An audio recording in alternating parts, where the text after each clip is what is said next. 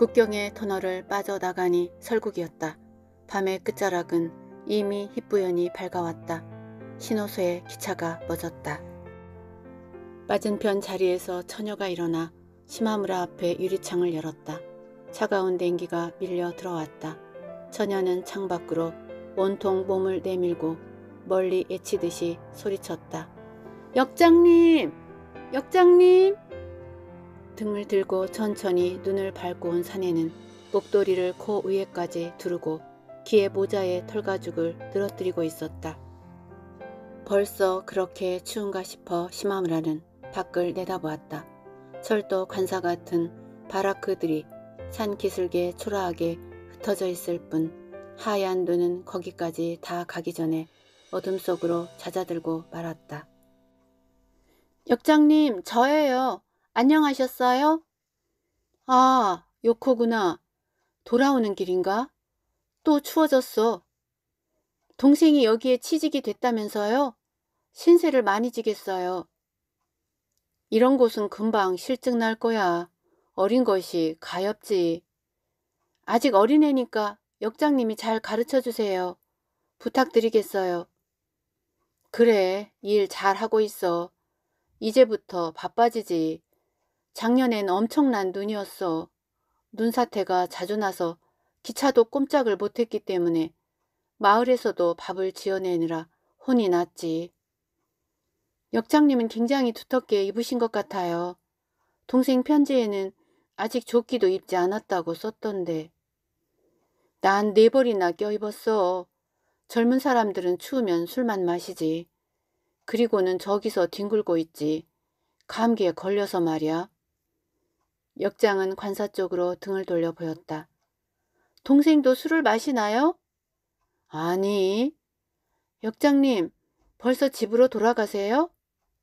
나는 다쳐서 병원에 다니고 있어.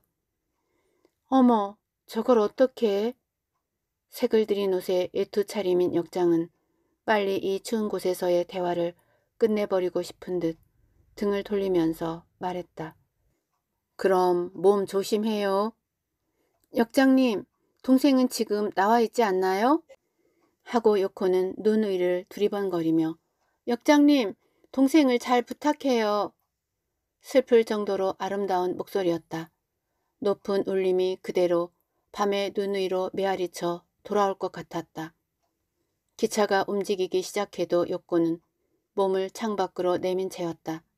기차가 선로 아래로 걷고 있는 역장에게 이르자 또 말했다. 역장님, 이번 휴일에 집에 오라고 동생한테 말해주세요. 알았어. 하고 역장이 소리쳤다.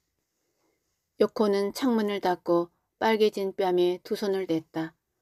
러셀을 세 대나 준비하고 눈을 기다리는 국경의 산이었다. 터널의 남북에서 전력으로 하는 눈사태 신호선이 통해 있었다. 제설 인부 연 5천 명, 소방조 청년단의 연 인원 2천명의 출동 준비는 이미 갖추어져 있었다.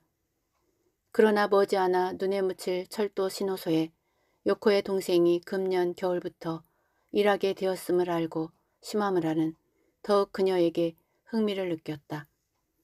그러나 여기서 처녀라는 것은 시마무라에게 그렇게 보였기 때문이었을 뿐 동행인 남자가 그녀와 어떻게 되는지 시마무라는 알 턱이 없었다. 두 사람의 태도는 부부인 것처럼 보였지만 남자는 확실히 병자였다. 병자와의 사이란 흔히 남녀의 거리가 좁혀지고 정성스럽게 간호하면 할수록 부부처럼 보이는 것이다. 또한 자기보다 연상의 남자를 보살피는 여자의 앳된 어머니 행세는 멀리서 볼 때 부부처럼 느껴지기도 할 것이다. 시마무라는 그녀만을 따로 떠내어 그 모습의 느낌에서 제멋대로 처녀일 것이라고 결정 짓고 있을 뿐이었다. 하지만 거기에는 그가 그 처녀를 이상한 눈으로 너무 지나치게 바라본 결과 그 자신의 감상이 조금은 포함된 것인지도 모른다. 이미 3시간 전에 시마무라는 심심해서 왼손의 집게 손가락을 이리저리 움직이며 바라보면서 결국 이 손가락만이 지금 만나러 가는 여자를 생생하게 기억하고 있으리라. 또렷하게 해상하려고 하면 할수록 막연하게 흐려져가는 허망한 기억 속에서 이 손가락만이 여자의 촉감으로 지금도 젖어 있어서 자기를 멀리 있는 여자에게로 끌고 가는 모양이라고 생각하면서 코에 대고 냄새를 맡아 보기까지 하다가 문득 그 손가락으로 유리창에 줄을 긋자 거기에 여자의 한쪽 눈이 또렷하게 떠올랐다. 그는 깜짝 놀라 소리를 지를 뻔했다. 그러나 그것은 그가 마음을 멀리 방황시키고 있었기 때문이었고 정신을 차리고 보니 아무것도 아님을 금방 알았다. 맞은편 좌석에 여자 얼굴이 비쳤기 때문이었다. 밖은 어둠이 내려 있었고 기차 안에는 불이 켜져 있었다. 그래서 유리창이 거울이 되었다. 하지만 스팀의 온도로 수증기에 젖어 있었기 때문에 손가락으로 닿기 전까지 그 거울은 없었던 것이다. 처녀의 한쪽 눈은 오히려 이상하리만큼 아름다웠지만 심하무라는 얼굴을 창으로 가까이 대고 갑자기 밤 풍경을 보고 싶은 듯한 여수의 표정을 짓고 손바닥으로 유리를 닦았다. 처녀는 앞에 누워있는 남자를 열심히 들여다보고 있었다. 어깨에 힘을 주고 있는 것으로 보아 조금 매서운 듯한 눈을 깜빡하지도 않을 만큼 진지하다는 것을 알 수 있었다. 남자는 창 쪽으로 머리를 두고 처녀 쪽으로 굽힌 다리를 올려놓고 있었다. 3등 차였다. 시마무라의 바로 옆 좌석이 아니고 한 칸 앞에 건너편 좌석이었으므로 옆으로 누워있는 남자의 얼굴은 귀 언저리밖에 거울에 비치지 않았다. 처녀는 시마무라와는 마침 비스듬히 마주보고 있었기 때문에 금방 볼 수도 있었지만 그들이 기차에 올랐을 때 뭔가 서늘한 처녀의 아름다움에 놀라 시선을 돌리는 순간 처녀의 손을 꼭 잡은 남자의 푸르고도 누런 손이 보였다. 그 때문에 시마무라는 어쩐지 두 번 다시 그쪽을 보아서는 안 될 것 같은 기분이 들었던 것이다. 처녀의 가슴께를 쳐다보고 있는 거울 속 남자의 안색은 평온해 보였다. 약한 체력이 그런대로 감미로운 조화를 풍기고 있었다. 목도리를 베개로 깔고 그것을 코 밑에 걸쳐 입을 꼭 덮고 그리고 또 위로 드러난 뺨을 싸서 마치 복면을 한 것 같았는데 그것이 가끔 들썩거렸다. 남자가 눈을 움직일까 말까 해서 처녀는 상냥한 손길로 바로잡아 주곤 했다. 보고 있는 시마무라가 짜증스러워질 만큼 몇 번이나 같은 짓을 두 사람은 무심히 되풀이하고 있었다. 또 남자의 다리를 덮은 외투자락이 가끔 벗겨져서 늘어졌다. 그것도 처녀는 금방 알아차리고 고쳐주곤 했다. 이것이 참으로 자연스러웠다. 이렇게 거리란 것을 잊고 두 사람은 끝없이 먼 곳으로 가는 사람들처럼 생각되기도 했다. 그 때문에 시마무라는 슬픔을 보고 있다는 그런 심경이 아니라 꿈속을 헤매는 듯한 심정이었다. 이상한 거울 속의 이력이 때문이었는지도 모른다. 거울 밑바닥엔 저녁 풍경이 흐르고 있어서 이를테면 비치는 것과 비추어내는 거울이 영화 자막의 이중 영상처럼 움직였다. 등장인물과 배경과는 아무런 관계도 없다. 더구나 인물은 투명한 허상으로 풍경은 어둠의 여릿한 흐름으로 이 두 가지가 융합되어 이 세상이 아닌 상징의 세계를 그리고 있었다. 특히 처녀의 얼굴 가운데 야산의 등불이 켜지자 시마무라는 뭐라고 말할 수 없는 아름다움에 가슴이 떨릴 정도였다. 먼 산의 하늘은 아직 황혼빛이 연하게 남아 있으므로 유리창 너머로 보이는 풍경은 멀리까지 사물의 윤곽을 식별할 수 있었다.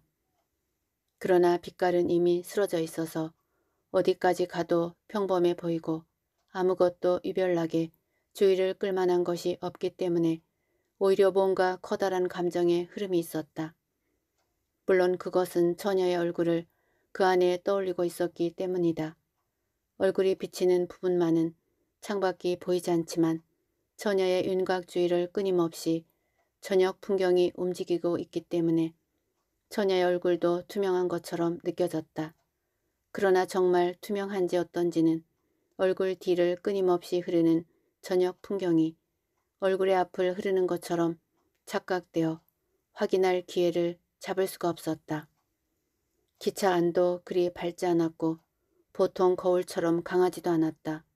반사가 없었다. 그러므로 시마무라는 보고 있는 동안의 거울의 존재를 차츰 잊어버리고 저녁 풍경의 흐름 속에 처녀가 떠 있는 것처럼 생각되어 왔다. 그때 그녀의 얼굴 속에 불이 비쳤다. 이 거울의 영상은 창밖의 불빛을 지워버릴 만큼 강하지는 못했다. 그리고 불빛은 그녀의 얼굴 위로 흘러갔다. 하지만 그녀의 얼굴을 빛나게 하지도 않았다. 차고 먼 빛이었다. 조그만 눈동자 주위를 아련히 밝게 하면서 곧 처녀의 눈과 불이 포개지는 순간 그녀의 눈은 어두운 물결 위에 떠있는 요염한 야광충이었다. 이런 식으로 엿보고 있다는 것을 욕고는 깨달을 턱이 없었다. 그녀는 다만 병자에게 마음을 빼앗기고 있었지만 가령 시마무라 쪽을 돌아봤다 해도 유리창에 비치는 자기 모습은 보이지 않았을 것이고 창밖을 바라보는 남자 따위는 의식하지도 않았을 것이다. 시마무라가 요코를 오랫동안 훔쳐보면서도 그녀에게 미안하다는 생각을 못하고 있었던 것은 저녁 풍경에 거울이 갖는 비현실적인 힘에 끌려 있었기 때문이었을 것이다. 그러므로 그녀가 역장에게 소리쳐 다시 뭔가 진지함을 보였을 때도 소설적인 흥미가 앞섰던 것인지도 모른다. 그 신호소를 지날 무렵에는 이미 창은 그저 어둡기만 했다. 저쪽 창밖에 흐르는 풍경이 사라지자 거울의 매력도 사라졌다. 요코의 아름다운 얼굴은 여전히 비치고 있었다. 그 따뜻한 행위에도 불구하고 시마무라는 그녀의 내부에서 뭔가 맑고 차가움을 새로 발견하고 거울이 흐려오는 것을 닦으려고도 하지 않았다. 그런데 그로부터 반 시간쯤 후 요코도 뜻밖의 시마무라와 같은 역에서 내렸으므로 그는 또 무슨 일이 일어날 것인가 생각하면서 자기와 관계라도 있는 듯이 돌아보았다. 플랫폼의 주위에 닿자 갑자기 기차 안에서의 무례함이 부끄러워져서 뒤도 돌아보지 않고 기관차의 앞을 가로질러 건넜다. 남자가 요코의 어깨에 매달려 선로로 내려서려 했을 때 이쪽에서 여권이 손을 들어 제지했다. 이윽고 어둠 속에서 나타난 긴 화물 열차가 두 사람의 모습을 가렸다. 여관의 지배인은 마치 소방관같이 요란한 눈 복장을 하고 있었다. 귀를 싸고 고무 장화를 신은 채 대합실 창으로 선로 쪽을 바라보고 서 있는 여자도 푸른 망토와 수건을 쓰고 있었다. 시마무라는 기차 안에서의 온도가 채 가시기 전이라 바깥의 추위를 아직 실감할 수 없었지만 설국의 겨울은 처음이므로 이 지방 사람들의 복장에 다소 겁이 났다. 그렇게 추운가? 네, 이제 완전히 겨울 차림입니다. 눈이 내린 뒤 날씨가 개기 전날 밤은 특히 추워요. 오늘 밤은 벌써 영하로 내려갔을걸요? 이 정도가 영하인가? 시마무라는 추녀 끝에 귀여운 고드름을 바라보면서 여관 지배인과 자동차를 탔다. 하얀 눈빛이 집들의 낮은 지붕을 더욱 낮아 보이게 하고 마을은 고요히 가라앉은 듯 했다. 정말 만지는 것마다 차가운 느낌이 다르군. 작년엔 제일 추울 때 영하 20 몇 도였습니다. 눈은? 글쎄요. 보통 7, 8자는 되지만 많은 때는 그 이상일걸요. 이제부터로군. 네, 이 눈은 지난번에 한 자쯤 내린 것인데 많이 녹은 셈이죠. 녹기도 하는가? 이제부터 언제 대설이 내질지 모릅니다. 12월 초였다. 시마무라는 끈질긴 감기로 인해 막혔던 코가 머릿속까지 시원하게 확 뚫리고 더러운 것이 씻겨나가듯이 콧물이 계속 흘렀다. 선생댁의 아가씨는 아직 있어? 네네 있습니다. 여기에 나와 있었는데 뭐 보셨습니까? 짙은 푸른색 망토를 입은 아, 그 여자였어? 나중에 부를 수 있겠지? 오늘 밤에요? 오늘 밤에. 오늘 밤 막차로 선생댁 아들이 온다고 해서 마중을 나갔습니다요. 저녁 풍경의 거울 속에서 요코의 간호를 받던 병자는 시마무라가 만나러 온 여자네 집의 아들이었던 것이다. 그런 사실을 알자 자기의 가슴 속을 뭔가가 스쳐간 것 같은 느낌이었지만 이 우연을 그는 그리 이상하다고는 생각지 않았다. 이상하게 생각지 않는 자기를 이상하게 생각했을 정도였다. 손가락으로 기억하고 있는 여자와 눈에 불을 켜고 있던 여자 사이에 뭐가 있는지 무슨 일이 일어날지 어쩐지 심하무라는 그것이 마음 한 구석에서 보이는 것 같았다. 아직 저녁 풍경의 거울에서 깨어나지 못한 탓일까. 저 저녁 풍경의 흐름은 과연 시간의 흐름의 상징이었던가 하고 그는 문득 중얼거렸다. 스키철을 앞둔 온천 여관은 가장 손님이 적을 때여서 시마무라가 온천탕에서 나오자 이미 모두가 고요히 잠들어 있었다. 낡은 복도는 그가 걸음을 옮길 때마다 유리창을 아주 조금씩 떨게 했다. 그 긴 복도 끝에 사무실 모퉁이에 싸늘하고 검게 빛나는 마루 위에 옷자락을 펼치고 한 여자가 우뚝 서 있었다. 마침내 기생이 된 것일까 하고 그 옷자락을 보고 가슴이 철렁했다. 그녀는 이쪽으로 걸어오는 것도 아니고 몸에 어딘가를 허물어 맞이하려는 태도도 하지 않은 채 꼼짝 않고 서 있었다. 그런 모습에서 그는 멀리서도 진지함을 깨닫고 급히 다가갔지만 여자 곁에 서서도 말은 하지 않았다. 여자도 짙게 화장을 한 얼굴로 미소 지으려 했지만 오히려 울상이 되어버렸으므로 아무 말 없이 두 사람은 방 쪽으로 걸음을 옮겼다. 그런 일이 있었는데도 편지도 하지 않았고 만나러 오지도 않았으며 무용책을 보내겠다던 약속도 지키지 않았다. 여자 쪽에서 본다면 웃고 잊어버린 모양이라고 생각지 않을 수 없으므로 우선 시마무라 쪽에서 사과나 변명을 해야 하는 일이었다. 그렇지만 그녀는 얼굴을 보지 않고 웃는 동안에도 그에 대한 책망은커녕 몸 전체로 그리움을 느끼고 있음을 알 수 있어 자기가 어떠한 변명을 한데도 그것은 자기가 불성실했다는 것을 강조하는 결과밖에 되지 않을 것이라 생각되었다. 그는 그녀에게 뭔가 미안함을 느끼면서도 감미로운 기쁨에 쌓여 있었지만 계단 아래까지 오자 이놈이 당신을 제일 잘 기억하고 있었어요. 하고 집게 손가락만을 편 왼손 주먹을 불쑥 여자의 눈앞에 내밀었다. 그래요? 하고 여자는 그의 손가락을 잡자 그냥 놓지 않고 끌듯이 하며 계단을 계속 올라갔다. 고다스 앞에서 손을 놓은 그녀는 새빨개진 얼굴을 감추기 위해 다시 그의 손을 당황스레 잡고 말했다. 이것이 나를 기억해 주었어요? 오른쪽이 아니야. 이쪽이야. 하고 여자의 손에서 오른손을 빼내어 고다스에 놓고 다시 왼쪽 주먹을 내밀었다. 그녀는 시치미를 뗀 표정으로 대답했다. 네, 알고 있어요. 여자는 후 하고 웃으면서 시마무라의 손을 펼쳐 그 위에 얼굴을 갖다 댔다. 이것이 기억해 주었어요?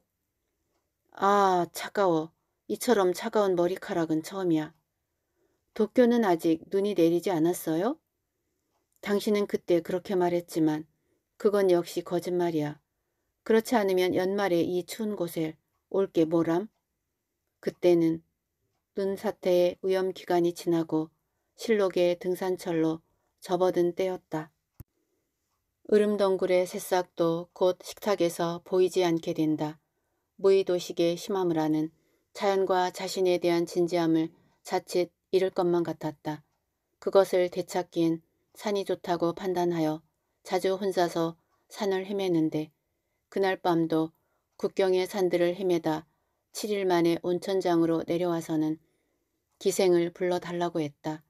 그러나 그날은 도로에 낙성 축하로 마을의 누에꽃이 저장실 겸 극장을 연회장으로 쓸 만큼 흥청됐다. 그러므로 열두 서너 명의 기생으로도 모자라 도저히 부를 수 없는 형편이지만 선생 댁의 처녀라면 연회장에 심부름을 갔다 해도 춤을 두세 가지만 보인 후에는 돌아가므로 어쩌면 올지도 모른다는 것이었다. 시마무라가 되묻자 샤미센과 춤을 가르치는 선생 댁에 있는 처녀는 기생은 아니지만 큰 연회에는 가끔 가는 경우가 있다고 했다. 나이 어린 기생이 없고 일어나 춤추기를 좋아하지 않는 늙은 기생이 많으므로 처녀는 사랑을 받고 있다고도 했다. 여관 손님들의 자리에는 좀처럼 혼자 나타나지를 않지만 아주 새내기도 아니라는 여 종업원의 설명이었다. 수상적인 얘기라고 별로 믿지 않고 있었으나 한 시간쯤 지나 여자가 여 종업원을 따라 들어서자 심하무라는 아니다 싶어 자세를 고쳐 앉았다. 곧 나가려는 여 종업원의 소매를 여자가 잡더니 그 자리에 앉혔다. 여자의 인상은 이상하리만큼 청결했다. 발가락 뒤까지 깨끗할 것처럼 생각될 정도였다. 초여름 산들의 모습을 보고 온 탓인지 심하무라는 자신의 눈을 의심했을 정도였다. 온 맵시에서 기생 분위기가 나는 듯 했지만 물론 옷자락을 질질 끌지는 않았고 얇은 헛옷을 단정하게 입고 있었다. 허리띠만은 어울리지 않게 비싼 것인 듯 했으나 그것이 오히려 애처롭게 보였다. 산 얘기가 나오자 여 종업원이 일어나 나갔지만 여자는 이 마을에서 바라보이는 산들의 이름도 제대로 알지 못했다. 시마무라는 술을 마실 생각이 없어 그냥 있었는데 여자는 이 설국에서 태어났고 도쿄에서 술집 접대부로 있다가 머리를 얹고 앞으로는 고전춤 선생으로 출세해볼까 했지만 1년 반 만에 남편이 죽어버렸다는 자신의 얘기를 의외로 솔직하게 해나갔다. 하지만 그 사람과 사별하고 나서 지금까지 일이 적어도 그녀의 진정한 신상 얘기가 되겠으나 그것은 당장 털어놓을 것 같지도 않았다. 19살이라고 했다. 거짓말이 아니라면 이 19살이 스물 하나나 둘로 보여 시마무라는 비로소 마음의 여유가 생겨 가부키의 얘기 따위를 꺼내자 여자는 그보다 배우들의 경향이나 소식 등에 정통했다.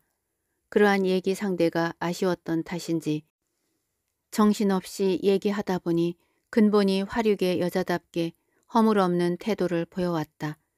남자의 마음을 대강 알고 있는 듯도 했다.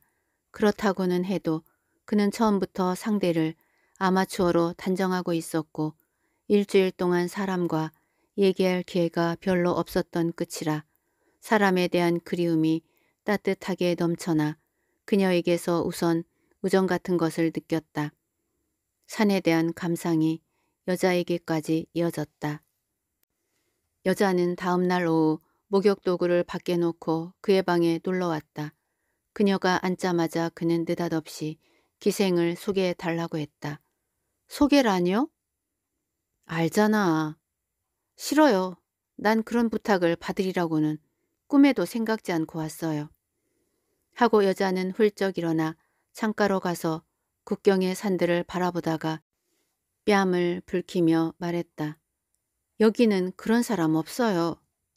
거짓말. 참말이에요. 하고 휙 돌아서서 창틀에 앉더니 말을 이었다. 강요할 수는 절대로 없어요. 모두 기생들의 자유인걸요.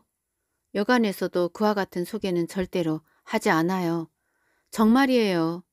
이건 당신께서 아무라도 불러서 직접 말해보는 게 좋을 거예요. 당신이 부탁을 해봐 줘요. 내가 어째서 그런 일을 해야 되죠? 친구로 생각하고 있어요. 친구로 해두고 싶으니까 당신을 설득하지 않는 거요. 그게 친구라는 건가요? 하고 여자는 대화에 끌려들어 말했으나 그 다음은 다시 내뱉듯이 말했다. 대단하시군요. 그런 부탁을 내게 하시다니. 별것도 아니잖아. 산에서 제법 건강해 갖고 왔으나 머리가 띵하단 말이야. 당신하고도 상쾌한 기분으로 얘기를 할 수 없을 정도예요. 여자는 시선을 내리깔고 말이 없었다. 심하무라는 이렇게 되고 보면 이제 남자의 파렴치함을 노출시키고 있을 뿐인데 그것을 쉽게 이해하는 습성이 여자의 몸에 배어있는 것일까? 그 내리깔린 짙은 속눈썹 탓인지 포근하고도 요염해진 듯 했다.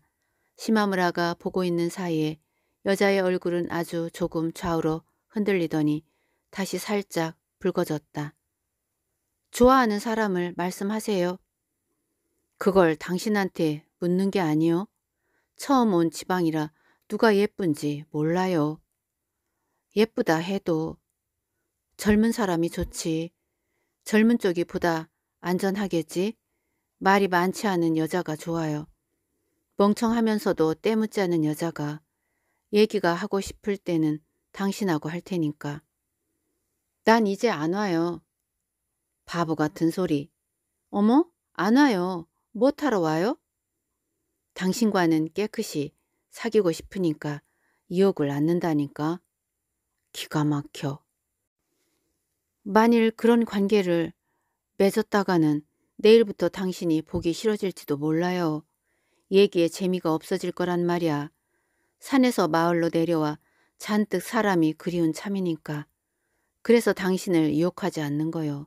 난 또 여행자가 아닌가. 네, 정말 그래요.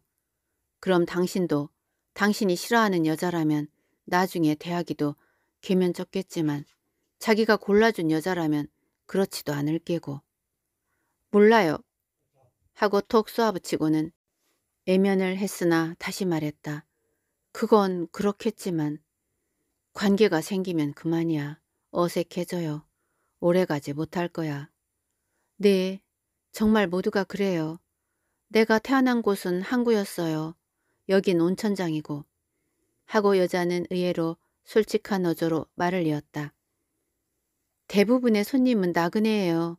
나 같은 건 아직 어리지만 여러 사람들의 얘기를 들어보면 어쩌다 좋아져도 그때는 좋아한다는 말 한마디 하지 않은 사람 쪽이 언제까지나 그립나 봐요. 헤어진 뒤에 그런가 봐요.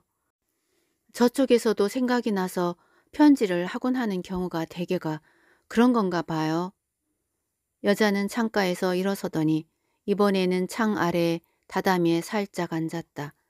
멀리 지나간 날들을 회상하는 듯이 보이더니 갑자기 시마무라 곁에 앉는 듯한 표정이었다. 여자의 목소리에 너무도 실감이 넘치고 있었으므로 시마무라는 너무 쉽게 여자를 속인 것일까 하고 오히려 꺼름직한 느낌이 들 정도였다. 그러나 그는 거짓말을 한 것은 아니었다. 아무튼 이 여자는 기생이 아니다. 그의 유격은 이 여자에게 그것을 요구할 것도 없이 가볍게 처리될 수 있는 성질의 것이었다. 그녀는 너무 청초했다. 첫눈에 그는 그런 여자와 이 여자를 구분하고 있었다. 그리고 그는 여름 피서지를 택하러 돌아다니는 때였으므로 이 온천 마을로 가족을 데리고 올까도 생각했다. 그렇게 되면 이 여자는 다행히 기생이 아니므로 아내의 말 상대도 되어 달랠 수 있고 춤도 배울 수 있을 것이다. 진정으로 이렇게 생각하고 있었다. 여자에게 우정 같은 것을 느낀다 해도 그는 그 정도의 인정세계는 이미 건너본 뒤였다. 물론 여기에도 시마무라적인 저녁 풍경의 거울은 작용했을 것이다. 지금의 그의 신분이 모호한 여자와의 관계에서 생기는 찜찜한 뒷맛을 싫어했을 뿐만 아니라 저물어가는 차창에 비치는 여자의 얼굴처럼 비현실적인 견해를 갖고 있었는지도 모른다. 그의 서양 무용 취미만 해도 그랬다. 시마무라는 도쿄의 서민 출신이므로 어렸을 때부터 가부키 연극에 익숙했으나 학생 시절엔 취미가 춤이나 무용극으로 기울어졌다. 이렇게 되고 보니 일가견을 이루지 않으면 직성이 풀리지 않는 성미라 옛 기록을 뒤지기도 하고 가문을 찾아다니기도 하면서 마침내 일본 무용의 신인들과도 알게 되었고 연구나 비평적인 글까지도 쓰게 되었다. 그리고 일본 춤의 전통이 시들어가는 것이나 또 일방적인 새로운 시도에도 당연히 불만을 느끼게 되었다.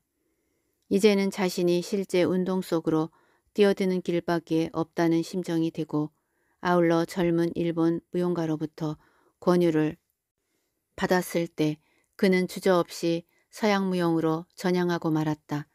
그 후로 일본 무용은 전혀 보지 않게 되었다. 그 대신 서양 무용에 관한 책과 사진을 수집하고 포스터나 프로그램까지 애써 외국에서 입수했다. 이국이라든가 미지 세계에 대한 호기심에서만은 결코 아니었다. 여기서 새로 발견한 기쁨은 눈으로 직접 서양인의 춤을 볼 수 없다는 것이었다. 그 증거로 시마무라는 일본인의 서양 무용은 거들떠 보지도 않았다. 서양의 인쇄물을 바탕으로 서양 무용에 관해 쓴다는 것만큼 편한 일은 없었다. 보지 않은 무용 따위는 호황된 얘기인 것이다. 이만한 탁상 공로는 다시 없었고 마치 천국의 시였다. 연구라고는 하지만 제멋대로의 상상이었고 무용가의 산 육체가 띠노는 예술을 감상하는 게 아니라 서양의 언어나 사진을 통해 떠오르는 그 자신의 공상이 춤추는 환영을 감상하는 것이었다. 보지 못한 연인을 그리워하는 것이나 다름없었다. 더구나 이따금 서양 무용의 수계 따위를 쓰기 때문에 문필과 나부랭이로 손꼽혀 그것을 스스로 냉소하면서도 직업이 없는 그의 소일거리가 되기도 했다. 그러한 그의 무용 얘기가 여자와 친숙해지는데 도움이 되었다는 사실은 그 지식이 오랜만에 현실적으로 효용되었다고 할 수 있었다. 하지만 역시 시마무라는 자신도 모르는 사이에 여자를 서양 무용식으로 취급하고 있었는지도 모르겠다. 그래서 자기의 옅은 여수적인 말이 여자의 생활에 급소를 찌른 듯 하자 여자를 속인 게 아닐까 하고 마음이 꺼름직했다. 그렇게 하면 다음에 내가 가족을 데리고 와도 당신과 떳떳이 사귈 수가 있어요. 네, 그건 이제 잘 알았어요. 하고 여자는 나직이 웃고 기생처럼 조금 들뜬 듯하며 말했다. 나도 그런 게 좋아요. 깨끗한 편이 오래 가거든요. 그러니까 불러줘요. 지금? 음, 놀랐어요. 이런 대낮에? 미지근한 것은 싫단 말이야. 그런 말 마세요. 당신은 여기를 막된 온천장으로 아시나 보죠? 마을의 상태를 보면 모르세요? 하고 여자는 의외라는 듯이 진지한 말투로 여기엔 그런 여자가 없다는 것을 되풀이했다. 시마무라가 의심하자 여자는 열을 올렸다. 그러면서 한 걸음 양보하여 그건 아무튼 기생의 자유겠지만 다만 주인집에 양해 없이 예박하면 기생의 책임으로 어떻게 되든 상관하지 않지만 주인집에 양해를 구하면 그건 포주의 책임으로 어디까지나 뒤를 봐주는 그 정도의 차이라고 했다. 책임이라니 어떤? 임신을 하거나 몸이 나빠지거나 하는 경우죠. 시마무라는 자신의 엉뚱한 질문에 쓴웃음을 지으면서 그와 같은 태평스런 얘기도 이 산촌에는 있는가 싶었다. 무의도식의 그는 자연히 보색을 필요로 하는 마음에선지 여행지에서의 인심에는 본능적으로 민감해졌다. 산에서 내려오자 곧 이 마을의 검소한 풍경에서 평화로운 무엇을 느끼고 여관에서 물어보았더니 과연 이 설국에서도 가장 살기가 좋은 마을이라고 했다. 불과 몇 해 전 철도가 생기기까지는 주로 농민들이 이용하는 온천장이었다고 한다. 기생이 있는 집은 요리집이나 단팥죽집이라고 쓰인 퇴색한 간판을 내걸고 있는데 고풍스런 장지문이 그은 것을 보면 이래도 손님이 있을까 싶을 정도였다. 그리고 잡화점이나 과자점에서도 기생을 딱 한 사람 고용하고 있는 곳이 있고 그 주인들은 가게에 농사도 짓는 듯 했다. 선생 댁의 처녀라는 점도 있겠으나 감찰 없는 여자가 가끔 연회석에 술 심부름을 하러 나가도 헐뜯는 기생이 없는 모양이었다. 그래서 몇 명쯤 있지? 기생 열두세 명쯤 될까?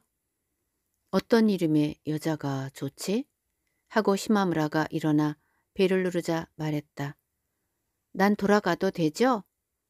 당신이 가면 어떡해? 싫어요. 하고 여자는 굴욕을 뿌리치듯이 내뱉었다. 가겠어요. 좋아요. 아무렇지도 않게 생각할게요. 다시 오겠어요. 그러나 여 종업원을 보자 자연스럽게 고쳐 앉았다. 여 종업원이 누구를 부를까요? 하고 아무리 물어도 여자는 이름을 대지 않았다. 그러나 잠시 후에 온 17, 8세의 기생을 한번 보자 시마무라에게는 산에서 마을로 왔을 때 여자 생각은 깨끗이 사라지고 말았다. 살결이 검고 팔이 억센 그러나 어딘가 순진해 보이고 착해 보여서 흥이 깨진 표정을 애써 감추고 기생 쪽을 보고 있기는 했으나 사실은 그녀 뒤에 창을 통해 실록의 산들이 자꾸만 눈에 들어오는 것을 어쩔 수가 없었다. 말을 하기조차 싫었다. 별 수 없는 산골 기생이었다. 시마무라가 시무룩해 있기 때문에 여자는 눈치를 챈 듯 일어나 잠자코 나가버리고 그 바람에 더욱 분위기가 어색해졌다.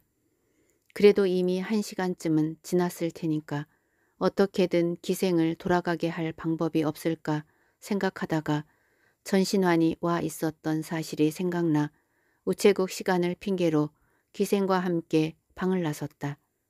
그러나 시마무라는 여관의 현관에서 실록의 향기가 강한 뒷산을 바라보더니 그에 끌리듯이 허겁지겁 올라갔다. 무엇이 우스운지 혼자서 웃음이 그치지 않았다. 적당히 피로해졌을 때 휙 돌아서서 호옷을 뒤로 축혀 올리고 한다름의 아래로 내리 달리자 노랑나비가 두 마리 날아올랐다. 나비는 서로 얽히면서 이윽고 국경의 산보다 높게 노란 빛이 하얗게 될 때까지 멀어져 갔다. 웬일이세요? 여자가 삼나무 숲 그늘에 서 있었다. 즐겁게 웃고 계시군요. 그만뒀어. 하고 시마무라는 다시 이유 모를 웃음이 솟아 그만뒀어. 그래요? 여자는 휙하니 고개를 돌리더니 삼나무 숲속으로 천천히 들어갔다. 그는 말없이 따라갔다. 신사였다. 이끼 낀 돌 사자 곁에 평평한 바위에 여자는 앉았다. 여기가 제일 시원해요. 한여름에도 서늘한 바람이 불어요. 여기 기생이란 모두가 그런가? 다 비슷하겠죠? 나이 든 기생 중에는 예쁜 사람도 있어요. 하고 고개를 떨구고 무뚝뚝하게 말했다. 그 목덜미에 삼나무 숲의 그늘이 비치는 듯했다. 시마무라는 삼나무 꼭대기를 쳐다보았다. 이제 됐어. 몸에서 힘이 쏙 빠져나가 오히려 우스워요. 그 삼나무는 바위에 손을 뒤로 짚고 가슴을 벌렁 젖히지 않으면 볼 수 없을 만큼 높았고 게다가 일직선으로 줄기가 들어서고 검은 잎이 하늘을 덮고 있었으므로 고요가 찡하게 느껴졌다. 시마무라가 등을 기대고 있는 줄기는 그중 늙은 나무였으나 어쩐 일인지 북쪽까지만이 모두 말라 떨어지고 남은 밑동들이 뾰족한 말뚝을 줄기에 거꾸로 심어 놓은 듯이 보였다. 뭔가 신의 무서운 무기 같았다. 난 착각을 하고 있었어요. 산에서 내려와 맨 처음 당신을 보았기 때문에 여기 기생들은 다 아름다울 것으로 생각했나 봐요. 하고 웃으면서 7일 동안 산에서 기른 건강을 간단하게 세탁하려고 생각한 것도 실은 처음에 이 청결한 여자를 보았기 때문이었을 것이라고 시마무라는 이제 와서 깨달았다. 석양에 빛나는 먼 개울을 여자는 가만히 바라보고 있었다. 어머, 깜빡 잊고 있었어요. 담배. 하고 여자는 애써 가볍게 웃었다. 아까 방에 가봤더니 이미 안 계시대요? 웬일인가 했더니 무서운 기세로 혼자 산을 오르고 있잖아요. 창으로 보였어요. 우스웠어요. 담배를 잊으신 듯 해서 가져왔어요. 그리고 그의 담배를 소매 속에서 꺼내고는 성냥불을 붙였다. 그 아이한테 미안하게 됐어. 그런 건 손님의 자유 아니에요? 언제 돌려보내든. 돌이 많은 개울의 물소리가 부드럽고 달콤하게 들려올 뿐이었다. 삼나무 사이로 저쪽 산에 주름진 곳이 그늘지는 것이 보였다. 당신과 그리 차이지지 않는 여자가 아니면 나중에 당신을 대할 때 아쉽단 말이야. 몰라요. 욕심쟁이군요. 하고 여자는 불끈 비웃듯이 말했지만 기생을 부르기 전과는 전혀 다른 감정이 둘 사이에 오가고 있었다. 처음부터 오직 이 여자가 필요했을 뿐이다. 그걸 괜히 멀리 우회하고 있다는 것을 확실히 깨닫자 시마무라는 자신이 싫어지는 한편 여자가 더욱 아름다워 보였다. 삼나모습 그늘에서 그를 부른 뒤부터의 여자는 뭔가 싱그러운 자태였다.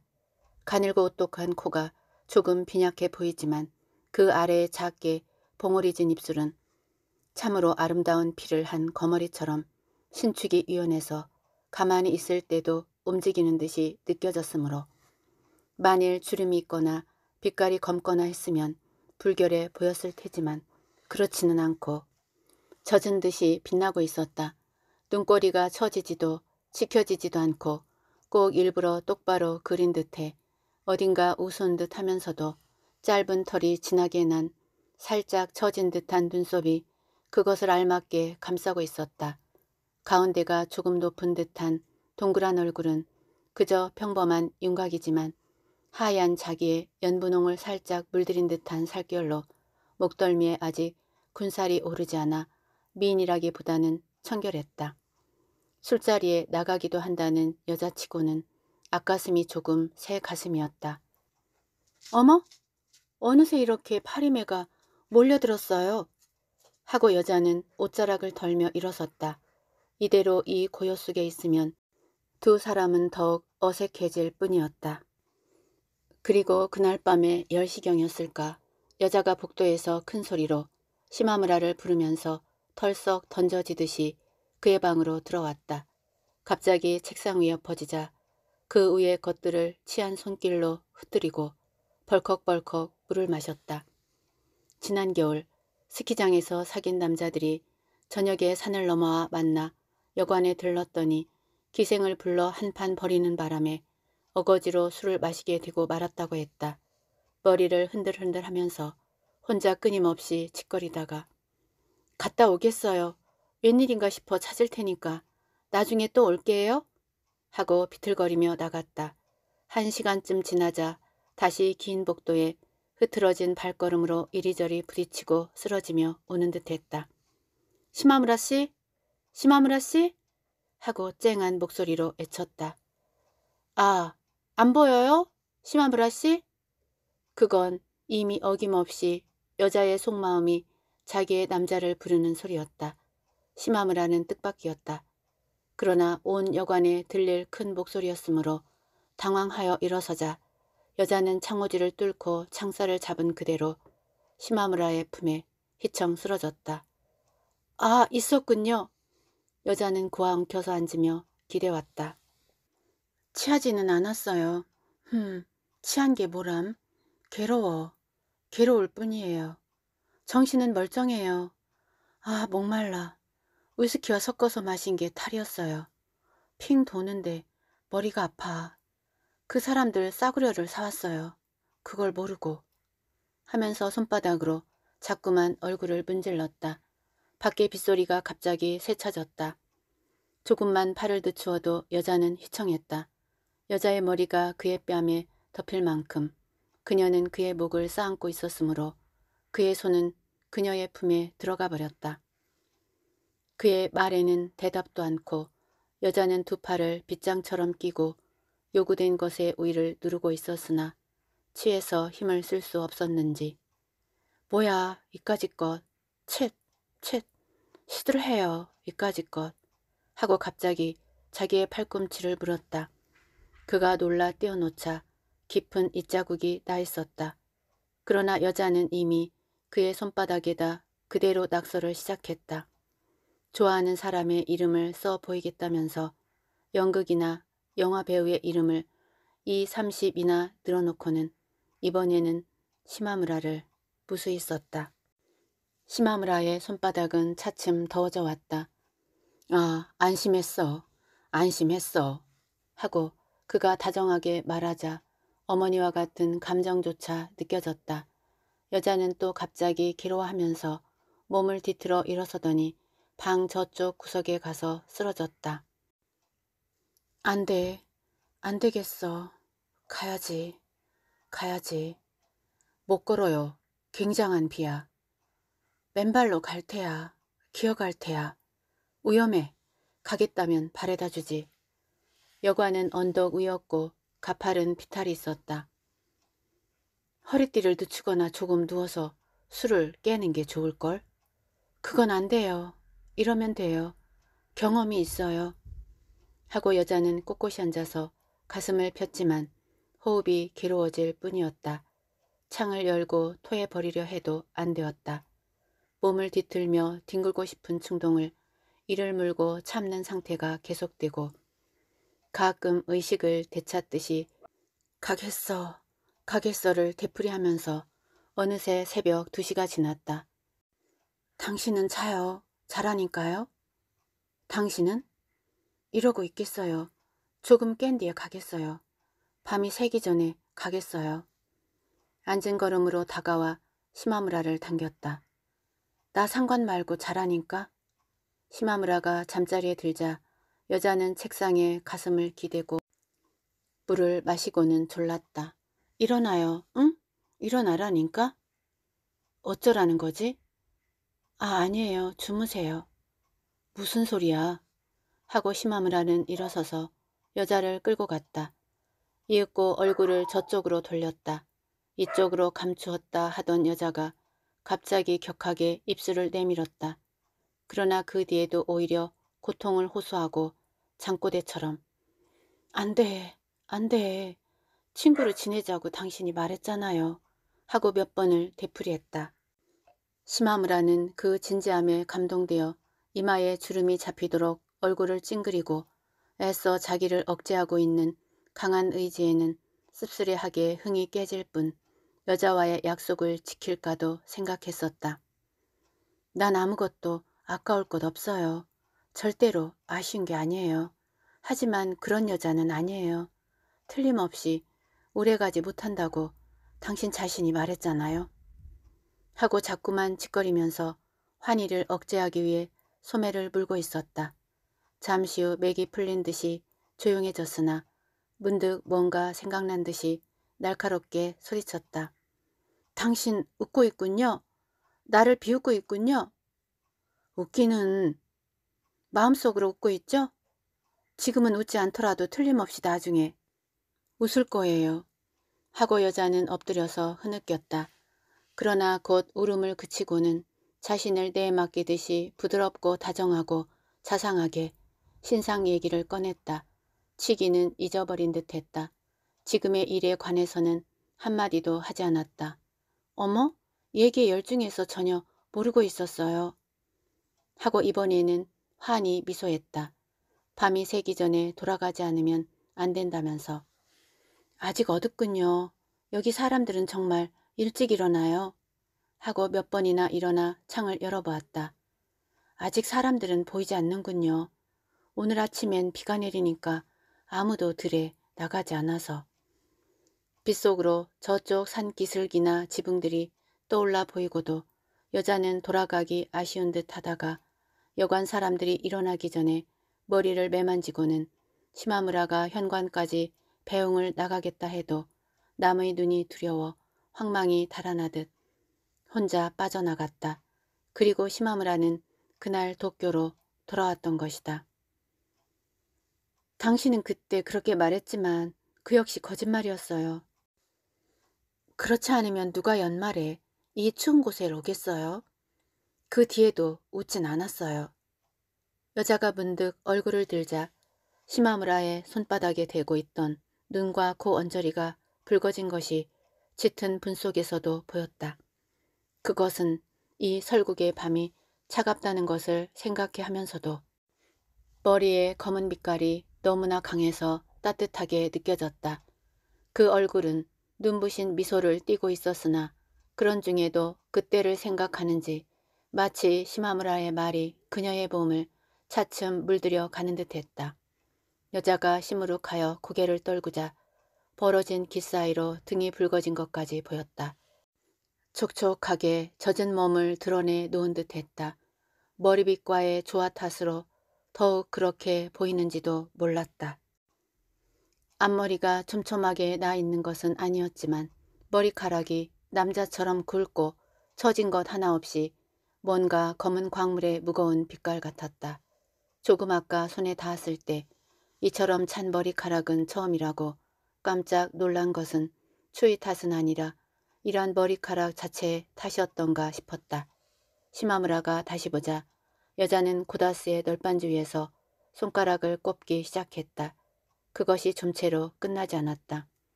뭘 계산하지?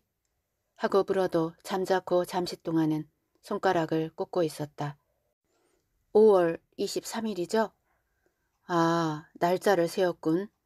7월, 8월은 커요. 꼭 199일째예요. 아무튼 5월 23일이라고 잘도 기억하고 있었군. 일기를 보면 금방 알아요. 일기? 일기를 쓰고 있나? 네, 오래된 일기를 보는 것은 즐거워요. 뭐든지 숨김없이 그대로 적어 놓았기 때문에 혼자서 읽어도 얼굴이 뜨거워져요. 언제부터? 도쿄에서 술집에 나가기 조금 전부터. 그 무렵엔 돈이 자유롭지 못했거든요. 내 돈으로 일기장을 살 수가 없었어요. 이전이나 3전짜리 일기장에 자를 대고 가는 줄을 긋고 연필을 아주 가늘게 깎았던지 선이 무척 깨끗해요. 그리고 공책의 위에서부터 아래까지 자잘한 글자가 꽉 차 있어요. 내 돈으로 일기장을 사게 되니 안 돼요. 물건을 마구 다루니까. 붓글씨 연습도 그전엔 신문에 했는데 요즘은 두루마리에 직접 해요. 쭉 빠짐없이 일기를 쓰오? 네, 16살 때와 금년 것이 제일 재밌어요. 언제나 술자리에서 돌아와 잠옷으로 갈아입고 나서 써요. 늦게 돌아가거든요. 여기까지 쓰다가 도중에 잠들었구나 하고 지금 읽어봐도 알 수 있는 곳이 있어요. 그래? 하지만 매일은 아니고 쉬는 날도 있어요. 이런 산골이라 술자리에 나가도 뻔하거든요. 금년엔 페이지마다 날짜가 적힌 것밖에 살 수가 없어서 실패했어요. 아무래도 길어지는 게 있거든요. 일기 얘기보다 더욱 시마무라가 의외라고 느낀 것은 그녀가 15, 6세 때부터 읽은 소설을 일일이 적어두고 그러한 공책이 이미 10권이나 된다는 것이었다. 감상을 써두는 건가? 감상 같은 건 못 써요. 제목과 작자와 그리고 등장인물의 이름과 그 사람들의 관계 정도예요. 그런 걸 적어둔데도 별 수 없잖아? 별 수 없죠. 헛수고야. 그래요. 하고 여자는 솔직하고 밝게 대답하고 나서 물끄러미 시마무라를 보고 있었다.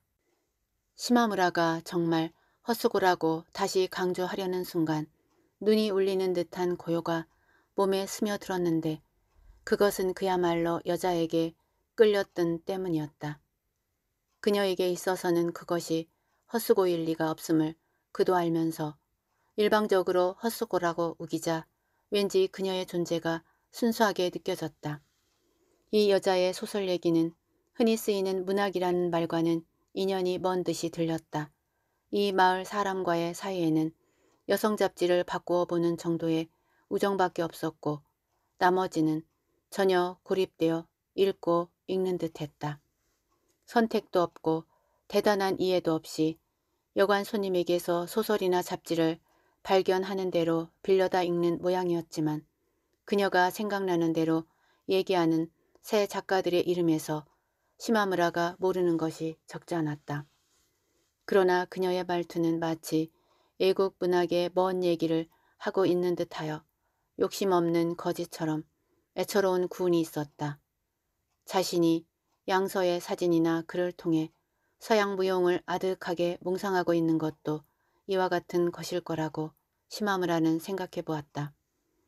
그녀 또한 보이지 않는 영화나 연극 얘기를 즐겁게 짓거리는 것이었다.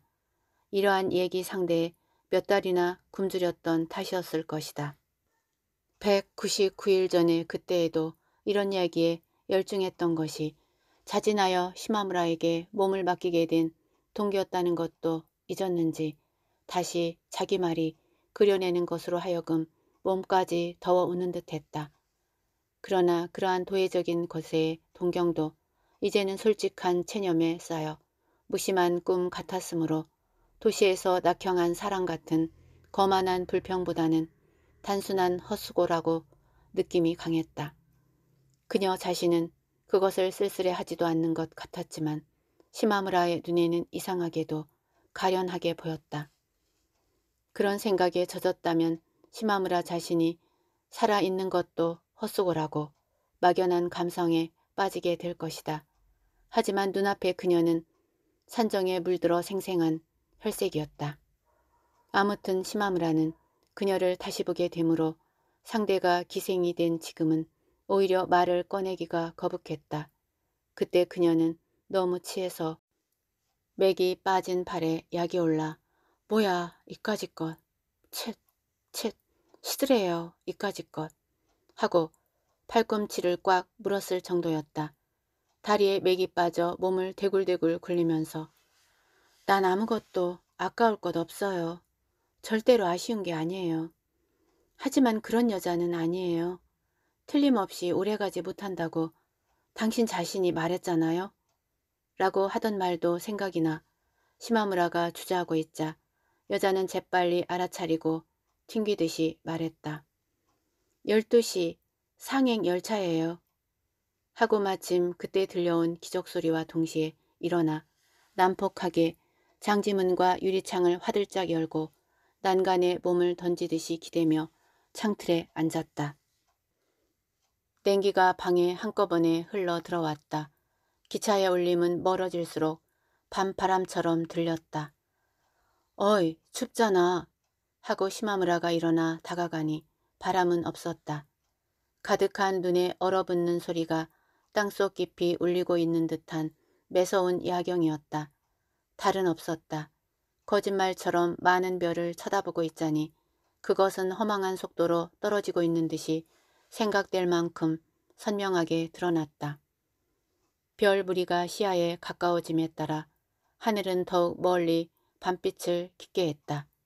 국경의 산들은 이미 그 겹쳐짐도 분간할 수 없었고 그 대신 그만한 두께는 될 듯한 그을린 감정으로 하늘 끝에 무겁게 처져 있었다. 모두가 맑게 가라앉은 조화였다. 시마무라가 다가서는 것을 알자 여자는 난간에 가슴을 대고 엎드렸다. 그것은 연약함이 아니라 이러한 밤을 배경으로 하여 이보다 완고한 것은 없다는 자세였다. 시마무라는 또 하고 생각했다. 그러나 산들의 빛깔은 검은데 불구하고 어찌된 셈인지 선명한 눈빛으로 보였다. 그러자 산들이 투명하고 쓸쓸한 것으로 느껴졌다. 하늘과 산은 조화되어 있지 않았다. 시마무라는 여자의 목을 잡고 감기 들어요. 이렇게 차가운데 하고 힘껏 일으키려 했다. 여자는 난간에 매달려 목소리를 짜내듯이 나 돌아갈래요. 가라고. 조금만 더 이대로 있게 해줘요. 그럼 난 탕에 들어갔다 오지. 싫어요. 여기 계세요. 창을 닫아요. 조금만 더 이대로 있게 해줘요. 마을은 신사의 삼나무 숲 그늘에 반은 감춰져 있었지만 자동차로 10분이 채 안 걸리는 정거장의 등불은 추위 때문에 핑핑 소리를 내며 깨어지듯이 깜빡이고 있었다. 여자의 뺨도 유리창도 입고 있는 소못 소매자락도 손에 닿는 것은 전부 시마무라에게는 이런 차가움이란 처음이라고 느껴졌다. 발밑에 다다미까지가 싸늘해 오므로 혼자 탕에 가려 하자 잠깐만 나도 가겠어요 하고 이번에는 여자가 고분고분히 따라왔다. 그가 벗어던지는 것들을 여자가 광주리에 주워 담고 있을 때 남자 손님이 들어왔으나 그는 금방 시마무라의 가슴 앞에 웅크리고 얼굴을 감추는 여자를 발견했다. 아, 실례했습니다. 아니, 들어오세요. 저쪽 탕으로 들어갈 테니까. 하고 시마무라는 당황하여 말하고 발가벗은 채로 광주리를 안고 옆에 여탕으로 갔다. 여자는 물론 부부간인 척하고 따라왔다. 심하무라는 말없이 뒤도 돌아보지 않고 탕으로 뛰어들었다. 마음 놓고 웃음이 터져 나올 것 같아 물꼭지에 입을 대고 거칠게 입을 헹궜다. 방에 들어오자 여자는 옆으로 목을 가볍게 들어 귀 및 머리를 새끼손가락으로 긁어올리며 슬퍼요 하고 오직 한마디 했을 뿐이었다. 여자가 검은 눈을 반쯤 열고 있는가 하고 가까이 들여다봤더니 그것은 속 눈썹이었다. 신경질적인 여자는 한숨도 자지 않았다. 뽀득뽀득 허리띠를 꼭 매는 소리에 심하무라는 눈을 떴다. 일찍 깨워서 미안해요. 아직 어둡군요. 좀 봐주시지 않겠어요? 하고 여자는 전등을 껐다. 내 얼굴 보여요? 안 보여요? 안 보여. 아직 날이 새지 않았잖아. 거짓말.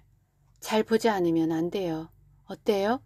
하고 여자는 창을 열어젖혔다. 안 되겠어. 보이죠? 나 갈래요. 새벽에 주위에 놀라 심하무라가 베개에서 고개를 들어보니 하늘은 온통 밤빛인데 산은 이미 아침이었다. 아 됐어요. 지금 농가가 한가해서 이렇게 일찍 나다니는 사람은 없을 거야. 하지만 산에 가는 사람은 있을까? 하고 혼자 중얼거리며 여자는 매던 허리띠를 풀며 지금의 5시 하행 열차에 손님이 없었던가 보죠? 여관 사람들은 아직 안 일어났어요. 허리띠를 다 메고 나서도 여자는 섰다 앉았다 하며 다시 창밖만 보며 서성거렸다. 그것은 야행 동물이 아침을 두려워하여 어찌할 바 모르고 오락가락하는 것과 같았다. 이상한 야성이 들떠오는 꼴이었다. 그러다 보니 방 안까지 환히 밝아와서 여자의 붉은 뺨이 또렷이 보였다. 심하무라는 놀랄 만큼 선명한 붉은 빛에 혹해서 뺨이 새빨갛잖아 추워서 춥진 않아요. 분을 지워서 그래요. 나는 잠자리에 들면 금방 발끝까지 따뜻해 와요. 하고 벽의 밑에 경대를 향해 또 말했다. 마침내 환해져 버렸어요. 돌아가겠어요. 심하무라는 그쪽을 보고 목을 움찔했다. 거울 저 안쪽에 새하얗게 빛나고 있는 것은 눈이었다. 그 눈 속에 여자의 새빨간 뺨이 떠있다. 뭐라고 형언할 수 없는 청초한 아름다움이었다. 벌써 해가 뜨는지 거울 속의 눈은 차갑게 타는 듯한 광채를 더해왔다. 그에 따라 눈 위에 떠오른 여자의 머리도 선명한 보랏빛을 띤 검은색을 더해갔다.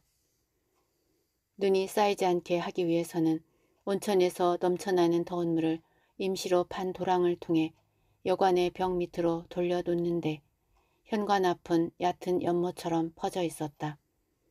검고 우람한 아키다 개가 거기 디딤돌에 앉아 오랫동안 더운 물을 핥고 있었다. 헛간에서 꺼낸 듯한 스키를 널어 말리고 있었는데 그것에서 풍기는 연한 곰팡내는 김으로 달짝지근하게 되었고 삼나무 가지에서 공동탕의 지붕에 떨어지는 눈덩이도 따뜻한 것처럼 그 모양이 허물어졌다. 연말에서 설이 되면 저 길이 눈보라 때문에 보이지 않게 된다. 기생들은 헐렁한 바지에 고무 장화를 신고 망토를 두르고 베일을 쓰고 연애에 다니지 않으면 안 된다. 그 무렵에 눈은 한 길이나 된다. 이렇게 말하며 언덕의 여관의 창으로 여자가 새벽에 내려다보던 비탈길을 심하무라는 지금 내려가는 중이었다.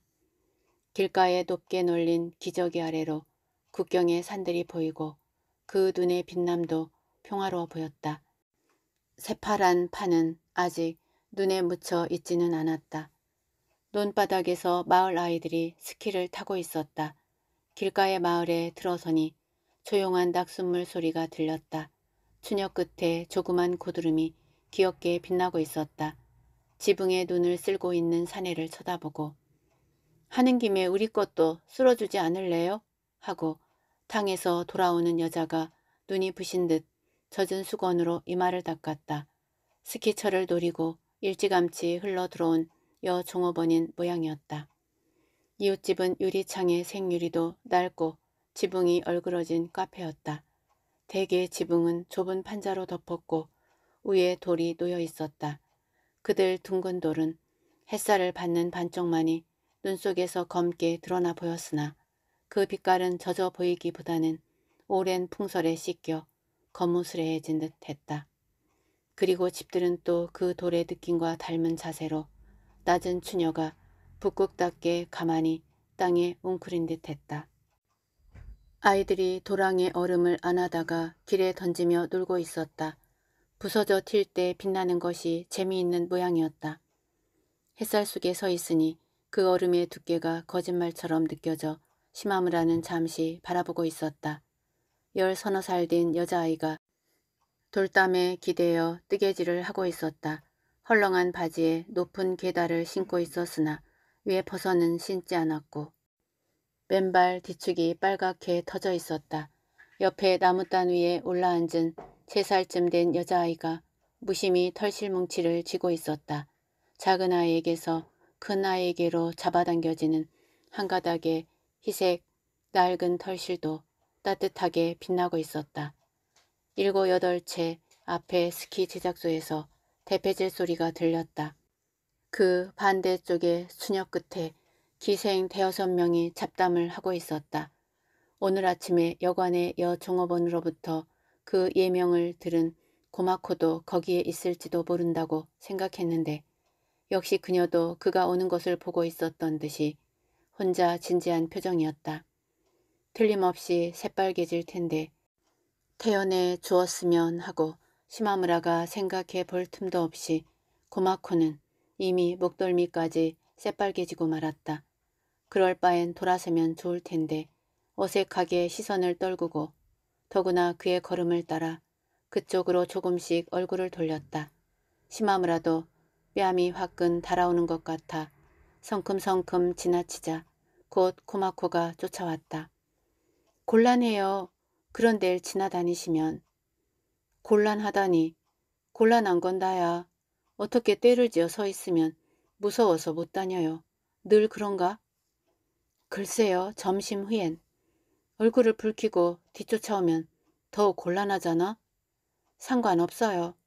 하고 분명히 말한 고마코는 또 얼굴을 붉히고 그 자리에 걸음을 멈추고 길가에 감나무를 잡았다. 집으로 모실까 해서 달려왔어요. 당신네 집이 여긴가? 네. 일기를 보여준다면 들러도 좋지? 그건 태우고 나서 죽을 거예요. 하지만 당신네 집엔 병자가 있잖아? 어머? 잘 아시네요? 어젯밤에 당신도 마중을 나갔잖아. 짙은 청색 망토를 입고 나는 그 차에서 병자 바로 곁에 타고 왔어요. 정말 진지하고 친절하게 병자를 돌보는 아가씨가 함께 있던데 그 여자가 부인인가 여기서 마중 간 사람은 도쿄 사람? 마치 어머니처럼 자상해서 난 감탄했어요. 당신 어째서 어젯밤에 나에게 말하지 않았어요? 왜 잠자코 있었어요? 하고 코마코는 안색을 달리했다. 부인인가? 그러나 이 말에는 대답을 않고 말했다. 왜 어젯밤엔 말하지 않았어요? 이상한 분이셔. 시마무라는 여자의 이러한 날카로움을 좋아하지 않았다. 하지만 여자를 이처럼 날카롭게 하는 이유는 시마무라에게도 고마코에게도 없을 것으로 생각되었다. 그렇다면 고마코의 성격이 드러난 것인가 생각도 했으나 아무튼 다그치자 그는 급소를 찔린 듯한 느낌이 들기도 했다. 오늘 아침 산에 눈이 비친 거울 속의 고마코를 보았을 때도 물론 시마무라는 저물어가는 차창에 비쳤던 처녀를 생각했었지만 어째서 그걸 고마코에게 말하지 않았을까? 병자가 있어도 상관없어요. 내 방에는 아무도 올라오지 않아요. 하고 코마코는 낮은 돌담 안으로 들어섰다. 오른쪽은 눈이 덮인 밭이고 왼쪽은 감나무가 이웃집의 벽을 따라 늘어서 있었다. 집 앞은 꽃밭인 듯 그 한가운데의 조그만 연못은 얼음이 가장자리를 둘렀고 붉은 잉어가 헤엄치고 있었다. 감나무 밑둥처럼 집도 낡아 있었다.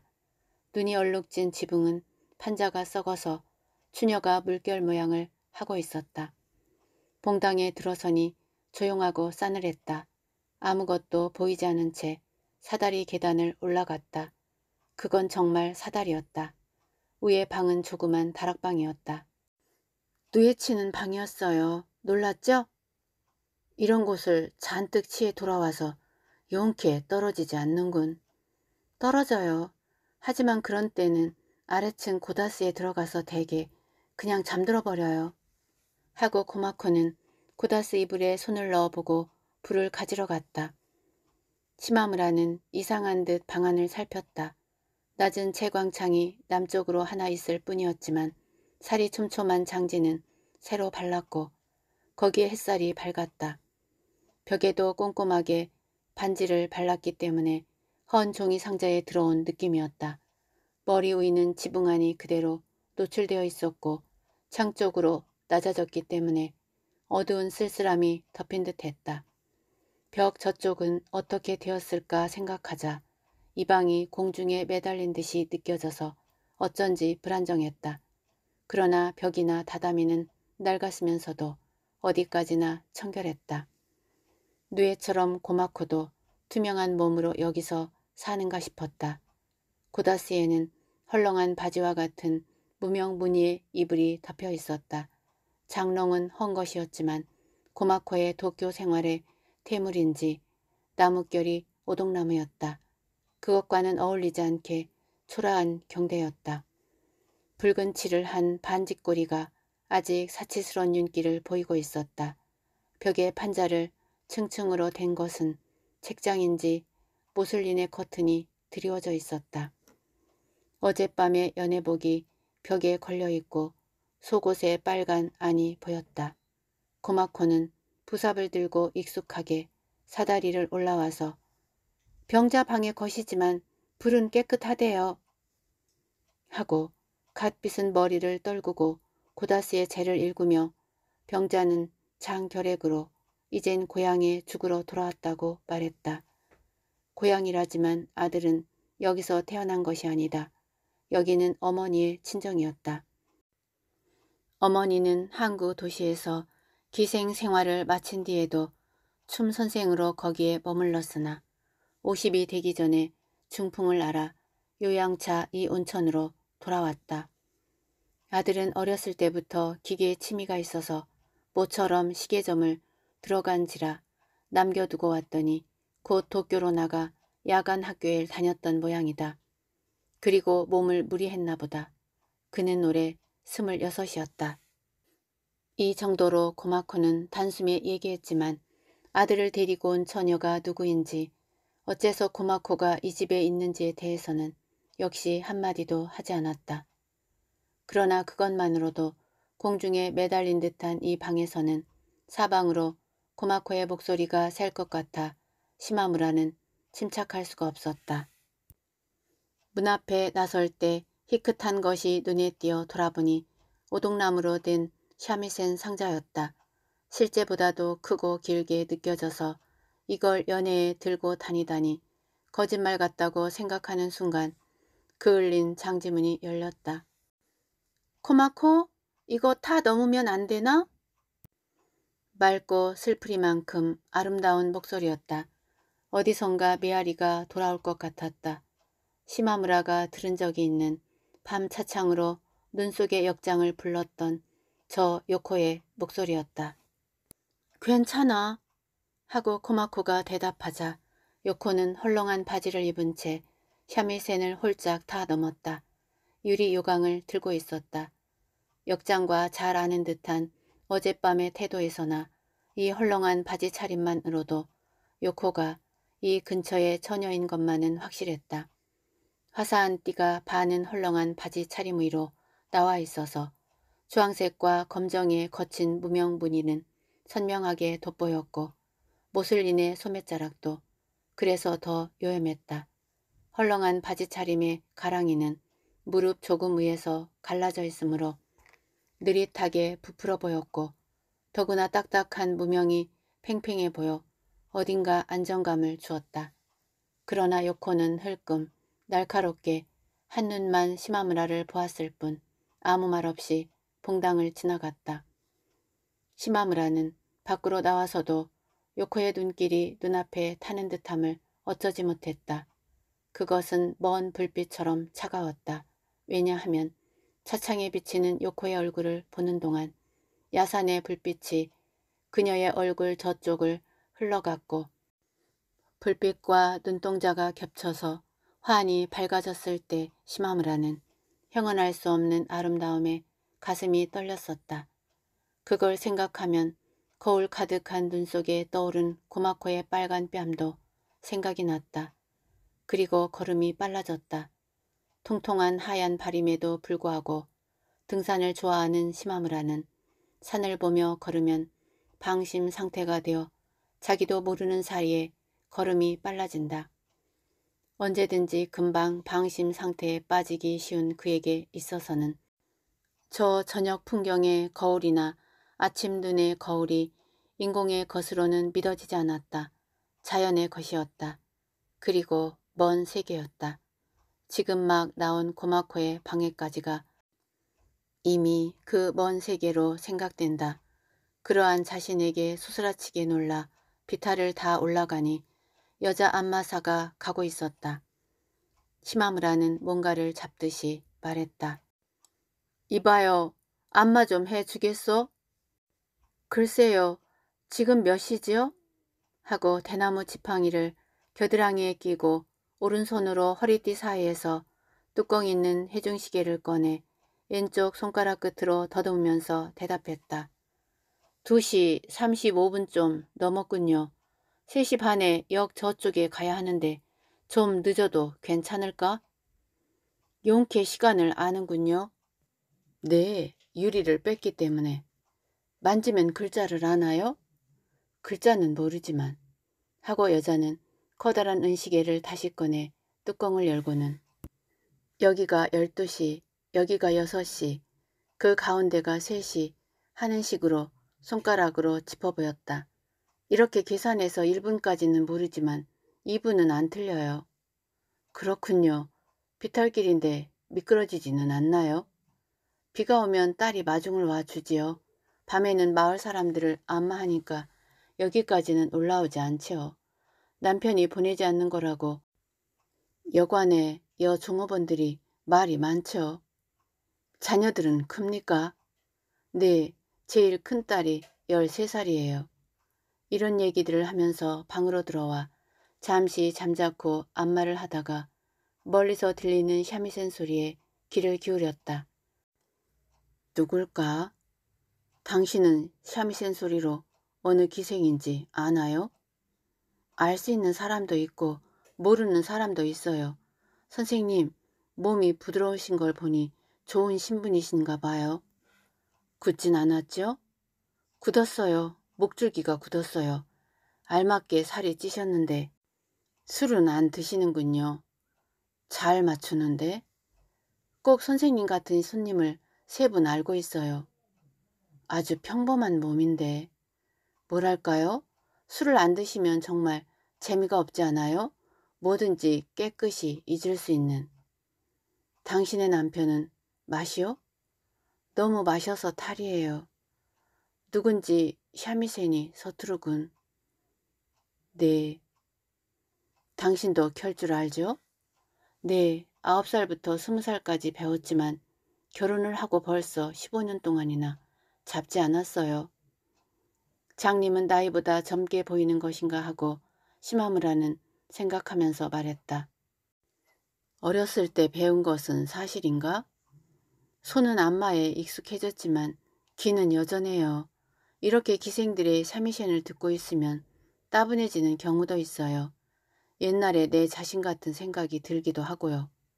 하고 다시 귀를 기울이더니 말을 이었다. 이즈지야의 후미인가? 제일 잘하는 아이와 제일 못하는 아이는 금방 구별이 가요. 잘하는 사람도 있어? 코마코라는 아이는 나이가 어리지만 요즘은 솜씨가 늘었어요.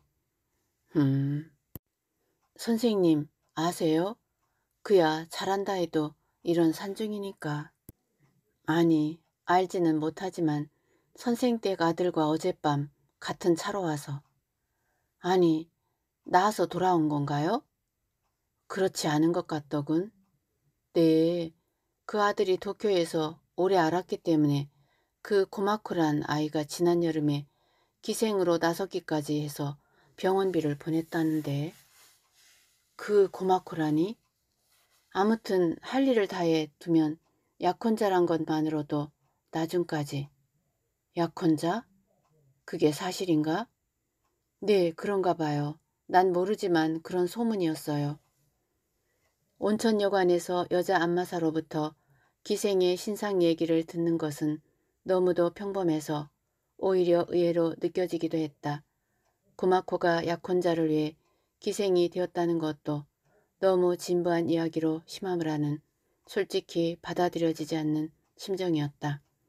그것은 도덕적인 생각에 부딪힌 탓인지도 몰랐다. 그는 이야기에 깊이 파고들어 캐먹고 싶었지만 안마사는 잠자코 있었다. 고마코가 선생 아들의 약혼자이거나 요코가 그 청년의 새 연인이라 해도 아무튼 그가 머지않아 죽는다면 시마무라의 머리에는 또 헛수고라는 말이 떠올랐다.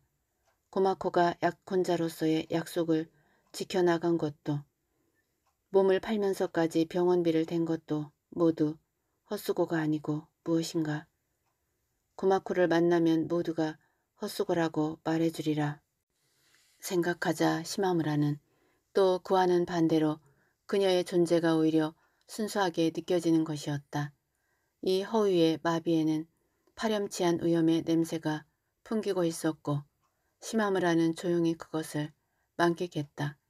안마사가 돌아간 뒤에도 계속 누워있자니 가슴 밑바닥까지 서늘해지는 듯 했으나 깨닫고 보니 창을 열어놓은 채였다. 산골은 빨리 해가 졌고 이미 쓸쓸하게 황혼이 내리고 있었다. 그 어스름 탓으로 아직 석양을 받아 눈이 빛나는 먼 산들은 쭉 앞으로 다가오는 듯했다.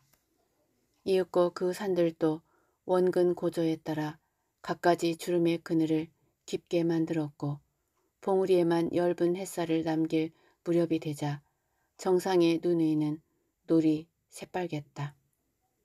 마을의 개울가, 스키장, 신사 등 곳곳에 흩어진 삼나무 숲이 거뭇거뭇하게 두드러져 보이기 시작했다.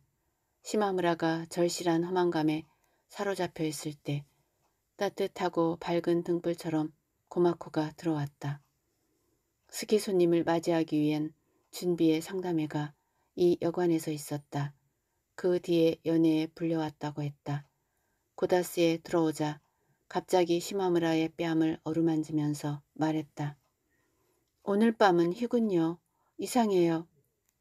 그리고 깨어 버리려는 듯이 부드러운 뺨의 살을 매만졌다. 당신은 바보야.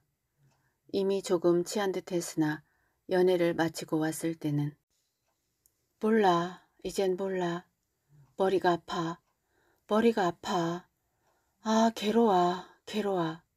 하고 경대 앞에 주저앉자 이상하리만큼 일시의 치기가 얼굴로 올랐다. 물을 마시고 싶어요. 물 좀 줘요. 얼굴을 두 손으로 감싸고 머리가 흐트러지는 것도 상관않고 쓰러져 있다가 다시 일어나 앉아 크림으로 분을 지우자 너무도 빨간 얼굴이 드러났기 때문에 고맙고 스스로도 즐거운 듯 자꾸만 웃었다. 신기할 만큼 빨리 술있겠다. 추운 듯이 어깨를 떨었다.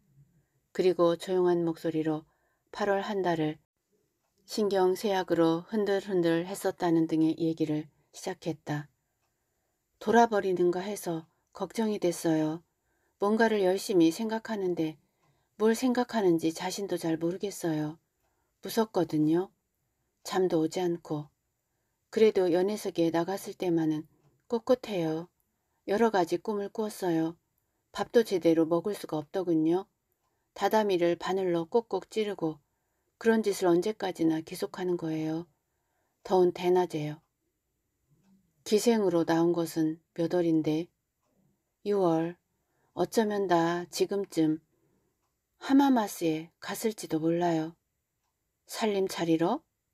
고마코는 고개를 끄덕였다. 하마마스의 남자로부터 결혼하자는 청혼을 받았지만 아무래도 남자가 좋아지지 않아서 상당히 고민했었다고 했다. 좋아지지도 않는데 뭐 고민할 것도 없잖아.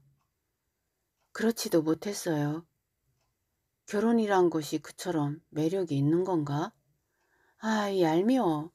그렇지는 않지만 난 주변이 깨끗이 정리되지 않음 못 참는 성미예요. 음, 당신도 엉터리군요. 하지만 그 하마마스 사람과 무슨 일이라도 있었나? 있었으면 고민할 것도 없잖아요. 하고 코마코는 톡 쏘고 나서 말했다. 하지만 당신이 여기 있는 한은 누구하고도 결혼 못하게 하고 무슨 짓을 하더라도 방해하겠다고 하더군요. 하마마스 같은 먼 곳에 있으면서 당신은 그런 말에 신경을 쓰나? 고마코는 잠시 말이 없었고 자기 체온을 음미하듯이 가만히 누워있다가 문득 나 임신한 줄 알았어요.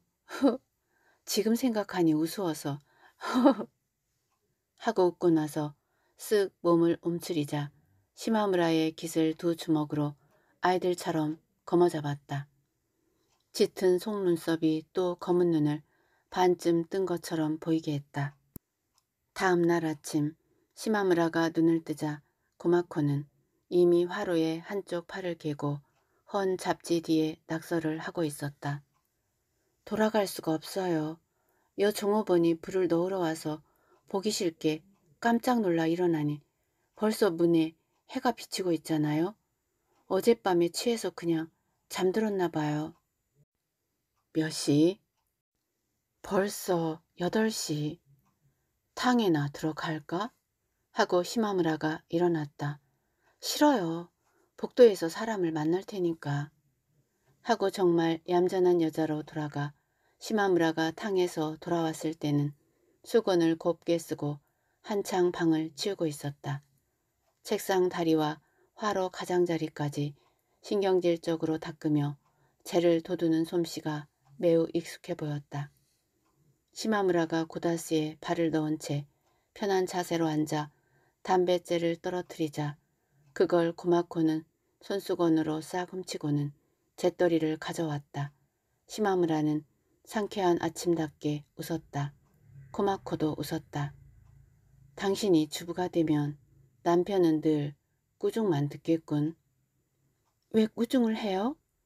빨래할 것까지 깨끗이 개켜둔다고 남들이 자주 웃지만 타고난 성품이죠? 장롱 속을 보면 그 여자의 성격을 안 돼요. 방 가득히 쏟아져 들어오는 햇살을 따뜻하게 받고 아침 식사를 하며 날씨가 참 좋죠?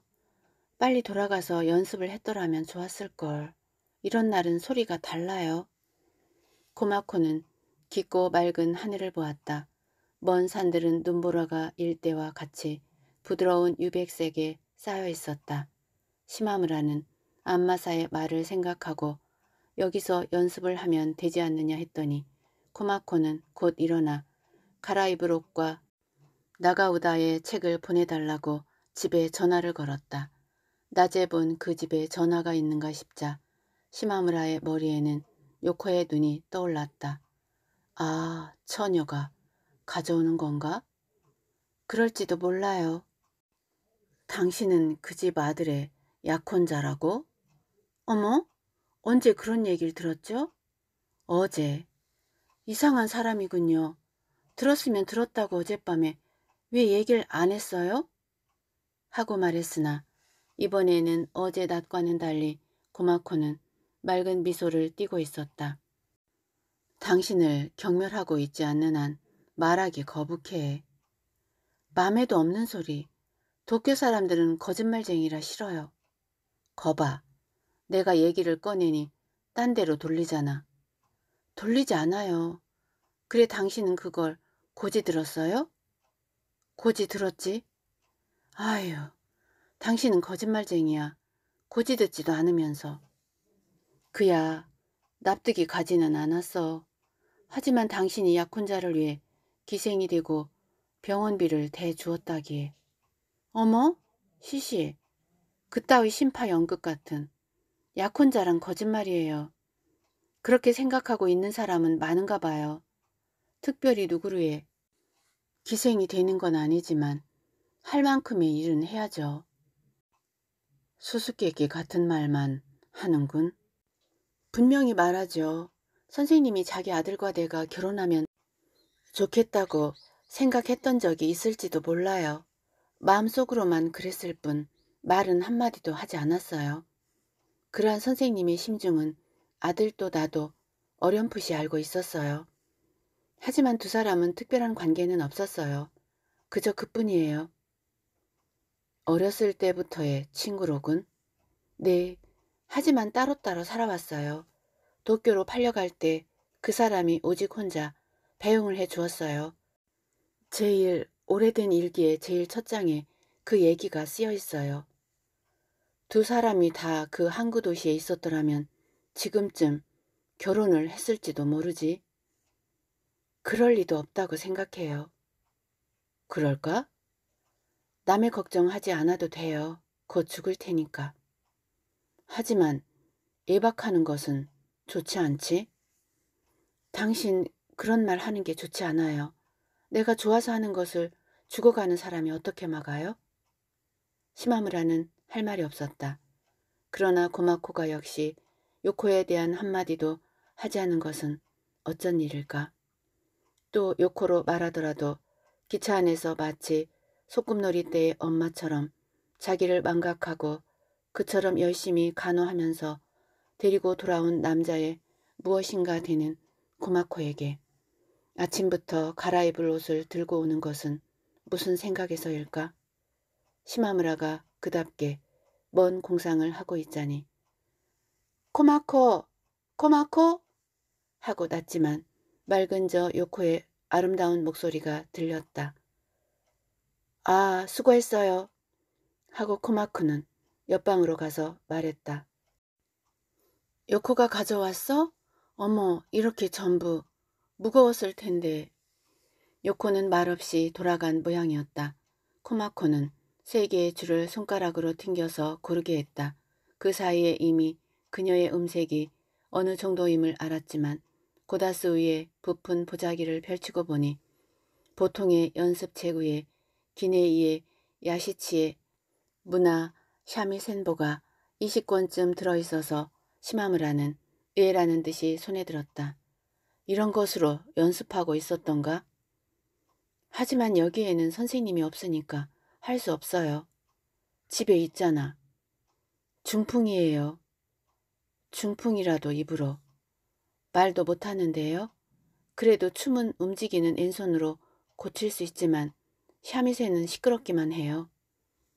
이걸 보면 알아? 잘 알 수 있어요. 보통 사람이라면 또 모르지만 기생이 먼 산촌에서 기특하게도 연습을 하니 저자도 기뻐할 거야. 술자리에선 주로 춤을 추니까 도쿄에서 배운 것은 춤이었어요. 샤미새는 아주 조금 배웠을 뿐이에요. 잊어버리면 다시 가르쳐줄 사람도 없고 악보가 고작이에요. 노래는 노래는 싫어요. 춤을 배울 때 자주 들은 것은 그래도 괜찮지만 새로운 것은 라디오나 다른 데서 들었지만 어떨는지 모르겠어요. 자기 나름대로 부르는 버릇이 있어 틀림없이 웃을 거예요. 거기에다 소꿉동무 앞에서는 소리가 나오지 않아요. 모르는 사람 앞이라면 큰 소리로 노래할 수 있지만 하고 조금 수줍어하면서 노래를 기다리는 식으로 자 하고 준비를 갖추고 시마무라의 얼굴을 보았다. 시마무라는 다소 기가 죽었다. 그는 도쿄의 서민 출신으로 어렸을 때부터 가부키나 일본 춤에 익숙해지면서 나가우다의 구절쯤은 외웠고 귀에 있기도 했으나 직접 배운 바는 없었다. 나가우다 하면 무용의 무대를 연상했고 기생 낀 연애를 연상해보지는 않았었다. 싫어요. 제일 잘난 척하는 손님. 하고 코마코는 살짝 아랫입술을 깨물었으나 샤미센을 무릎에 올려놓고 딴 사람이 된 듯 연습 교본을 펼쳤다. 이번 가을에 악보로 공부한 거예요. 긴 신조였다. 순식간에 시마무라는 뺨에 소름이 돋을 듯이 시원해져서 뱃속까지 서늘하게 맑아오는 듯 했다. 텅 빈 머릿속 가득히 샤미센 소리가 울려 퍼졌다. 정말 그는 놀랐다기보다도 한 대 맞은 기분이었다. 경건한 마음에 힘올리고 해안의 상념에 젖었다. 자기는 이제 무력했고 고마코의 힘에 멋대로 밀려 흐르는 그대로 몸을 맡길 수밖에 없었다. 열아홉이나 스무 살의 시골 기생이 치는 샤미센 따위 뻔할 것이다. 술자리인데 마치 무대처럼 연주하고 있지 않은가. 나 자신의 산에 대한 감상에 불과하다고 시마무라는 생각하려 했고 고마코는 일부러 문구를 딱딱하게 읽거나 여기는 천천히 에이 귀찮다 하면서 건너뛰기도 했다. 차츰 열이 오르듯 소리가 높아지자 발목의 소리가 얼마나 더 강하고 맑아질지 시마무라는 은근히 겁이 났으므로 허세를 피우듯이 팔을 베고 누워버렸다. 긴 신조가 끝나자 시마무라는 비로소 안심을 하고 아, 이 여자는 내게 반해 있구나 생각했으나 그게 또 서글펐다. 이런 날엔 소리가 다르다고 눈 내린 뒤에 맑은 하늘을 쳐다보며 고마코가 말할 만도 했다. 공기가 다른 것이다. 극장에 벽도 없어 청중도 없고 도시에 먼지도 없고 소리는 오직 순수한 겨울 아침에 맑게 퍼져 먼 눈산까지 곧장 울려갔다. 언제나 산골짜기의 큰 자연을 스스로 의식하지 못하면서 상대하여 고독하게 연습하는 것이 그녀의 습관이었기 때문에 줄을 튕기는 힘이 강해지는 것은 당연했다. 그 고독은 애수를 짓밟고 야성의 의지를 담고 있었다. 다소 바탕이 있다고는 해도 복잡한 곡을 악보로 독습하고 악보 없이 연주할 수 있게 되기까지는 강한 의지의 노력이 겹겹이 쌓여 있는 것임에 틀림없다. 시마무라에게는 허망한 헛수고라고밖에 생각되지 않은 아득한 동경처럼 애절한 고마코의 생존 방식이 그녀 자신의 가치로 강하게 샤미센을 타고 넘쳐나는 것인지도 모른다. 가느다란 손가락에 재치 있는 움직임은 잘 이해할 수 없고 다만 음의 감정을 알 정도인 시마무라는 고마코에게 적당한 청자일 것이다. 세 곡째로 미야코 도리를 켜기 시작했을 무렵에는 그 곡에 탐스럽고 부드러운 탓도 있고 해서 시마무라는 이미 소름 끼치는 그런 감정은 사라지고 따스하고 평온하게 고마코의 얼굴을 바라보았다. 그러자 깊은 육체의 친밀감이 느껴졌다. 가늘고 오똑한 코는 조금 빈약한 듯 했지만 뺨이 생생하게 상기되어 있기 때문에 나 여기 있어요 라고 속삭이는 듯 했다. 아름다운 피를 한 거머리처럼 매끄러운 입술은 조그맣게 오므렸을 때도 거기에 비치는 햇살을 반들하게 움직이게 하는 듯 했다. 그러면서도 노래를 따라 크게 버렸다가 또 곧 가련하게 오므리곤 해선 그녀의 육체가 지닌 매력 그대로였다. 약간 내리깔린 듯한 눈썹 아래로 눈꼬리가 올라가지도 내려가지도 않고 일부러 똑바로 그린 듯한 눈은 어딘가 우스운 듯 하면서도 지금은 촉촉하게 빛나서 앳되어 보였다.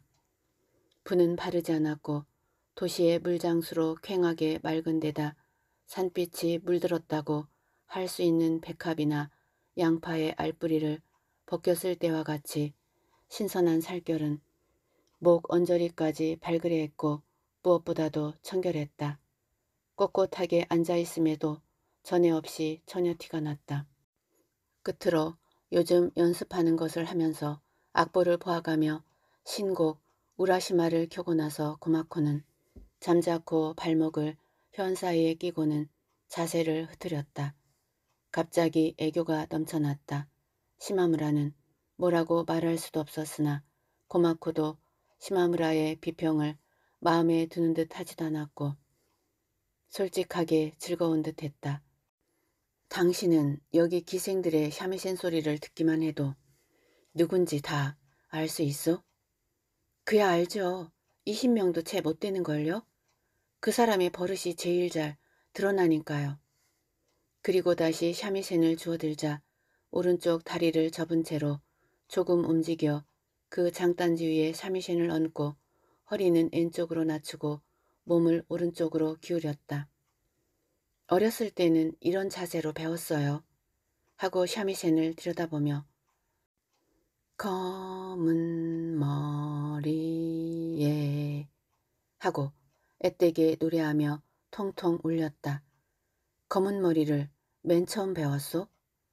음, 하고 고마코는 어렸을 때처럼 고개를 끄덕였다. 그로부터는 밤을 함께 지내는 일이 있어도 고마코는 굳이 날이 새기 전에 돌아가려고는 하지 않았다. 고마코! 하고 말꼬리를 올리며 복도 저쪽에서 부르는 여관집 여자애를 고다스 안으로 안아다 넣고 천진하게 놀다가는 낮쯤에 그 세 살짜리 아이와 탕에 들어가기도 했다. 탕에서 감은 머리를 빗으면서 얘는 기생만 보면 고마라고 불러요. 사진이든 그림이든 일본 머리를 한 여자면 모두 고마코래요. 나 아이들을 좋아하니까 잘 알아요. 김이야, 코마코 언니 집으로 놀러 가자 하고 일어섰으나 다시 복도의 등의자에 태평스럽게 앉아 또 말했다. 도쿄의 덜렁이들이 벌써 스키를 타고 있군. 이 방은 산기슭의 스키장을 남쪽으로 향해 옆으로 바라볼 수 있는 높이에 있었다. 시마무라도 고다스에서 돌아다 보니 비탈은 눈이 드문드문 있고 5, 6명의 검은 스키복이 훨씬 아래쪽인 밭에서 스키를 타고 있었다. 그 계단식 밭두렁은 아직 눈에 덮이지 않았고 별로 경사도 없었으므로 전혀 신나지를 않았다. 학생 같군. 일요일인가? 저 정도로도 즐거울지 모르지? 하지만 저건 좋은 자세로 타고 있군요. 하고 고마코는 혼잣말처럼 중얼거렸다. 스키장에서 기생으로부터 인사를 받으면 아니 당신이요? 하고 손님들은 놀란대요. 까맣게 눈에 타서 못 알아보는 거죠. 밤엔 화장을 하니까. 역시 스키복을 입고 헐렁한 바지. 아 싫어 싫어. 술자리에서 말이에요. 그럼 내일 스키장에서 하고 곧잘 약속이 되고 말아요. 금년에는 타지 말까? 안녕? 자, 김이야 가자. 오늘 밤엔 눈이 오겠어요. 눈이 오기 전에 밤은 차가워요. 시마무라는 코마코가 일어서서 나간 뒤에 등의자에 앉아있자 스키장가의 비탈길에 기미의 손을 잡고 돌아가는 코마코가 보였다. 구름이 생기고 그늘진 산과 햇살을 받은 산이 겹쳐지고 또 그 그늘과 양지가 시시각각 변하는 것은 썰렁한 전망이었으나 어느새 스키장도 싹 그늘졌다. 창 아래로 시선을 떨구자 마른 국화 울타리에는 서리빨이 서 있었다. 그러나 지붕에 눈이 녹아 물바지로 흘러내리는 소리는 끊임이 없었다. 그날 밤은 눈이 아니라 쌀랑눈이 내린 끝에 비로 변했다. 돌아가기 전에 달 밝은 밤. 공기가 무척 싸늘해지고 나서 시마무라는 다시 한번 고마코를 불렀더니 11시가 가까웠는데도 그녀는 산책을 하자고 고집했다. 달은 마치 푸른 얼음 속의 칼날처럼 맑았다. 역까지 가는 거예요? 미쳤어? 왕복 심리는 되는데. 당신 곧 도쿄로 돌아가실 거죠? 역을 보러 가잔 말이에요. 시마무라는 어깨에서 무릎까지 추위로 뻣뻣해졌다. 방에 돌아오자 갑자기 고마코는 맥이 빠진 듯 했고 고다스 깊이 두 팔을 넣고 축 늘어진 채 전에 없이 탕에도 들어가지 않았다. 고다스 이불은 그대로 곧덥 이불이 그의 포개지고 요의 끝이 고다스 가장자리에 닿을 수 있도록 잠자리가 하나 깔려 있었는데 코마코는 곁에서 고다스를 째며 가만히 불이 죽어 있었다. 어쩐 일이야? 돌아갈래요. 바보 같은 소리. 당신은 주무세요. 난 이렇게 하고 있고 싶으니까. 왜 돌아가? 안 돌아가겠어요. 밤이 살 때까지 여기 있겠어요. 쓸데없는 고집은 부리지 말아요. 고집이 아니에요. 고집 부리지도 않아요. 그럼? 음, 괴로워요. 뭐야 그런 것? 상관할 것 없어. 하고 시마무라는 웃고 나서 말했다.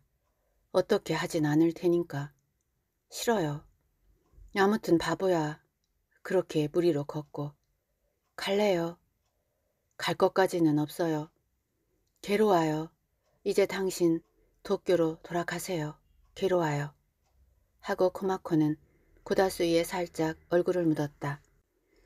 괴롭다는 것은 손님에게 깊이 빠져들 것 같은 허전함일까 또는 이러한 때 가만히 견딜 수밖에 없는 안타까움일까 여자의 마음은 여기까지 와버린 것일까 하고 시마무라는 잠시 말이 없었다.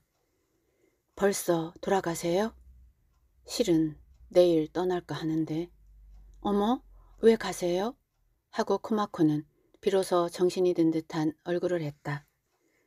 언제까지 있어 봤댔자 당신에게 어떻게 해줄 수도 없잖아. 고마코는 멍하니 시마무라를 바라보다가 갑자기 격한 어조로 그게 나빠요. 당신은. 그게 나빠요. 하고 짜증스러운 듯이 갑자기 일어나 시마무라의 목에 매달려 자세가 흐트러졌다. 당신은 그런 말 하는 게 나빠요. 일어나요. 일어나라니까. 하고 말하면서도 자기가 쓰러져 괴로운 나머지 흐트러진 자태에 대한 것도 잊고 말았다. 그리고 따뜻하게 젖은 눈을 뜨고는 정말 내일 떠나버려요? 네? 하고 조용히 머리카락을 쓸어 올렸다. 시마무라는 다음날 오후 3시에 떠나기로 하고 옷을 갈아입고 있을 때 여관의 지배인이 고마코를 살짝 복도로 불러냈다. 네, 11시쯤으로 해두세요. 하는 코마코의 대답이 들렸다. 16이나 17시간은 너무 길다고 급사장이 생각했는지도 모를 일이었다. 계산서를 보니 아침 5시에 돌아간 것은 5시까지, 다음날 12시에 돌아간 것은 12시까지 모두가 시간 계산으로 되어 있었다. 고마코는 코트에 흰 목도리를 감고 여기까지 전송을 나왔다. 계달에 절인 것과 그 밖의 통조림 따위를 시간을 메우기 위해 선물을 사고 난 후에도 아직 20분이 남아 있었다. 그래서 역전에 조금 높은 광장을 거닐면서 사방이 눈산인 좁은 지역이구나 하고 바라보고 있자니까 고마코의 새까만 머리가 그늘진 산골짜기에 쓸쓸함 때문에 오히려 안쓰러워 보였다. 멀리 하류의 산너리에 어쩐 일인지 한 곳만 엷은 햇살이 비치는 곳이 있었다. 내가 오고 나서 눈이 꽤 녹았잖아. 하지만 이틀만 내리면 금방 여섯 잔은 쌓여요. 그것이 계속되면 저 전봇대의 전등이 눈에 묻혀버려요. 당신을 생각하고 멍청이 다니다간 전선에 목이 걸려 다쳐요. 그렇게 쌓이나? 요 앞에 읍에 있는 중학교에서는 크게 눈이 내린 날 아침 기숙사의 2층 창에서 알몸으로 눈 속에 뛰어내린대요. 눈 속에 푹 파묻혀서 보이지 않는데요. 그리고 수영하는 것처럼 눈 밑을 헤엄쳐 다닌대요. 거기에도 러셀이 있어요. 눈을 보러 오고 싶은데 설에는 여관이 복잡하겠지? 기차가 눈 사태에 묻히지는 않을까? 당신 호강스런 사람이군요. 그런 생활만 하세요? 하고 고마코는 시마무라의 얼굴을 보고 있다가 왜 수염을 기르지 않으세요? 음, 기를까 생각 중이야. 하고 파란 면도 자국을 만지면서 자기의 입가에는 한 줄기의 멋진 주름이 잡혀 있어서 코마코도 그 대문에 과대평가하고 있으려니 생각했다. 당신은 뭐랄까 언제나 분을 지우고 나면 금방 면도를 한 것처럼 깨끗해요 얼굴이.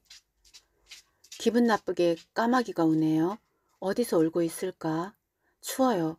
하고 코마코는 하늘을 쳐다보고 두 팔꿈치로 가슴을 눌렀다. 대합실에 가서 난로를 찔까? 그때 길에서 정거장으로 꺾이는 넓은 길을 불이 나게 달려오는 것은 요코의 산바꾸였다.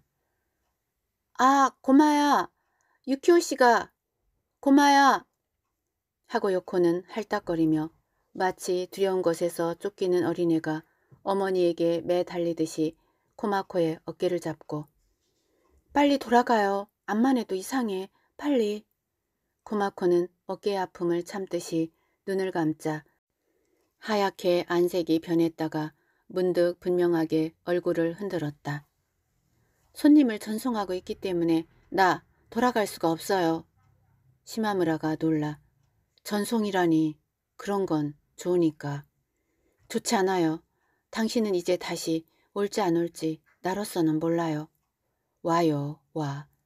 요코는 그런 건 하나도 들리지 않는 듯이. 지금 여관에 전화를 걸었더니 역에 나갔다길래 막 뛰어왔어. 유키오 씨가 부르고 있어요. 하고 코마코를 끌었으나 코마코는 가만히 잠자코 있다가 갑자기 뿌리쳤다. 싫어. 그 순간 두세 걸음 비틀거린 것은 고마코였다. 그리고 웩하고 구역질을 했으나 입에서는 아무것도 나오지 않았고 눈 언저리가 젖고 뺨에 소름이 돋았다. 요코는 멍하니 굳은 표정으로 고마코를 보고 있었다. 그러나 그 표정은 너무도 진지해서 성이나 있는지 놀라고 있는지 슬퍼하고 있는지 그것을 분명하게 구분할 수 없었고 뭔가 가면 같은 느낌이 들어 굉장히 단순해 보였다. 그 얼굴 그대로 휙 돌아서자 갑자기 시마무라의 손을 잡고 네? 미안해요. 이 사람을 돌려보내주세요. 돌려보내주세요. 하고 격한 어조로 마구 졸라댔다. 네, 돌려보내지요. 하고 시마무라는 큰 소리로 말했다. 빨리 돌아가요. 당신이 무슨 할 말이 있어요? 하고 코마코는 시마무라를 향해 말하면서 그녀의 손이 요코를 시마무라에게서 떼어놓고 있었다. 시마무라가 역전에 자동차를 손가락질 하려 할 때 요코에게 꼭 잡히고 있었던 손끝이 저려왔다. 저 차로 곧 돌려보낼 테니까 아무튼 당신은 먼저 가는 게 어떨까요? 여기서 이렇게 남들이 보고 있어요. 요코가 고개를 까딱하자 빨리요. 네? 하고 후딱 돌아보며 내다른 것은 거짓말처럼 어이없었으나 멀어져가는 뒷모습을 바라보고 있자니 어째서 또 저 처녀는 언제나 저처럼 진지한 모습일까 하고 있을 법한 의문이 시마무라의 마음을 스쳤다. 요코의 슬프리만큼 아름다운 목소리는 어딘가 눈산에서 금세 메아리쳐 올 듯이 시마무라의 귀에 남아있었다. 어딜 가요? 하고 고마코는 시마무라가 자동차의 운전사를 찾으러 가려 하는 것을 틀어잡고 아니 나 안 돌아가요. 문득 시마무라는 고마코에게서 육체적인 증오를 느꼈다. 당신들 세 사람 사이에 어떤 사정이 있는지 모르지만 그 청년은 지금 죽을지도 모르잖아.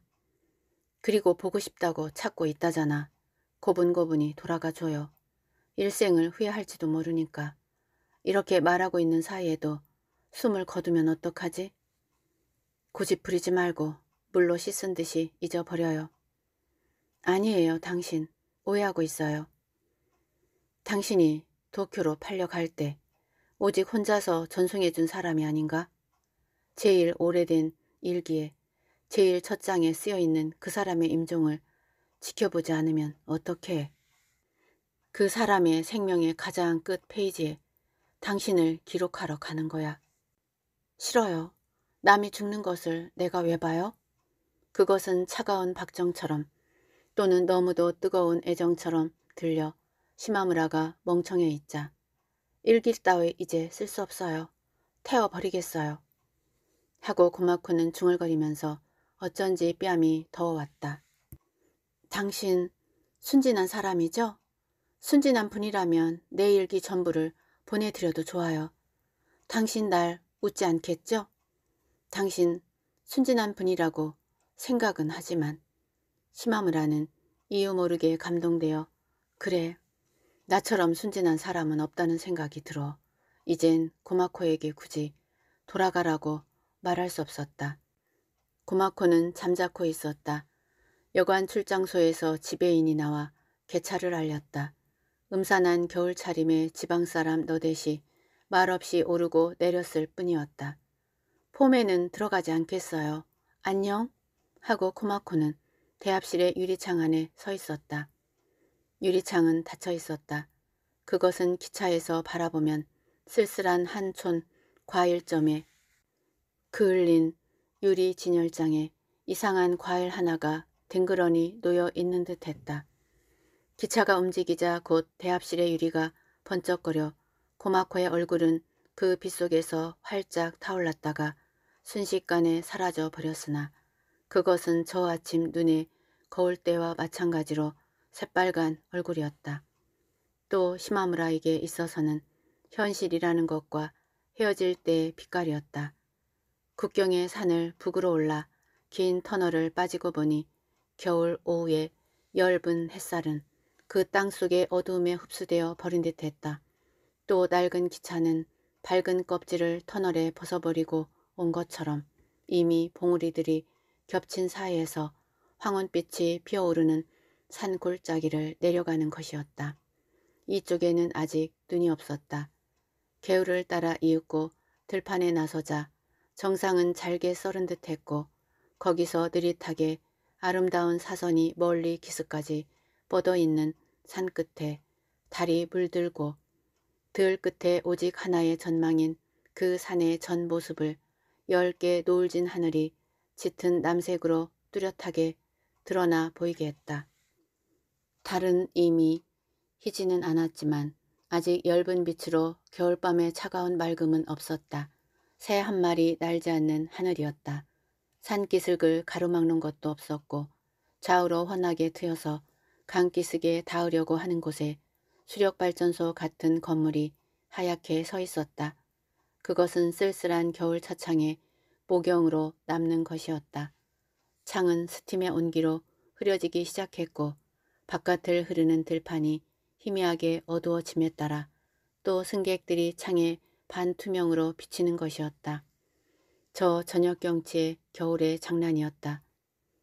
동해 도선 따위와는 마치 다른 나라의 기차처럼 낡고 퇴색한 구식의 객차가 3, 4량 정도밖에 달리지 않은 듯했다. 전등도 어두웠다.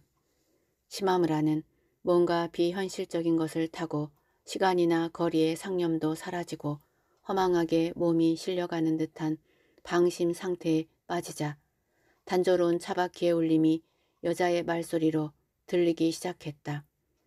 그 말들은 토막토막 짧으면서도 여자가 열심히 살고 있는 증거로 그는 듣기가 안쓰러울 정도였으니까 잊지 않고 있는 것이었지만 이처럼 멀어져가는 지금의 시마무라에게는 여수를 더할 뿐인 듯한 이미 아득한 목소리였다. 지금 막 이 시간에 유키오가 숨을 거두었을까? 어쩐 일인지 굳이 돌아가지 않았지만 그 때문에 고마코는 유키오의 임종도 보지 못했을까? 승객은 쓸쓸할 정도로 적었다. 쉰이 넘은 남자와 볼이 붉은 처녀가 마주 앉아 끊임없이 얘기를 하고 있을 뿐이었다. 살이 불룩한 어깨에 검은 목도리를 두르고 처녀는 불타는 듯한 아름다운 혈색이었다. 몸을 앞으로 내밀고 열심히 들으며 즐겁게 대답하고 있었다. 긴 여행을 하는 두 사람처럼 보였다. 그러나 제사 공장의 굴뚝이 보이는 정거장에 이르자 늙은이는 황급히 선반에 고리짝을 내려 그것을 창으로 폼에 떨어뜨리면서 그럼 자, 또 만날 기회가 있기를 바라오 하고 처녀에게 작별하고 내려갔다. 심하무라는 문득 눈물이 나올 것 같아서 스스로도 깜짝 놀랐다. 그래서 한층 더 여자와 헤어져 돌아가는 길임을 절감했다. 우연히 자리를 같이 한 두 사람이라고는 생각되지 않았던 것이다. 남자는 행상이거나 뭔가인 모양이었다. 나방이 알을 낳는 계절이므로 양복을 옷걸이나 벽에 함부로 걸어두지 말라고 독해 집을 나설 때 아내가 말했었다. 와서 보니 과연 여관방의 추녀 끝에 매단 장식 등에는 옥수수빛의 큰 나방이 예닐곱 마리나 달라붙어 있었다. 옆방의 옷걸이에도 작지만 몸집이 통통한 나방이 앉아 있었다. 창은 아직 여름의 방충망이 처진 그대로였다. 그 방충망에도 역시 나방 한 마리가 가만히 앉아 있었다. 노송나무 빛에 작은 깃털 같은 촉각을 하고 있었다. 그러나 날개는 투명한 연녹색이었다. 여자의 손가락 길이만한 날개였다. 그 저쪽으로 연이은 국경의 산들은 석양을 받아 이미 가을빛을 띠고 있었으므로 이 한 점의 연녹색은 오히려 죽음 같았다. 앞날개와 뒷날개가 포개져 있는 부분만은 초록빛이 짙었다. 가을바람이 불자 그 날개는 엷은 종이처럼 하늘하늘 흔들렸다. 살았는가 싶어 시마무라가 일어나 다가가서 방충망의 안쪽에서 손가락으로 튕겨도 나방은 움직이지 않았다. 주먹으로 탁 치자 나뭇잎처럼 툭 떨어지다가 중간에서 가볍게 날아올랐다. 자세히 보니 그 저쪽 삼나무 숲 앞에는 셀 수 없이 많은 잠자리떼가 날고 있었다. 민들레씨가 날고 있는 것 같았다. 산기슭의 개울은 삼나무 꼭대기에서 흐르는 것처럼 보였다. 개쌀이 같은 꽃이 산허리에 가득히 피어 은빛으로 빛나는 것을 시마무라는 하염없이 바라보았다. 내탕에서 나와보니 러시아인 여자 행상이 현관에 앉아 있었다. 이런 시골까지 오는가 싶어 시마무라는 가까이 갔다. 흔한 일본의 화장품과 머리 장식품들이었다. 이미 마흔을 넘은 듯 얼굴은 잔주름이 있었고 때를 벗지 못한 굵은 목덜미가 하얗고 기름기가 돌았다. 당신 어디서 왔소? 하고 시마무라가 부르니 어디서 왔느냐고요? 내가 어디서 왔지? 하며 러시아 여자는 대답의 궁에 물건들을 챙기면서 생각하는 모양이었다. 불결한 천을 감은 듯한 스커트는 이미 양장이란 느낌도 나지 않았고 일본물이 들어있었는데 커다란 보통이를 등에 지고 돌아갔다. 그러나 신은 신고 있었다. 함께 보고 있던 주인 여자의 권유대로 시마무라가 카운터로 가자 화롯가에 몸집이 큰 여자가 돌아앉아 있었다. 여자는 옷자락을 털치며 일어났다. 검은 문장의 옷을 입고 있었다. 스키장의 선전 사진에 구마코와 나란히 연회복 위에다 무명의 헐렁한 바지를 입고 스키를 타고 찍은 사진을 보았기 때문에 시마무라도 기억하고 있는 기생이었다. 여관 주인은 화로에 부젓가락을 걸치고 굵은 찹쌀 만두를 굽고 있었다. 이것 하나 어떻습니까? 축하 선물이니까 심심풀이로 조금 잡수시면. 지금 그 여자가 가져온 것입니까? 네. 좋은 기생이군요. 만기가 되어 인사를 다니는 겁니다. 잘 팔리던 애였는데. 더운 만두를 후 불면서 시마무라가 깨물어 보니 오래된 듯 조금 시큼했다. 창밖에는 빨갛게 익은 감에 석양이 비치어 그 빛깔은 화로의 갈고리에 대나무 통에까지 비쳐오는 듯 했다. 굉장히 긴 억새군요.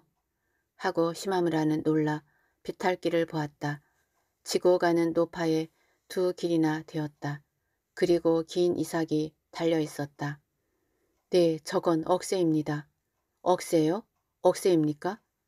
철도성의 온천 전람회 때 휴게소인가 찻집을 만들고 그 지붕을 이 억새로 덮었는데 도쿄의 어느 분이 그 찻집을 몽땅 샀었다는군요.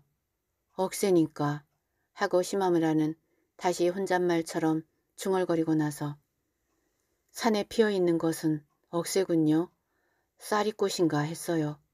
시마무라가 기차에서 내렸을 때 맨 먼저 눈에 띈 것은 산의 하얀 꽃이었다. 급경사진 산허리의 정상 가까이에 가득히 피어서 은빛으로 빛나고 있었다. 그것은 산에 쏟아지는 가을 햇살 같아서 아 하고 그는 감탄을 했었다. 그것을 흰 쌀이꽃으로만 생각했던 것이다. 그러나 가까이서 보는 억새 엄청난 키는 먼 산에 두고 바라볼 때 감상적인 꽃과는 전혀 달랐다. 큰 다발은 그것을 진 여자들의 모습을 완전히 감추고 비탈길의 양측의 돌담에 부딪혀 버석버석 소리를 내며 지나갔다. 소담스런 이삭이었다. 방에 돌아와 보니 십촉등이 희미한 옆방에서는 저 통통한 나방이 검은 옷걸이에 알을 낳고 있었다. 추녀 끝에 나방도 장식등에 탁탁 부딪히고 있었다. 벌레는 대낮부터 자지러지게 울고 있었다. 고마코는 조금 늦게 왔다. 복도에 선 채 똑바로 시마무라를 보고 당신 못하러 왔어요? 이런 곳에 못하러 왔어요? 당신 만나러 왔지. 맘에도 없는 소리. 도쿄 사람은 거짓말쟁이라서 싫어요. 그리고 앉으면서 소리를 부드럽게 낮추면서 말했다. 이제 배역 나가는 것은 싫어요. 뭐라고 말할 수 없는 심정이에요. 아, 이번엔 곱게 돌아갈 테니까. 싫어요. 정거장에 안 나간다는 말이에요. 그 사람은 어떻게 됐지? 물론 죽었어요. 당신이 내 배웅을 나온 사이에? 하지만 그것과는 관계가 없어요. 배웅이란 것이 그토록 괴로운 것인 줄 몰랐어요. 음, 당신 2월 14일엔 어떻게 된 거예요? 거짓말쟁이. 무척 기다렸어요. 이제 당신 말 믿지 않을 테니까 두고 보세요. 2월 14일에는 새쫓기 행사가 있다. 설국다운 아이들의 연중 행사였다. 열흘 전부터 마을 아이들은 집으로 삼은 눈신을 신고 눈을 밟아 다져 그 눈판떼기를 두 자 평방으로 잘라내어 그것을 포개에 쌓아 눈집을 짓는다. 그것은 세 칸 사방의 높이가 한 길이도 없는 눈집이었다. 14일 밤에는 집집에 금줄을 얻어 모아 눈집 앞에 활활 불을 피운다. 이 마을의 설은 2월 1일이다. 아이들은 눈집 지붕에 올라가 밀고 당기고 하면서 새 쫓는 노래를 부른다. 그리고 아이들은 눈집에 들어가 등을 켜고 거기서 밤을 새운다.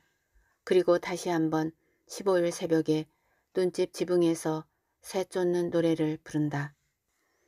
마침 그 무렵은 눈이 가장 많을 때이므로 시마무라는 새 쫓는 놀이를 보러 오겠다고 약속했던 것이다. 나 2월에 친정에 갔었어요. 장사를 쉬고 있었어요. 꼭 오실 줄만 알고 14일에 돌아왔어요. 좀 더 간호하다 왔으면 좋았을걸. 누가 아픈가? 선생님이 항구에 가 있었는데 폐렴을 알았어요. 내가 마침 친정에 있을 때 전보가 와서 간호했어요. 좋아졌어? 아니요. 그거 안 됐구만. 하고 시마무라는 약속을 지키지 않았음을 사과하듯이 또 선생의 죽음을 안타까워하듯이 말하자 음 하고 코마코는 갑자기 얌전하게 도리질을 하고 손수건으로 책상을 털면서 아유 이 벌레 좀 봐. 테이블의 다다미 위에까지 자잘한 날벌레들이 가득 떨어져 왔다. 작은 나방이 수없이 전등 주위를 날고 있었다. 위가 아파요. 위가 아파요. 하고 코마코는 두 손을 허리띠 사이에 쿡 찌르고 시마무라의 무릎에 엎어졌다. 목덜미가 드러나 보이는 짙은 분칠을 한 목덜미에도 모기보다 작은 벌레가 우수수 떨어졌다. 순식간에 죽어서 움직이지 않는 것도 있었다. 목덜미가 작년보다 굵어지고 지방이 끼어 있었다. 스물한 살이 되었다고 시마무라는 생각했다. 그의 무릎에 따뜻한 습기가 전해져 왔다. 고마코, 동백실로 가보라고 카운터에서 싱글벙글 웃잖아요. 밉살스럽게 쓰리. 언니를 여기까지 전송하고 와서 편하게 잠이나 잘까 했더니 여기서 전화가 왔대잖아요. 귀찮아서 그만둘까 했어요. 어젯밤에 과음했어요. 언니의 송비례였거든요. 카운터에서 웃기만 하고 당신이었잖아. 1년 만이군요. 1년에 한 번 오는 사람인가요? 그 만두를 나도 먹었지. 그래요? 하고 코마코는 몸을 일으켰다. 시마무라의 무릎에 대고 있던 곳만이 붉어져서 갑자기 앳된 얼굴로 보였다. 다음 다음에 정거장 거리까지 그 중년 기생을 배웅하고 왔다고 했다. 한심해요. 그전에는 뭐든지 척척 돌아갔지만 차츰 개인주의가 되어 제멋대로 해요. 여기도 이제 많이 변했어요. 뜻이 안 맞는 사람들만 늘어나요. 기큐 언니가 없어지니 난 쓸쓸해요. 뭐든지 그 사람이 중심이었으니까. 인기도 제일 좋아서 600명 이상을 놓친 때가 없었으니까 가게에서도 여간 소중히 여기지 않았는데 그 기키우는 만기가 되어 고향으로 돌아간다는데 결혼을 하는지 뭔가 물장수를 계속할 것인지를 시마무라가 물었다. 언니도 가엾은 사람이에요. 전에 한번 결혼을 실패하고 나서 이리로 왔어요. 하고 고마코는 그 뒤를 흐리고 달 밝은 계단식 밭을 바라보며 말했다. 저 비탈 중간에 새로 지은 집이 있죠? 기코무라란 요리집? 네, 저 집에 들어갈 예정이었는데 언니가 거절했어요. 소동이었죠. 모처럼 자기를 위해 집을 짓게 해두고 막상 들어가게 되자 걷어찼으니까요. 좋아하는 사람이 생겨서 그 사람과 결혼할 생각이었으나 속았던 거예요. 열중하면 그럴까요? 그 상대가 달아났다 해서 새삼 주저앉아 가게를 받을 수도 없고 창피해서 여기는 있을 수도 없고 다시 다른 지방에 가서 돈을 벌어야죠. 생각하면 불쌍해요. 우리들도 잘 몰랐지만 여러 사람이었나 봐요. 남자가 다섯이나 되었어요? 그래요. 하고 고마코는 소리 없이 웃었으나 후딱 고개를 돌렸다. 언니도 약한 사람이었어요. 약해요. 도리가 없지 뭘. 하지만 그렇잖아요. 좋아하다니. 그게 뭐예요? 고개를 떨군 채 비녀로 머리를 긁었다. 오늘 배웅을 하면서 불쌍했어요. 그래서 모처럼의 가게는 본처가 와서 하고 있어요. 본처가 하다니 그거 재미있군. 하지만 개업 준비도 다 됐으니까요. 그렇게라도 하는 수밖에요. 아이들까지 다 데리고 본처가 이사를 왔어요. 본집은 어떡하고? 할머니를 한 분 남겨두었대요. 농사를 짓지만 주인이 이런 일을 좋아하나 봐요. 참 재미있죠? 한량이군. 나이도 꽤 많겠군. 젊어요. 서른 두세 살 됐을까? 허, 그럼 본처보다 소실이 나이가 많게? 같은 스물일곱이에요. 기쿠무라란 이름은 기쿠에 기쿠를 딴 것이지? 그걸 본처가 좋아하는가? 한 번 내건 간판을 바꾸기도 뭐하니까 그렇겠죠? 시마무라가 옷깃을 여미자 고마코는 일어서서 창을 닫으면서 말했다. 언니는 당신을 잘 알고 있었어요. 오셨더구나 하고 오늘 또 말해 주었어요. 인사 왔을 때 카운터에서 봤어. 뭐라고 했어요? 아니, 당신 내 심정 알겠어요? 하고 고마코는 방금 닫은 창을 싹 열고 창틀에 몸을 내 던지듯 걸터 앉았다. 시마무라는 잠시 후 별빛이 도끼하고 아주 다르군. 정말 공중에 떠있군. 달밤이니까 그렇지도 않아요. 금년도는 굉장했어요. 기차가 가끔 막혔다면서? 네, 무서울 정도였어요. 자동차 소통도 예년보다 한 달이나 늦어서 5월이었어요. 스키장에 매점이 있죠? 2층을 눈사태가 덮여서 아래에 있던 사람들은 그런 줄도 모르고 이상한 소리가 나자 부엌에서 쥐가 그러나 보다 했으나 가봐도 아무렇지도 않아 2층에 가봤더니 눈 천지더래요. 덧문이고 뭐고 전부 눈이 쓸어가 버렸어요. 거층만 무너진 것이었지만 라디오에서는 크게 방송했어요. 무서워서 스키 타러들 오지 않아요. 금년엔 이제 타지 않으려고 작년 겨울에 스키도 남에게 줘버렸어요. 그래도 두세 번 탔을까? 나 변하지 않았어요? 선생님이 돌아가시고 어떻게 지냈어? 남의 일 간섭 말아요. 2월에는 여기 와서 기다렸어요.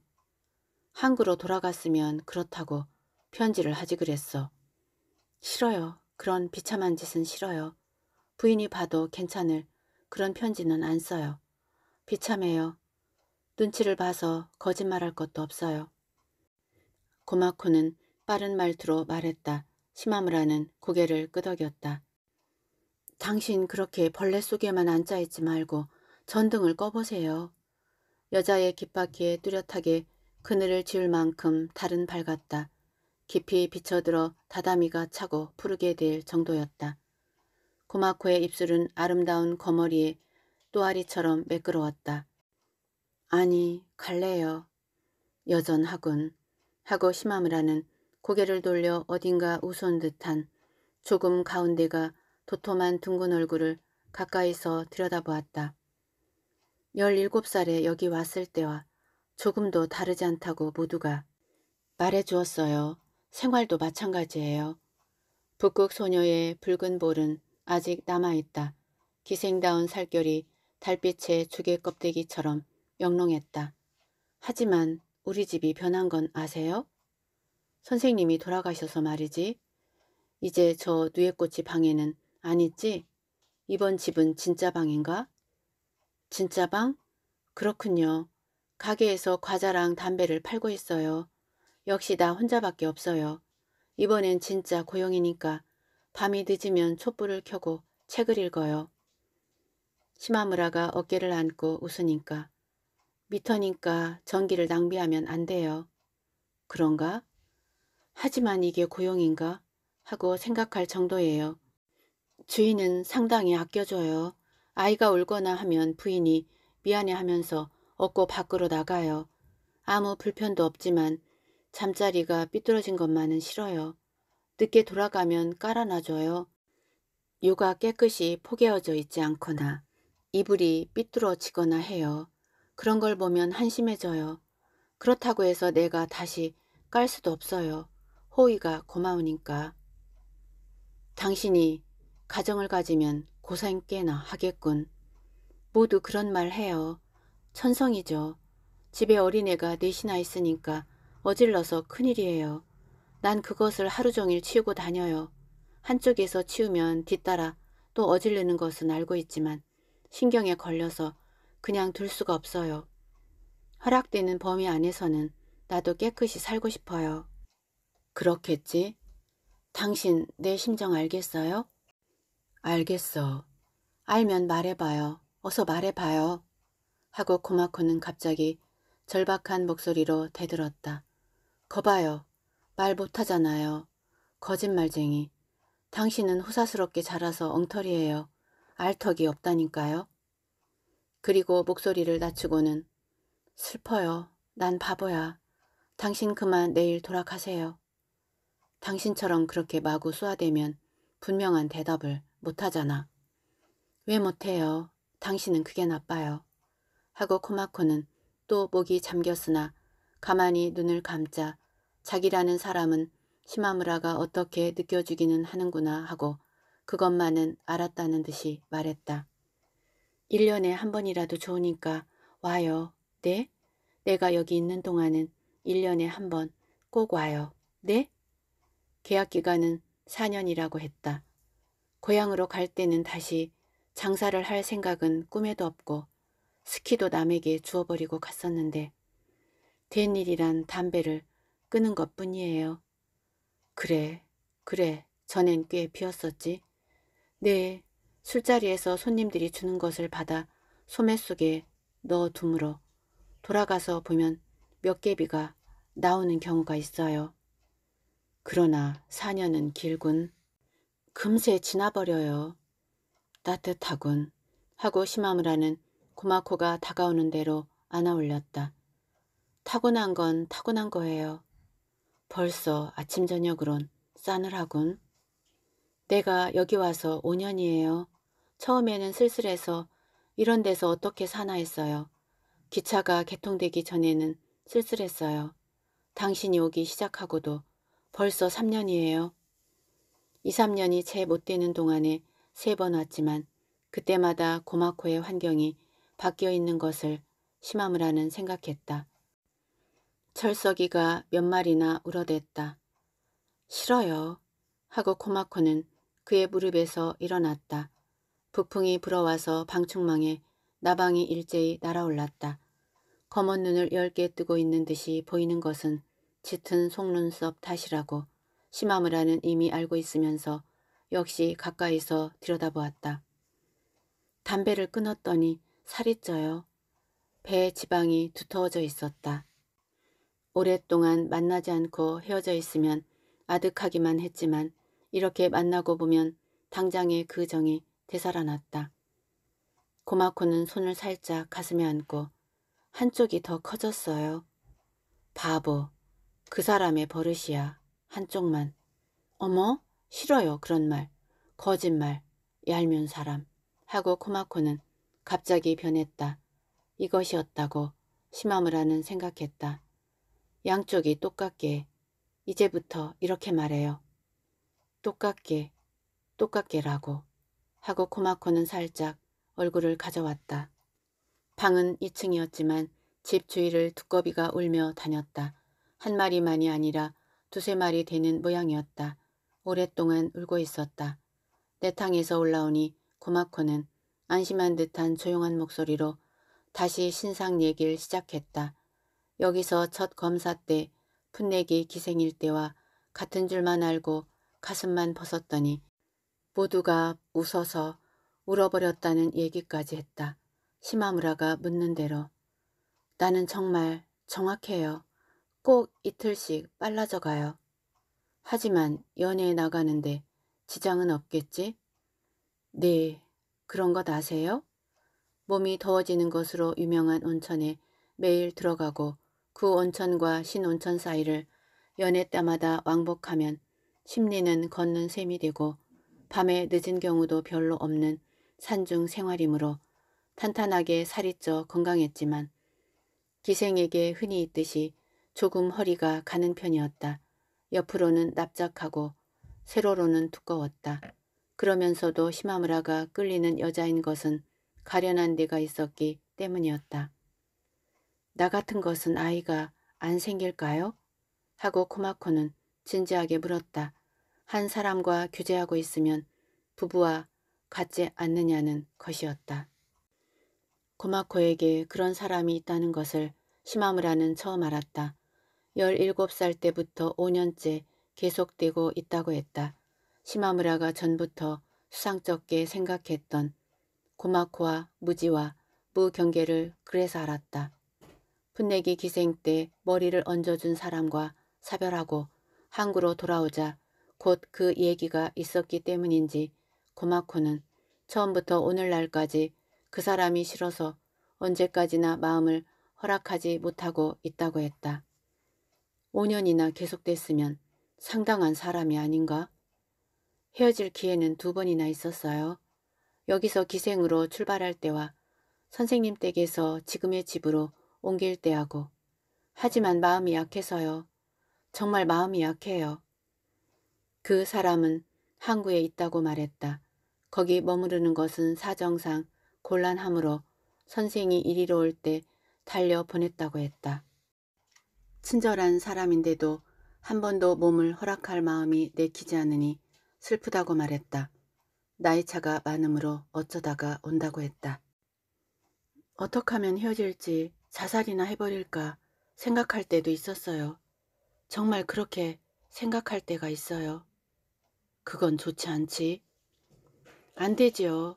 역시 천성 탓이에요. 난. 나 자신의 살아있는 몸뚱이가 귀여워요. 하려고 하면 4년의 계약을 2년으로 끝낼 수 있지만 무리하지 않아요. 몸이 소중하니까. 무리를 하면 꽤 많이 벌겠죠. 연 계약이니까 주인에게 손해만 끼치지 않으면 돼요. 원금이 매달 얼마, 이자가 얼마, 세금이 얼마, 그리고 생활비를 계산하면 빤하잖아요. 그 이상 무리해 가면서 일할 필요도 없어요. 불쾌한 추석에서는 도중에서 돌아가 버리고 단골이 부르지 않으면 밤늦게 여관에도 가지 않아요. 돈이야 쓰려면 한이 없겠지만 되는 대로 일해도 그럭저럭 살아가요. 벌써 원금을 반 이상 갚았어요. 아직 1년도 못 됐어요. 그래도 용돈이다 뭐다 해서 자그마치 한 달에 30에는 들어요. 한 달에 100연을 벌면 된다고 했다. 지난달에는 가장 적은 사람이 300병으로 60엔이었다고 했다.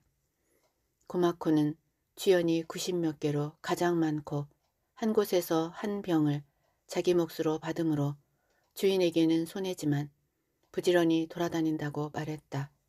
빚이 불어나서 계약 기간이 늘어난 사람은 이 온천장엔 한 사람도 없다고 말했다. 다음날 아침 고마코는 역시 일찍 일어났다. 꼬꼬지 선생님과 이 방을 청소하고 있는 꿈을 꾸다가 눈을 떴어요. 과자 가게의 여자아이가 고마코의 옷을 가져왔다. 고마야! 하고 슬플 정도의 맑은 목소리로 장진문 뒤에서 부르던 저 요코는 아니었다. 그 처녀는 어떻게 됐지? 고마코는 시마무라를 흘끔 보고 무덤에만 찾아가요. 스키장 옆에 그 메밀밭 있죠? 하얗게 꽃이 핀. 그 왼쪽에 무덤이 보이죠? 고마코가 돌아가고 나서 시마무라도 마을 산책에 나섰다. 흰 벽에 추녀 밑에 주홍색 새 플란넬에 헐렁한 바지를 입은 여자아이가 공놀이를 하고 있는 것은 실로 가을다웠다. 영주가 지나다녔을 무렵부터 있었던 듯한 고풍한 집들이 많았다. 마루가 깊었다. 2층의 장지창은 높이가 한 자 정도밖에 되지 않는 것이 기다랗다. 추녀 끝에 억새발이 쳐져 있었다. 흙 둔덕 위에 가는 억새로 된 울타리가 있었다. 가는 억새들은 연두빛 꽃이 한창이었다. 가느다란 이파리가 분수처럼 아름다웠다.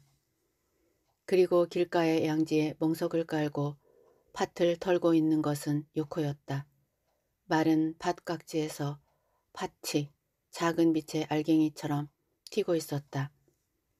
수건을 쓰고 있기 때문에 시마무라가 안 보이는지 요코는 헐렁한 바지에 무릎을 벌리고 밭을 털면서 메아리 칠 것 같은 맑은 목소리로 노래하고 있었다. 나비랑 잠자리 여치랑 산에서 슬피 우는 전깃들이 방울벌레 절석이 삼나무에서 풀쩍 날아난 저녁 바람 속에 까치가 크다는 노래가 있으나 이 창으로 내려다보는 삼나무 숲 앞에는 오늘 또 잠자리 때가 흐르고 있다. 저녁 때가 가까워지자 그들의 유형은 요란하게 속력을 더해 오는 듯했다. 시마무라는 출발 전에 역의 매점에서 새로 나온 이 지방의 등산 안내서를 사왔었다. 그것을 한없이 읽고 있자니 이 방에서 바라보이는 국경의 산들, 그 중 하나의 정상 가까이에는 아름다운 늪지대를 누비는 오솔길이 있고 일대 습지에 여러 가지 고산 식물이 가득히 꼽혀 있었다. 여름 같으면 무심히 고추 잠자리가 달고 모자랑 사람의 손, 또 때로는 안경대까지 앉을 정도여서 학대받는 도시의 잠자리와는 천지의 차가 있다고 쓰여 있다. 그러나 눈앞에 잠자리 때는 무엇인가 쫓기는 듯했다.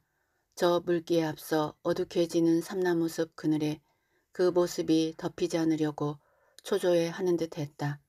먼 산은 석양을 받아 봉우리 부터 붉게 물들어오는 것을 확실히 알 수 있었다.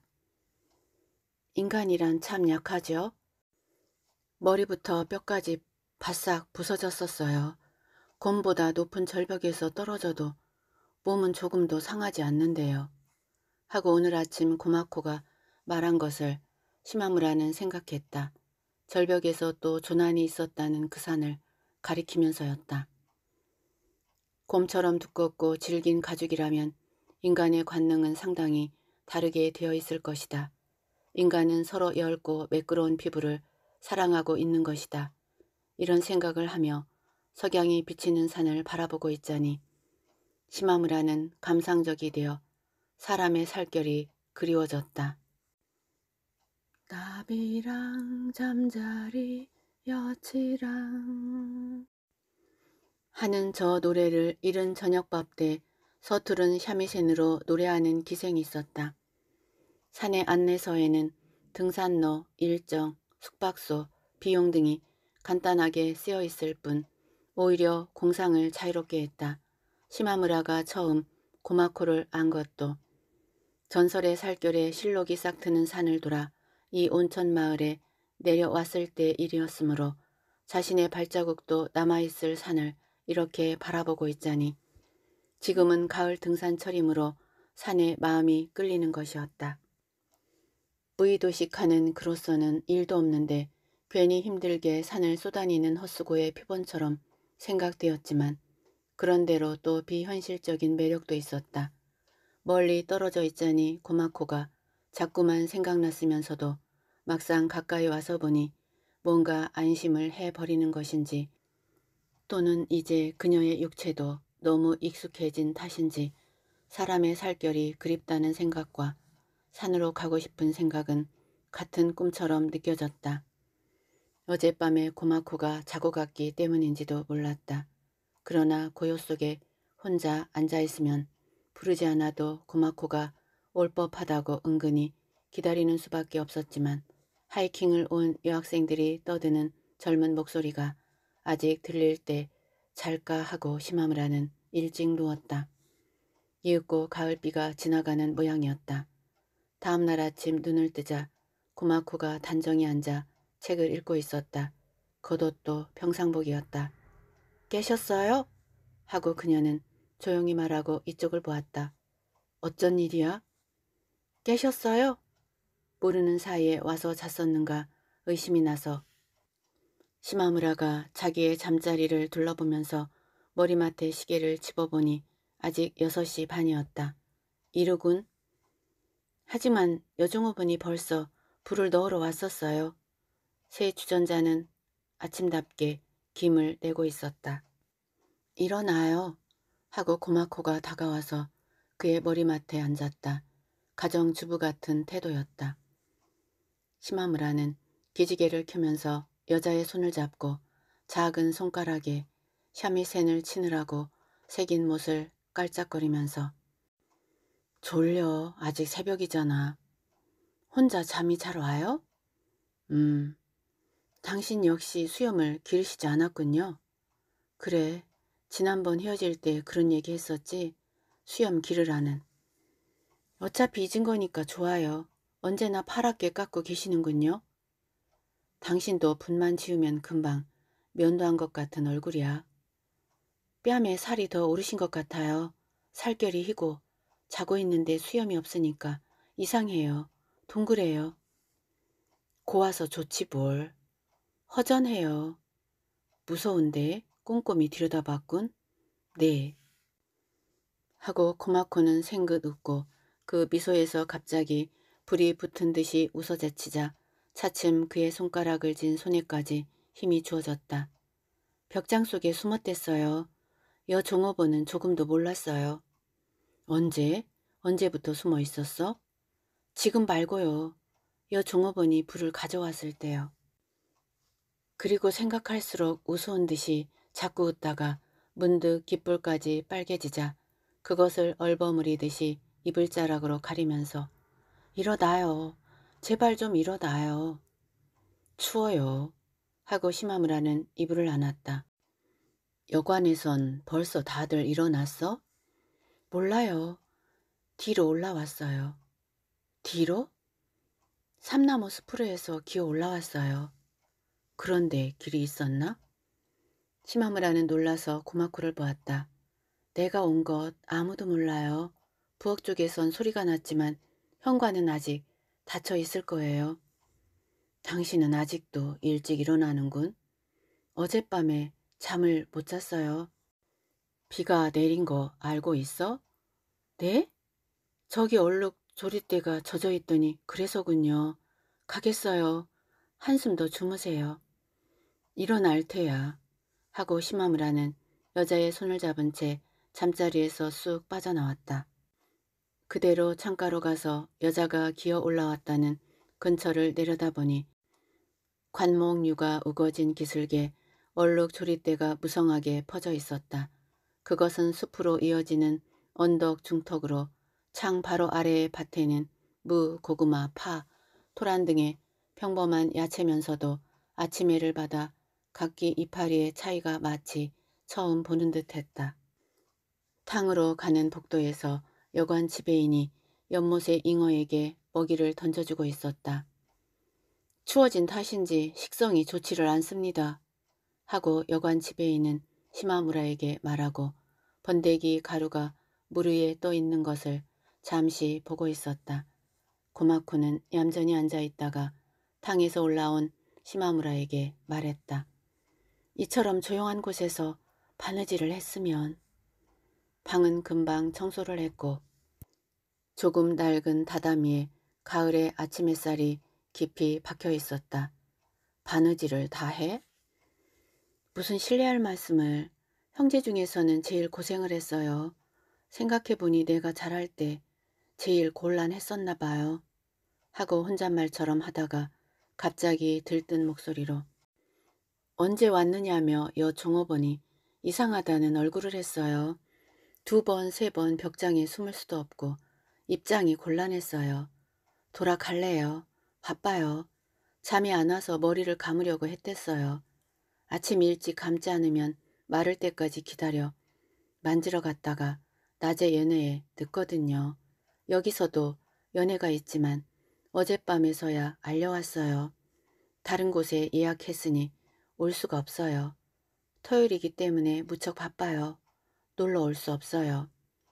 이런 말들을 하면서도 구마코는 일어날 것 같지도 않았다. 머리를 감는 것은 그만두고 시마무라를 뒤뜰러 데리고 나섰다. 아까 그리로 숨어 들어왔는지 구름다리 복도 밑에 고마코의 젖은 게다와 외 버선이 있었다.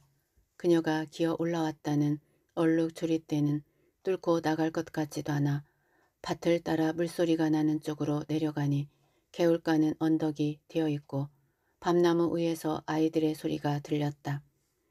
발밑에도 몇 송이 떨어져 있었다. 고마코는 계다로 밟아서 밤을 깠다. 모두 알이 잔 밤이었다. 저쪽 건너편의 가파른 산 허리에는 억새 이삭이 가득히 피어 눈비신 은빛으로 흔들리고 있었다. 눈부시다 해도 그것은 가을 하늘을 나는 투명한 허무와도 같았다. 저길 가볼까? 당신 약혼자의 무덤이 보이는군. 고마코는 허리를 쭉 펴고 시마무라를 똑바로 쳐다보다가 한 움큼의 밤을 갑자기 그의 얼굴에 집어던지고 당신 나를 놀리고 있군요. 시마무라는 피할 틈도 없었다. 이마에서 소리가 나고 통증이 왔다. 무슨 인연이 있다고 당신이 무덤을 보러 가요? 왜 그렇게 화내지? 그래도 내 딴에는 진지했어요. 당신처럼 호사스런 마음으로 사는 사람과는 달라요. 내가 뭐 호사스런 마음으로 살아? 그는 힘없이 중얼거렸다. 그럼 어째서 약혼자니 뭐니 해요? 약혼자가 아니란 것은 지난번에 얘기했잖아요. 잊었어요? 시마무라가 잊고 있었던 것은 아니다.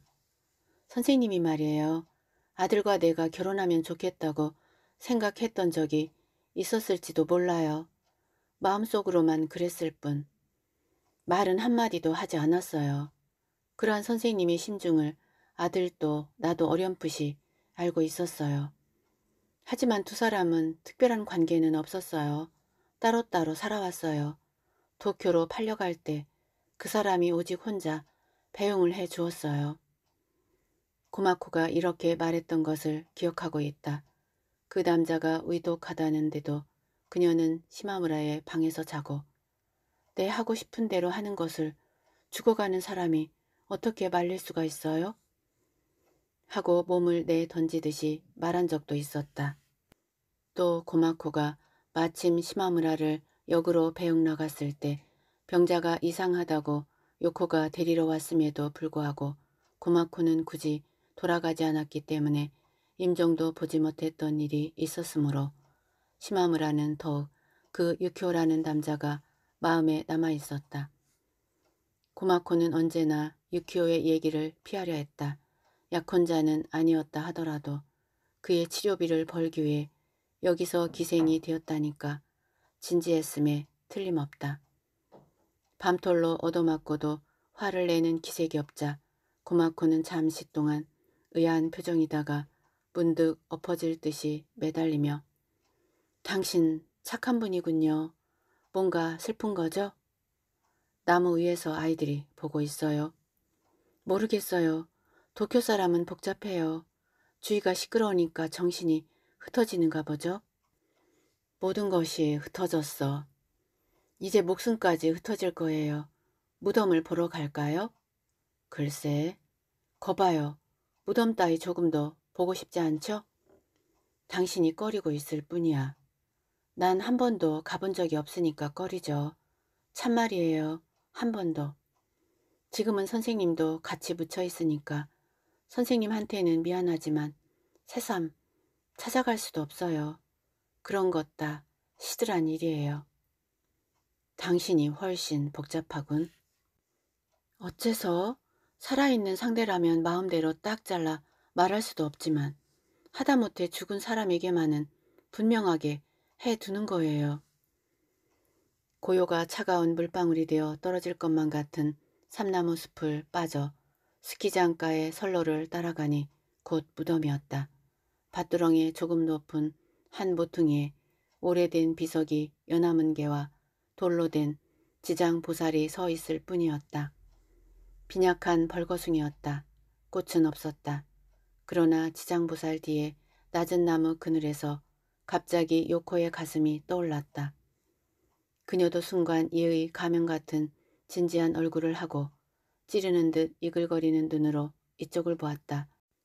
시마무라에게 꾸벅 인사를 하더니 그대로 멈춰 섰다. 요코 일찍 왔구나. 나 머리 만지러. 하고 쿠마코가 말했을 때였다. 갑자기 시커먼 돌풍을 만난 듯 그녀도 시마무라도 몸을 움츠렸다. 누나! 하고 부르는 소리가 요란한 음향 속을 흘러왔다. 검은 화차의 문에서 소년이 모자를 흔들고 있었다. 사이치로! 사이치로! 하고 요코는 외쳤다. 눈에 덮인 신호소에서 역장을 부르던 그 소리였다. 들리지도 않을 먼 배의 사람을 부르는 듯한 슬프리만큼 아름다운 목소리였다. 화물 열차가 지나가 버리자 눈 가리개를 떼어버린 듯이 선로 저쪽에 메밀꽃이 선명하게 보였다.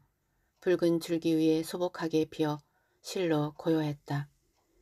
뜻밖의 욕고를 만났으므로 두 사람은 기차가 오는 것도 모를 정도였지만 그와 같은 무엇도 화물 열차가 날려 버린 듯 했다. 그리고 뒤에는 차바퀴 소리보다도 요코의 목소리의 여운이 남아있는 듯했다. 순결한 애정의 메아리가 울려올 것만 같았다.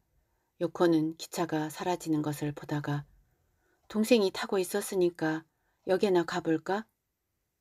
하지만 기차가 역에서 기다리진 않아요. 하고 코마코가 웃었다. 그래, 난 유키오 씨 무덤에 참배 안 할래. 요코는 고개를 끄덕이고 조금 주저하다가 무덤 앞에 쪼그리고 앉아 합장했다. 코마코는 서 있기만 했다. 시마무라는 고개를 돌려 지장보살을 보았다. 길다란 얼굴에 삼면으로 가슴에 합장한 두 팔에 오른쪽과 왼쪽에 두 개씩의 손이 있었다. 머리 만지러 갈 테야 하고 코마코는 요코에게 말하고 밭두렁길을 따라 마을 쪽으로 갔다.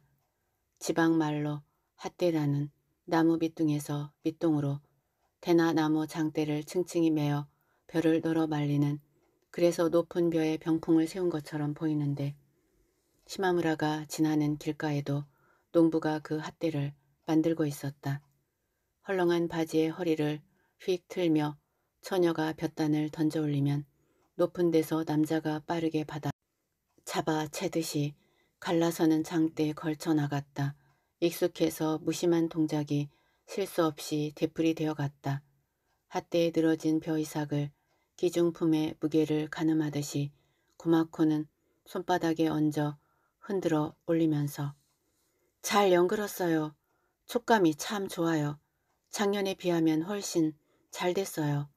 하고 벼의 촉감을 즐기듯이 눈을 가늘게 했다.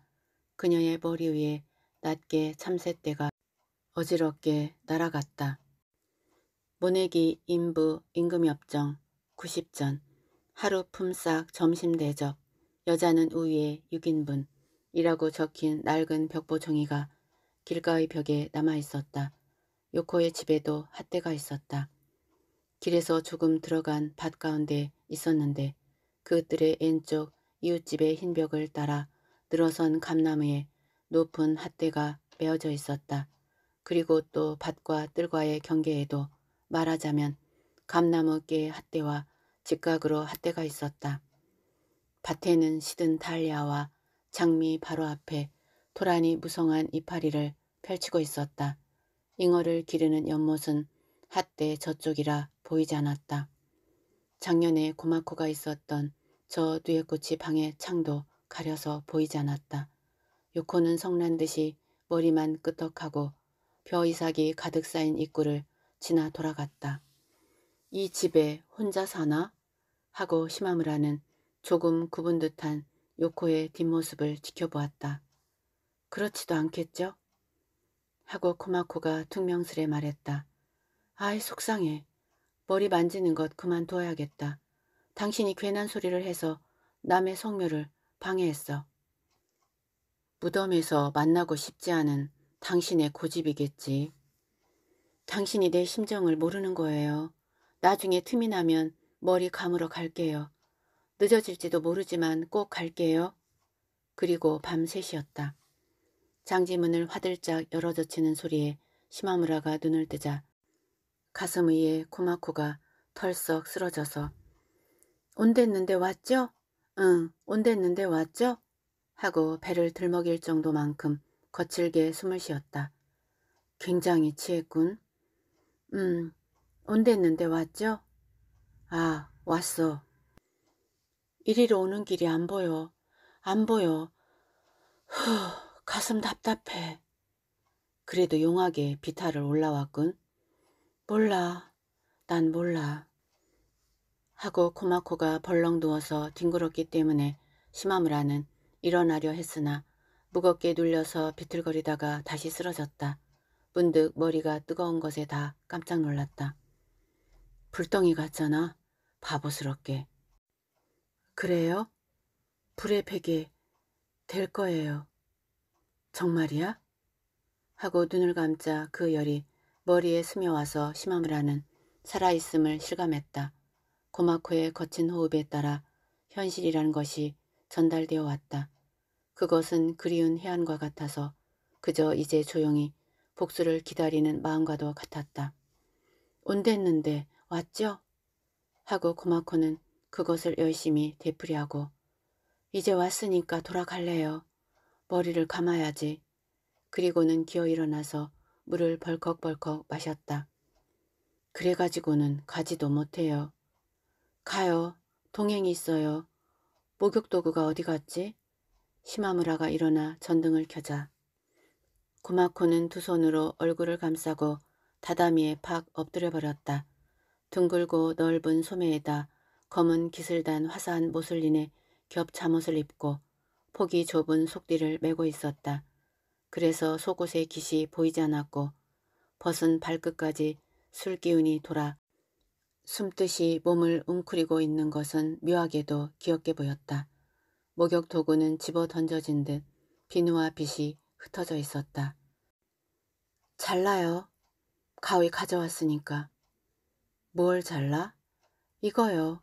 하고 코마코는 머리 뒤로 손을 돌려 집에서 끈을 자르려 했지만 손이 말을 잘 안 들어요. 여기 들러서 잘라 달래려고. 시마무라는 여자의 머리를 헤치고 끈을 잘랐다. 한 곳이 끊긴 때마다 고마코는 머리를 흔들어 풀면서 조금씩 침착해졌다. 지금 몇 시예요? 벌써 새벽 3시야.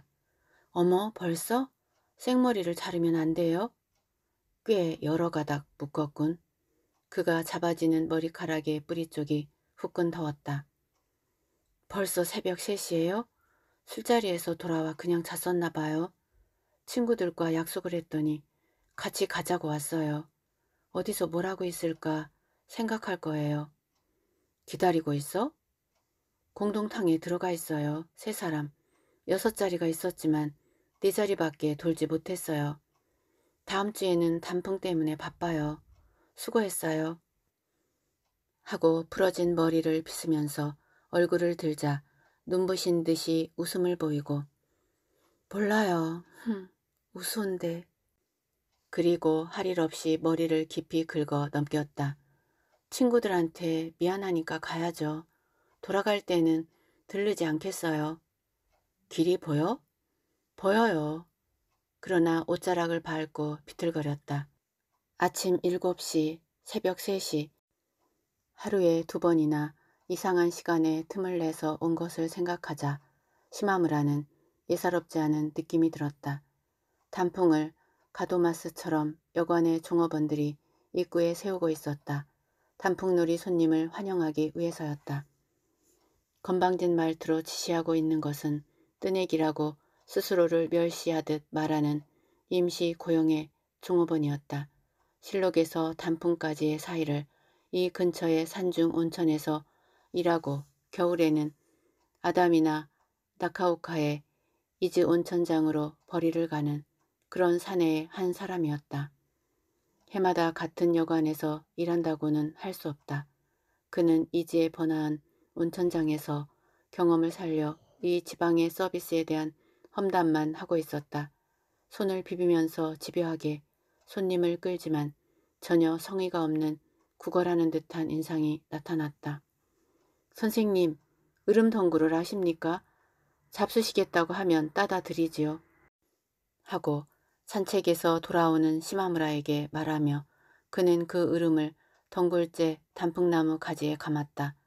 단풍은 산에서 잘 나온 듯 추녀 끝에 닿을 듯이 높았고 현관이 활짝 밝아진 듯한 눈부신 진홍으로 이파리 하나하나가 놀랄 만큼 컸다. 시마무라는 차가운 으름 열매를 집어보면서 문득 카운터 쪽을 보니 요코가 화롯가에 앉아 있었다. 여주인이 동으로 술을 데우고 있었다. 요코는 그 맞은편에 앉아 여주인이 뭐라고 말할 때마다 분명하게 고개를 끄덕이고 있었다. 헐렁한 바지 차림도 하울이도 안 입고 갓 빨아서 달인 듯한 메이셩을 입고 있었다. 심부름 하는 사람? 하고 시마무라가 아무렇지도 않은 듯이 지배인에게 묻자 네 덕분에 일손이 모자라서 당신과 같군. 그러나 마을 처녀로 좀 별난 데가 있죠. 요코는 부엌일을 하는 듯 한 번도 객실에는 나오지 않는 듯 했다. 손님이 붐비면 부엌의 종업원들의 목소리도 커지는 법인데 요코의 저 아름다운 목소리는 들리지 않았다. 시마무라의 방을 담당한 종업원의 얘기로는 요코는 자기 전에 탕숙에서 노래를 부르는 버릇이 있다지만 그는 그것도 듣지 못했다. 그러나 요코가 이 집에 있다고 생각하니 시마무라는 코마코를 부르는 것도 어쩐지 어색하게 느껴졌다. 코마코의 애정은 그를 향한 것임에도 불구하고 그것을 아름다운 헛수고인 것처럼 생각하는 것은 그 자신의 허무감이 있어서였다. 하지만 반대로 그럼으로써 코마코에 살려고 몸부림치는 적나라한 생명과 접촉할 수도 있었다. 그는 코마코를 가엽게 생각하면서 스스로를 가엽게 생각했다. 그와 같은 양상을 무심히 개뚫는 빛과 같은 눈이 요코에게 있을 것 같아 시마무라는 이 여자에게도 끌리는 것이었다. 시마무라가 부르지 않아도 물론 코마코는 꼬박꼬박 왔다. 골짜기 깊은 단풍을 보러 가느라고 그가 코마코의 집 앞을 지나친 일이 있었다. 그때 그녀는 차소리를 듣고 시마무라임에 틀림없다고 생각하여 밖으로 뛰어 나왔었으나 그는 뒤도 돌아보지 않아서 박정한 사람이라고 말했을 정도였다. 그러나 그녀는 부르기만 하면 시마무라의 방에 들르지 않는 일이 없었다. 탕에 가는 길에도 들르곤 했다. 연애가 있으면 한 시간쯤 빨리 와서 여 종업원이 부를 때까지 그의 방에서 놀았다. 술자리를 자주 빠져나와서는 경대 앞에 얼굴을 고치고 지금부터 벌이를 나가요. 장사할 욕심이 있으니까 자 장사다. 장사 하고 일어서 나갔다. 발목 상자나 겉옷 등 가져온 것들을 그의 방에 두고 가기를 좋아했다. 어젯밤에 돌아갔더니 더운 물이 없잖아요. 부엌을 살금살금 뒤져서 아침에 남은 된장국에다 매실 절인 것으로 먹었어요. 으이 차가워. 오늘 아침엔 또 깨우질 않잖아요. 눈을 뜨고 보니 10시 반, 7시에 일어나서 오려고 했었는데 틀렸지 뭐예요. 이런 일들이랑 어느 여관에서 어느 여관에 갔었다는 연애의 모습을 이것저것 보고하곤 했다. 또 올게요. 하고 물을 마시고 일어서면서 말했다. 이제 오지 않을지도 몰라요. 왜냐하면 30명의 세 사람인걸요. 바빠서 빠져나올 수가 없어요. 그러나 잠시 후 다시 와서 힘들어요. 30명 손님의 셋밖에 없어요. 그것이 또 제일 늙은 사람과 제일 어린 사람이라 내가 더 힘들어요. 째째한 손님들, 틀림없이 무슨 여행 모임일 거예요. 30명쯤이면 적어도 6명은 있어야죠. 치에서는 겁을 준단 말이에요. 날마다 이런 식이면 어떻게 되어갈지 고마코는 어디론가 숨어버리고 싶을 정도였으나 그 어딘가 고독한 모습은 오히려 우아한 모습을 더할 뿐이었다. 복도가 삐걱거려서 부끄러워요. 살살 걸어도 다 알아요. 부엌 옆을 지나면 고마코는 또 동백실인가 하고 웃어요. 이렇게 눈치를 보게 될 줄은 몰랐어요. 좁은 고장이니까 곤란하겠지. 이제 다들 알고 있어요. 그건 안 되지. 네, 조금이라도 나쁜 소문이 돌면 좁은 고장에서는 그만이에요. 라고 말했으나 곧 얼굴을 들고 미소 짓더니 아니 괜찮아요. 우리들은 어딜 가도 일할 수 있으니까요. 이처럼 솔직한 실감이 담긴 말투는 부모의 유산으로 무의 도식하는 시마무라에게 대단히 의외였다. 정말이에요. 어디서 일하든 마찬가지예요. 미련을 가질 것도 없어요. 아무렇지도 않은 듯한 말투였지만 시마무라는 어떤 억양을 느낄 수 있었다. 그거면 그만이에요. 정말로 사람을 좋아할 수 있는 것은 여자뿐이니까요. 하고 코마코는 조금 얼굴을 붉히며 고개를 떨구었다. 깃을 젖히고 있기 때문에 등에서 어깨에 걸쳐 하얀 부채를 펼친 듯 했다.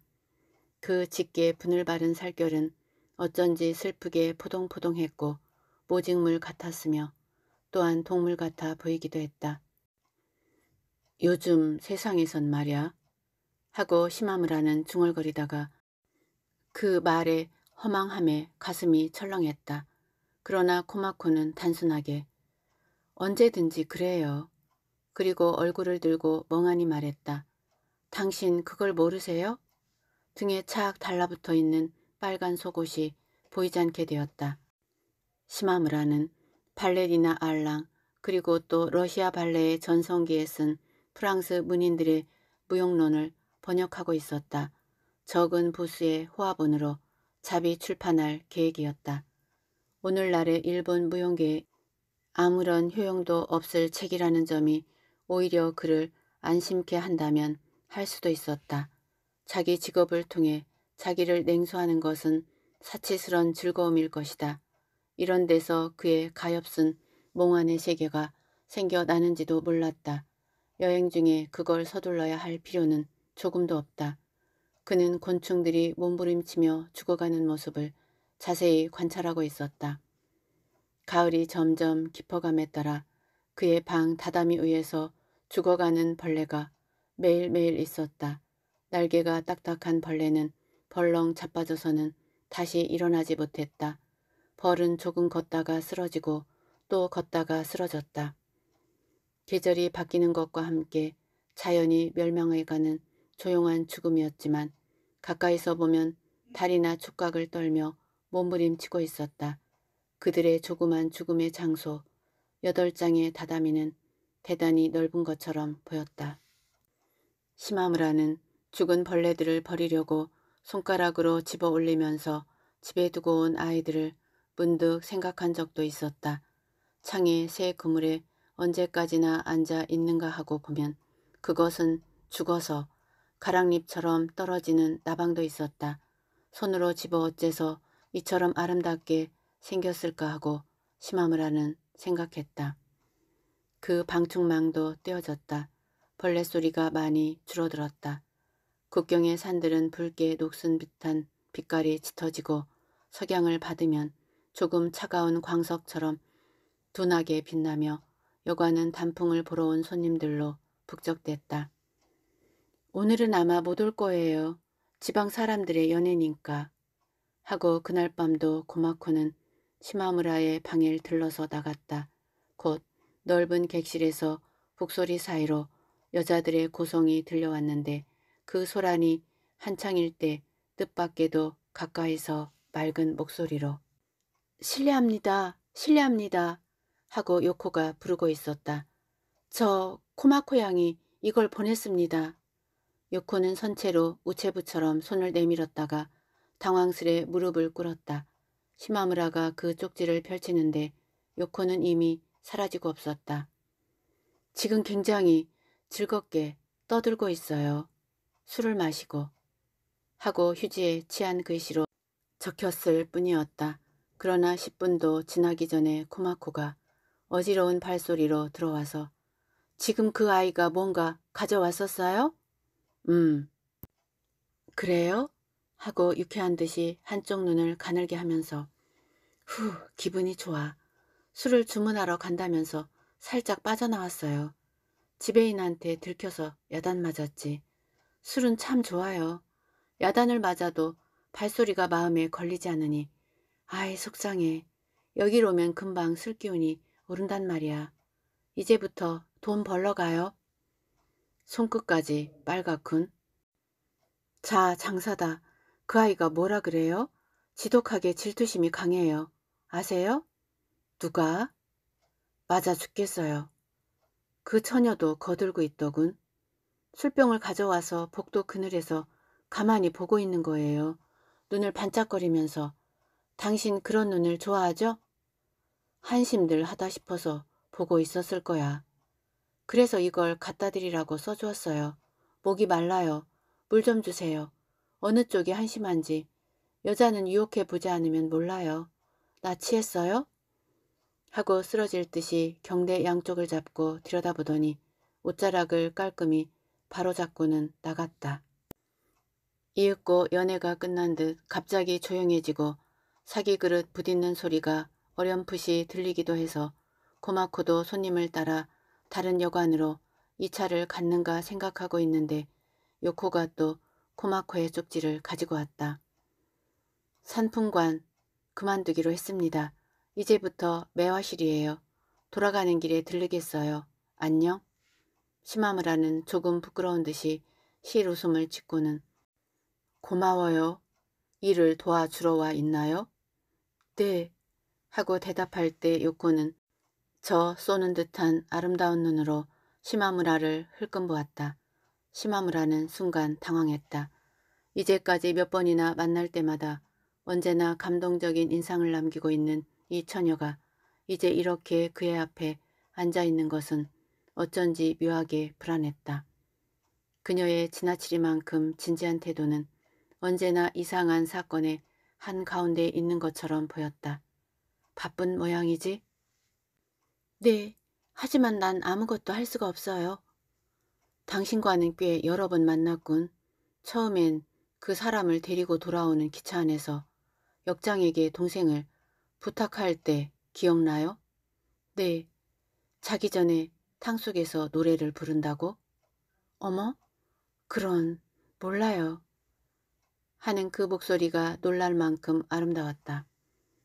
당신에 관해서는 뭐든지 다 아는 것 같은 생각이 들어요. 그러세요? 코마코 양에게 들으셨나요? 그 사람은 그런 얘기 안 해요.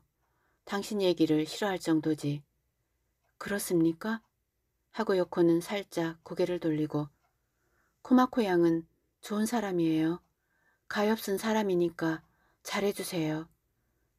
빠른 말투로 말하는 그 말끝이 가늘게 떨렸다. 하지만 난 아무것도 해줄 수가 없어요. 요코는 금세 몸까지 떨 것 같았다. 위험이 반짝거리며 다가올 듯한 얼굴에서 시마무라는 눈을 돌리고 웃으며 빨리 도쿄로 돌아가는 게 좋을지도 모르지만 나도 도쿄에 가요. 언제? 언제든지 좋아요. 그럼 동행을 할까? 네, 그렇게 해주세요. 하고 태연하면서도 진지한 목소리로 말해 시마무라는 놀랐다. 당신네 가족이 승낙을 한다면 가족이래야 철도에 나가는 동생 하나니까 내가 마음대로 결정해도 좋아요. 도쿄에는 뭔가 목적이 있어요? 아니요. 그 사람과 상의해 봤어요? 코마코요? 코마코는 미워서 말 안 해요. 이렇게 말하고 긴장이 풀려서인지 조금 젖은 눈으로 그를 쳐다본 요코에게 시마무라는 야릇한 매력을 느꼈다. 그러나 어쩐 일인지 오히려 코마코에 대한 애정이 활활 타오르는 것만 같았다. 정체물을 처녀와 도망치듯이 돌아가 버리는 것은 코마코를 향한 격한 사제의 방법인 듯이 생각되기도 했다. 또 뭔가 형벌 같기도 했다. 당신은 그래 남자와 동행하는 것이 두렵지 않아요? 어째서요? 당신이 도쿄에서 갈 만한 곳이라든가 뭘 하고 싶다는 정도는 정해져 있지 않으면 위험하잖소. 여자 한 몸 어떻게든 되겠죠? 하고 였고는 말꼬리가 아름답게 지켜지게끔 말하고 시마무라를 바라본 채 가정부로 써주시지 않겠어요? 뭐? 가정부로? 가정부는 싫지만 전번에 도쿄에 있을 때는 뭘 했었지? 간호사요. 병원이나 학교에 있었던가? 아니요. 그저 되고 싶었을 뿐이에요. 시마무라는 또 기차 안에서 선생의 아들을 보살피던 요코의 모습을 생각하고 그 진지함 속에는 희망도 들어 있었던가 싶어 미소를 지었다. 그럼 이번에도 간호사 공부를 하고 싶겠군. 이제 간호사는 싫어요. 그처럼 뜻이 약해서야 쓰나. 어머? 뜻이 약하다니 몰라요. 하고 요코는 호들갑스럽게 웃었다. 그 웃음소리도 슬프리만큼 높고 맑아서 백치처럼은 들리지 않았다. 그러나 시마무라의 마음을 허망하게 두드리고 갔다. 뭐가 우습지? 왜냐하면 나는 한 사람밖에 간호하지 않아요. 뭐? 이젠 끝났어요. 그랬던가? 뜻밖의 일격을 당한 시마무라는 조용히 말했다. 당신은 매일 메밀밭 밑에 무덤을 찾아간다면서? 네. 일생을 통해 다른 병자를 간호하는 일도 다른 사람의 무덤을 찾는 일도 다시는 없다고 생각하는가? 없어요. 그런데도 무덤을 떠나 용케도 도쿄에 가겠다지? 어머 미안해요. 데려다 주세요. 당신은 지독하게 질투심이 강하다고 코마코가 말하던데 그 사람은 코마코의 약혼자가 아니었던가? 유키오 씨의? 거짓말, 거짓말이에요. 코마코가 밉다는 것은 무슨 뜻이지? 코마코? 하고 곁에 있는 사람을 부르듯이 말하고 요코는 시마무라를 번쩍거리는 시선으로 노려보았다. 코마코 양에게 잘해주세요. 난 아무것도 해줄 수가 없어요. 요코의 눈에 눈물이 고여오르자 다다미에 떨어져 있던 작은 나방을 짚고 울음을 터뜨렸다. 코마코는 나보고 미친 됐어요. 하고 훌쩍 방을 나가버렸다. 시마무라는 오한을 느꼈다. 요코가 죽인 나방을 버리려고 창을 여니 치안 코마코가 손님을 다구치듯 허리를 구부리고 주먹을 휘두르는 것이 보였다. 하늘은 흐려 있었다. 시마무라는 내탕으로 갔다. 곁에 여탕의 요코가 여관집 아이를 데리고 들어왔다.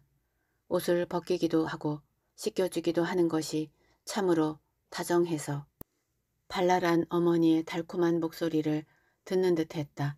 그녀는 그 목소리로 노래를 불렀다. 뒤뜰에 나가보면 배나무가 세 그루 삼나무가 세 그루 모두 해서 여섯 그루 아래서 까치가 집을 짓는다. 위에서 참새가 집을 짓는다 숲속의 여친은 뭐라고 울까?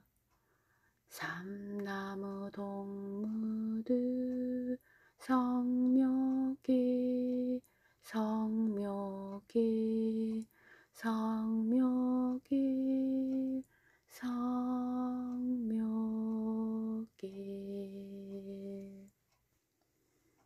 공치기 노래의 앳되고 빠르고 발랄한 목소리는 아까의 그 요코일까 하고 심하무라는 꿈같이 생각했다.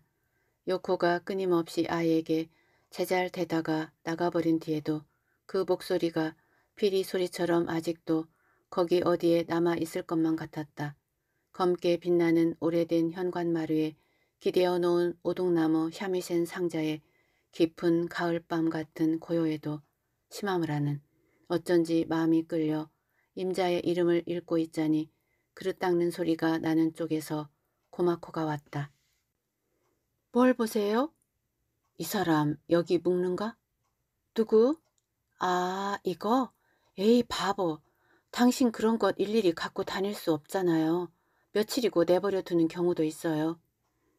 하는 웃음 끝에 기로운 숨을 쉬면서 눈을 감고 옷자락을 놓으며 시마무라에게 비틀비틀 기대왔다. 나 발에다 줘요. 돌아갈 것도 없잖아.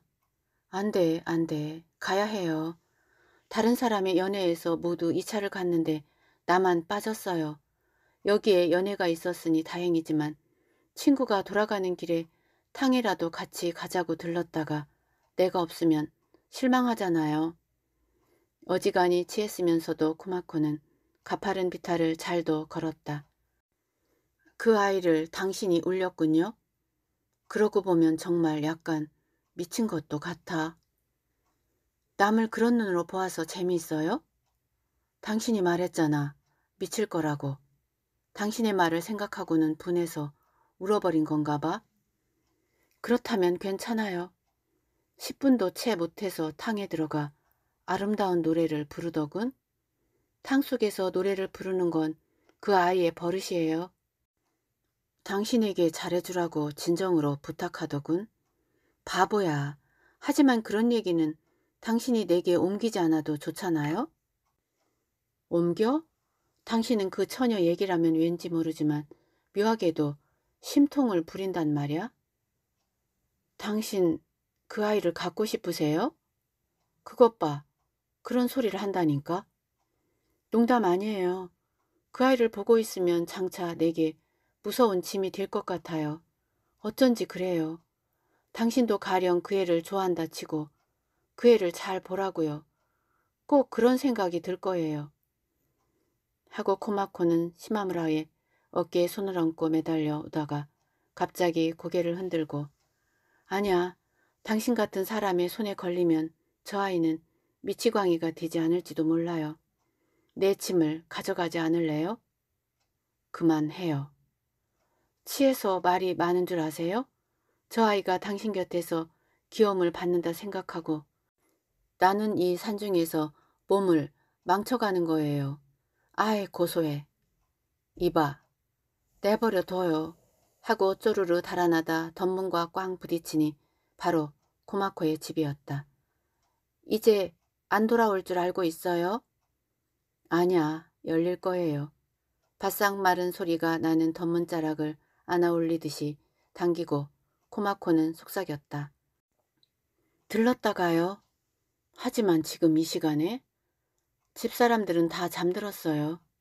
시마무라는 내키지가 않았다. 그럼 내가 발에다 드리겠어요. 아니 괜찮아. 안 돼요. 이사한 내 방 아직 보지 않았어요. 부엌문으로 들어서니 눈앞에 그 집 사람들의 잠든 모습이 어지러웠다. 이 지방 사람들이 애용하는 헐렁한 바지와 같은 무명에 그것도 퇴색한 딱딱한 이불을 나란히 하고 주인 네와 17, 8세의 처녀를 비롯 5, 6명의 아이들이 그을린 등불 아래 제멋대로 얼굴을 돌리고 자고 있는 것은 쓸쓸해 보이면서도 벅찬 힘이 잠겨 있었다. 시마무라는 잠든 사람들의 따뜻한 숨결에 밀리듯이 문득 밖으로 나가려고 했으나 코마코가 뒤로 문을 쾅 닫아버리고 발소리를 조심할 것도 없이 마루를 밟고 가슴으로 시마무라도 아이들의 머리맡을 살짝 지나갔다. 그 순간 기상한 쾌감으로 가슴이 떨렸다. 여기서 기다려요. 2층에 불을 켤 테니까요. 괜찮아. 하고 시마무라는 캄캄한 층계를 올라갔다. 돌아보니 소박하게 잠든 얼굴 저쪽에 과자 가게가 보였다. 농가답게 헌 다다미의 2층은 네 칸이었다. 나 혼자니까 넓기는 해요. 하고 코마코는 말했지만 장진문은 모두 열어 젖혀졌고 집안의 헌 도구들을 옆방에 쌓은 그을린 장지 안에 코마코의 잠자리 하나를 조그맣게 깔고 벽에 연애복이 걸려있는 것 등은 마치 여우구를 연상케 했다. 코마코는 방바닥에 풀썩 앉더니 한 장뿐인 방석을 시마무라에게 권하고 아 새빨개 하고 거울을 들여다보았다. 이렇게 취했던가? 그리고 장롱 위를 뒤지면서 이게 일기 상당히 많군. 그 옆에서 접지를 바른 작은 상자를 꺼내니 여러 가지 담배가 가득 들어 있었다. 손님이 주는 것을 소매 속에 넣거나 허리띠에 끼우고 돌아오기 때문에 이렇게 구겨졌지만 더럽지는 않아요. 그 대신 웬만한 담배는 다 있어요. 하고 시마무라 앞에 손을 짚고 상자 속을 휘저 보였다. 어머 성냥이 없군요. 내가 담배를 끊었기 때문에 필요가 없어서요. 괜찮아. 바느질을 하고 있었나? 네, 단풍 구경 온 손님들 때문에 조금도 진척이 없어요. 하고 코마코는 고개를 돌려 장롱 앞에 바느질감을 챙겼다. 코마코의 도쿄 생활의 태물인 듯 고든 무늬의 훌륭한 장롱이나 붉은 칠을 한 사치스런 바느질 그릇은 선생 댁의 헌 종이 상자 같던 다락방에 있을 때와 마찬가지였지만 이 썰렁한 2층에서는 무참해 보였다. 전등에서 가는 끈이 베개 위로 늘어져 있었다. 책을 읽다가 잠들 때 이걸 당겨서 꺼요. 하고 코마코는 그 끈을 만지작거렸다. 그러나 여염집 여자처럼 조용하게 앉아 뭔가 수줍어하고 있었다. 여우가 시집간 것 같군. 정말 그래요. 이 방에서 4년을 지낼 건가? 하지만 벌써 반년이 지났어요. 금방이에요. 아래층 사람들의 숨소리가 들리는 것 같았고 이야기도 계속되지 않았기 때문에 시마무라는 총총히 일어섰다. 코마코는 문을 닫으면서 목을 내밀어 하늘을 바라보고 눈이 올 것 같군요. 이제 단풍도 끝났어요. 하고 다시 밖으로 나왔다. 이곳은 산중이기 때문에 단풍이 남아있을 때 눈이 와요. 그럼 잘 자요. 발에다 드릴게요. 여관에 현관 앞까지만. 그러나 시마무라와 함께 여관에 들어와서 주무세요 하고 어디론가 사라져 가더니 잠시 후 두 컵에 가득히 찬 술을 따라 들고 그의 방으로 들어서자마자 격하게 말했다. 자 마시세요. 마셔요. 여관에선들 잠들었을 텐데 어디서 갖고 왔지? 아니 있는 곳은 알고 있어요. 코마코는 통에서 퍼낼 때도 마신 모양이었다. 그래서 아까의 치기가 다시 오르는 듯 눈을 가늘게 하고 컵에서 술이 넘쳐 흐르는 것을 보면서 하지만 어두운 데서 마시니 맛이 없어요. 내밀어진 컵의 찬술을 시마무라는 벌컥벌컥 마셨다. 이 정도의 술로 취할 리는 없는데 바깥을 쏟아녀 몸이 식은 탓인지 갑자기 가슴이 메스껍고 머리가 띵했다. 얼굴이 창백해지는 것을 스스로도 알 듯해서 눈을 감고 눕자 고마코는 당황하여 간호를 했다. 이윽고 시마무라는 여자의 더운 몸에 포근한 안도를 느꼈다. 코마코는 뭔가 어색한 듯이 예를 들면 아기를 낳은 적이 없는 처녀가 남의 아기를 아는 듯한 동작이 되어왔다. 머리를 들고 아기가 잠드는 것을 지켜보는 시기였다. 시마무라는 잠시 후 불쑥 말했다. 당신은 좋은 사람이야. 어째서 어디가 좋아요? 좋은 사람이야. 그래요? 미워. 무슨 소리를 하는 거예요. 정신 차려요. 하고 코마코는 예면하고 시마무라를 흔들면서 드문드문 두드리듯 말하다가 잠자코 있었다. 그리고 혼자서 후 하고 웃더니 좋지 않아요. 괴로우니까 돌아가줘요. 이제 입을 옷이 없어요. 당신한테 올 때마다 옷을 갈아입고 싶지만 이젠 갈아입을 게 없어요. 이건 친구 것을 빌려 입었어요. 나쁜 아이죠? 시마무라는 말을 할 수가 없었다. 그런 게 뭐 좋아요? 하고 코마코는 다소 목소리가 젖으며 처음 만났을 때 당신을 좋아할 수 없을 거라 생각했어요. 그런 신뢰되는 말을 하는 사람 처음 봤어요. 정말 징글맞대요. 시마무라는 수긍했다. 어머, 그걸 나 이제까지 잠자코 있었던 것을 아세요? 여자에게 이런 말을 하게 하면 이미 끝장 아니에요? 괜찮아. 그래요? 하고 코마코는 자신을 돌아보듯이 오랫동안 가만히 있었다. 한 여자의 생명감이 따뜻하게 시마무라에게 전달되어 왔다. 당신은 좋은 여자야. 어떻게 좋아요? 그저 좋은 여자야. 우순 양반? 하고 어깨가 간지러운 듯이 얼굴을 묻었다가 무슨 생각을 했는지 갑자기 한쪽 팔꿈치를 짚고 고개를 번쩍 세우고는 그거 무슨 의미? 네? 무슨 뜻이에요? 시마무라는 놀라서 고마코를 보았다. 말해보세요. 그래서 오곤 했나요? 당신 날 비웃고 있었군요. 역시 비웃고 있었어. 새빨갛게 상기되어 시마무라를 노려보면서 힐문하던 코마코의 어깨가 격한 노여움에 떨려왔고 파랗게 질리면서 뚝뚝 눈물을 떨구었다. 분해요. 아 분해요. 하고 떼굴떼굴 굴러 나가더니 돌아앉았다. 시마무라는 고마코의 착각을 깨닫자 가슴이 섬뜩했지만 눈을 감고 가만히 있었다. 슬퍼요. 고마코는 혼잣말처럼 중얼거리면서 몸을 동그랗게 오므리듯 하고 엎드렸다. 그리고 울음에 지쳤는지 은비녀로 다다미를 꾹꾹 찌르다 갑자기 힝하니 나가버렸다. 시마무라는 뒤를 쫓을 수가 없었다. 코마코의 말을 듣고 보면 충분히 괴로울 만도 했다. 그러나 곧 코마코는 발소리를 죽이고 되돌아온 듯 장진문 밖에서 들뜬 듯한 목소리로 불렀다. 탕에 가시지 않겠어요? 아, 미안해요. 나 다시 생각하고 왔어요. 복도에 숨듯이 선 채 방에는 들어올 것도 같지 않았기 때문에 시마무라가 수건을 들고 나가니 코마코는 시선이 마주치는 것을 피하고 조금 고개를 떨군 채 앞장섰다. 죄를 짓고 끌려가는 사람과 비슷한 모습이었으나 탕에서 몸이 더워질 무렵부터 갑자기 안쓰러울 만큼 제잘되면서 잠은 잘 생각도 하지 않았다. 그 다음날 아침 시마무라는 우다이의 소리에 눈을 떴다. 잠시 조용히 우다이를 듣고 있자니 코마코가 경대 앞에서 돌아보고 싱긋 웃으면서 매화실의 손님이에요. 어젯밤 연애 끝에 불려갔었죠. 우다희의 단체 여행인가? 네. 눈이 오지? 네. 하고 코마코는 일어나 장진문을 활짝 열어보였다. 이제 단풍도 끝났죠? 창으로 구분된 잿빛 하늘에서 굵은 솜눈이 펄펄 이쪽으로 떠서 흘러온다. 뭔가 고요한 거짓말 같았다. 시마무라는 잠을 설친 허무감으로 바라보고 있었다. 우다이의 사람들은 북도 치고 있었다.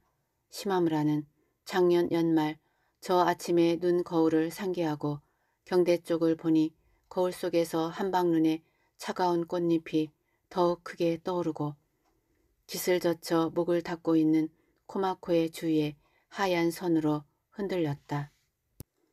코마코의 살결은 닦아낸 듯이 청결했고 시마무라의 사소한 말을 그처럼 오해할 여자로는 도저히 생각되지 않은 곳에 오히려 고역하기 어려운 슬픔이 있는 것 같았다.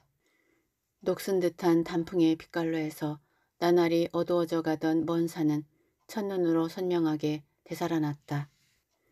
열개 눈을 덮어쓴 삼나무 숲은 그 삼나무 한 그루 한 그루가 뚜렷하게 두드러져 날카롭게 하늘을 찌를 듯이 지면의 눈 속에 서 있었다. 눈 속에서 실을 뽑고 눈 속에서 짜고 눈을 녹인 물에 빨아 눈 위에 바래는 처음부터 끝까지 모두가 눈 속에서였다. 눈 있고 지짐이가 있으므로 눈은 지짐이의 어머니라고 옛날 사람도 책에 쓰고 있다. 마을 여자들이 눈이 쌓이는 계절 동안의 일거리, 이 설국에 삼으로 짠 지짐이는 심하무라도 헌옷 가게에서 찾아내어 여름옷으로 입고 있었다. 춤 관계로 해서 노 의상이 고물 따위를 취급하는 가게도 알고 있었으므로 진짜 지짐이가 나오거든 언제든지 좋으니 보여달라고 부탁을 해둘 만큼 이 지짐이를 좋아해서 혹겹의 우도수로 하기도 했다. 눈을 막기 위해 쳤던 발을 걷어올리고 눈이 녹는 봄 무렵이면 옛날에는 지짐이의 첫 시장이 열렸다고 한다. 멀리 지짐이를 사러 오는 삼도의 포목상이 묵는 단골 여관도 있었고 처녀들이 반년 동안에 걸쳐 정성 들여 짠 것도 이 첫 시장을 위해서였다. 원근 마을에 남녀들이 몰려들어 구경거리나 다른 물건을 파는 가게도 생겨 마치 축제처럼 흥청거렸다고 했다. 지지미에는 짠 사람의 이름과 주소를 쓴 종이 쪽지를 붙여 그 솜씨를 1등, 2등 하는 식으로 등수를 매겼다고 했다. 이것은 신부를 고르는데도 기준이 되었다. 어렸을 때부터 배우기 시작해서 15, 6세부터 24, 5세까지의 젊은 여자가 아니면 좋은 지지미를 짤 수는 없었다. 나이를 먹으면 배의 바탕에 윤기가 나지 않았다.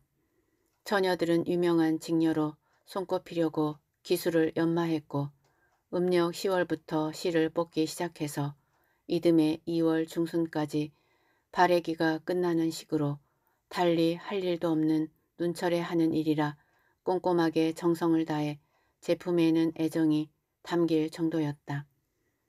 시마무라가 입는 지짐이 중에는 메이지 초부터 에도 말기의 처녀들이 짠 것이 있을지 몰랐다. 자기의 지짐이를 시마무라는 지금도 눈 바래기를 한다. 누가 입던 것인지도 모를 헌옷을 해마다 산지로 발해러 보낸다는 것은 귀찮은 일이었지만 옛 처녀들이 눈에 묻혀 쏟은 정성을 생각하면 역시 그 짠 사람의 고장에서 진짜로 바래는 것이 좋을 것 같아서였다. 깊은 눈 위에 바랜 백마에 아침 해가 비쳐 눈과 천이 붉게 물드는 모습만 상상해도 여름 때가 빠질 것 같았고 자신의 몸을 바래는 것 같아 기분이 좋았다. 하기야 도쿄의 헌옷 가게에서 맡아주는 것이니까 옛날대로의 방법이 지금도 전해지고 있는지는 시마무라로서도 알 길이 없었다. 바래기 전문집은 옛날부터 있었다. 짜는 사람이 각기 자기 집에서 바래는 일은 드물었고 대개는 바래기 전문집에 맡겼다. 흰 지짐이는 짜고 나서 바래고 색 지짐이는 실을 얼개에 감아서 바랜다. 음력 정월부터 2월에 걸쳐 바래기 때문에 논밭을 덮은 눈의를 바래는 장소로 하는 경우도 있다고 한다. 천이나 실은 밤새껏 잿물에 담갔다가 다음날 아침 몇 번이나 물에 헹구고는 꼭 짜서 바랜다. 이것을 며칠이고 계속한다. 그리고 흰 지짐이를 마침내 마지막 바래려고 할 때 아침 해가 붉게 타오르는 풍경은 비할 바 없는 장관이다. 난국 사람에게 보이고 싶다고 옛 사람도 쓰고 있다. 또 지짐이 바래기가 끝난다는 것은 설국의 봄이 가까웠음을 말해주는 것일 것이다. 지짐이의 산지는 이 온천장에서 가깝다. 산골짜기가 조금 펼쳐지는 강 하류의 들판인데 시마무라의 방에서도 보일 것 같았다. 옛날에 지지미의 장이 열렸었다는 거리에는 모두 기차역이 생겨서 지금도 직물산지로 알려져 있다. 그러나 시마무라는 지지미를 입는 한 여름에도 지지미를 짜는 한 겨울에도 이 온천장에 온 일이 없으므로 고마코와 지지미 얘기를 할 기회는 없었다. 옛 미니의 자취를 더듬어 보는 성품도 아니었다. 그러나 요코가 탕 속에서 부르던 노래를 듣고 이 처녀도 옛날에 태어났었더라면 물레 앞이나 배틀에 앉아 저렇게 노래했을지도 모르겠다고 문득 생각했다. 요코의 노래는 정말 그런 노래였다. 터럭보다 잔 삼실은 천연의 눈의 습기가 아니면 다루기가 힘들고 한냉한 계절이 좋다면서 추울 때 찐 삼배를 한여름에 입어서 시원한 것은 음양의 자연스러운 이치라고 옛 사람들은 말했다. 시마무라에게 매달려오는 고마코에게도 뭔가 근본적으로 서늘함이 있는 듯했다. 그 때문에 더욱 코마코의 더운 체온이 시마무라에게는 안쓰러웠다.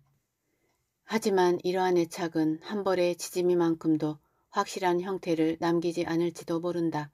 입는 천은 공예품 중에서 수명이 짧은 것이라 해도 소중히 다루면 50년보다 더 오래 지짐이가 바래지 않은 채 입을 수 있는데 이에 비해 인간의 정은 지짐이만큼의 수명도 없다. 멍하니 생각하니 다른 남자의 아이를 낳아 어머니가 된 코마코의 모습이 문득 떠오르기도 해서 시마무라는 화들짝 주위를 둘러보곤 했다. 피곤해서 그러는 듯 했다. 처자가 있는 집으로 돌아갈 것조차 잊은 듯한 오랜 체류였다. 떨어질 수 없는 것도 헤어질 수 없는 것도 아니었지만 코마코가 가끔 만나러 오는 버릇이 생겨 있었다. 그리고 코마코가 절박하게 다가들면 들수록 시마무라는 자기가 살아있지 않은 듯한 가책이 쌓였다. 소위 자기의 엄격함을 보면서 그저 가만히 서성거리고만 있는 것이었다. 코마코가 자기에게 빠져 들어오는 것이 시마무라로서는 알 수 없는 일이었다.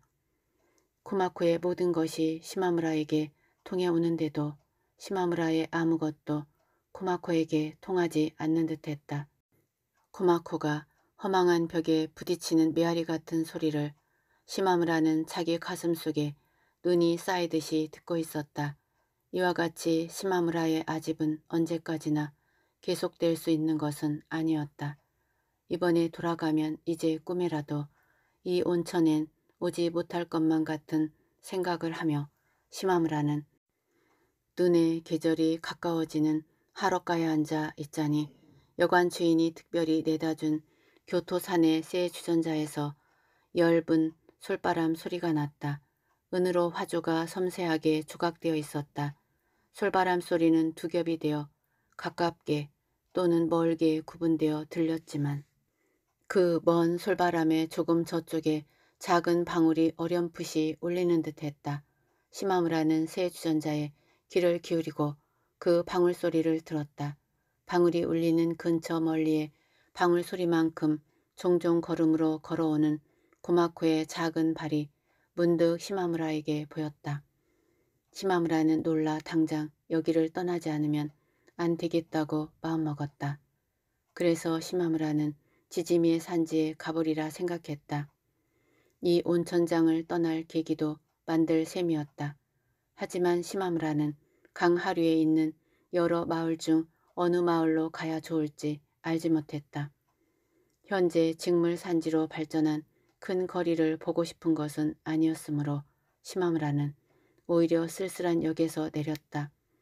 잠시 걸으니 여름의 여관 골목인 듯한 거리로 나섰다. 집들의 차양들을 길게 뽑아서 그 끝을 받치는 기둥이 길가에 늘어서 있었다. 예도의 거리에서 다나시다라고 불리던 것과 비슷한데 이 나라에서는 옛날부터 감기라고 말해온 듯 눈이 많이 내릴 때 통로가 되는 모양이었다. 한쪽은 차양을 나란히 하여 이런 차양이 계속되고 있었다. 옆집에서 옆집으로 연결되어 있으므로 지붕에 두는 길 가운데로 내릴 수밖에 없다. 실제로는 큰 지붕에서 길에 둔 둔덕 위로 던져 올리는 것이었다. 길 저쪽으로 건너가자면 눈 둔덕 곳곳에 터널을 만든다. 태내길이라고 이 지방 사람들은 말하는 모양이었다.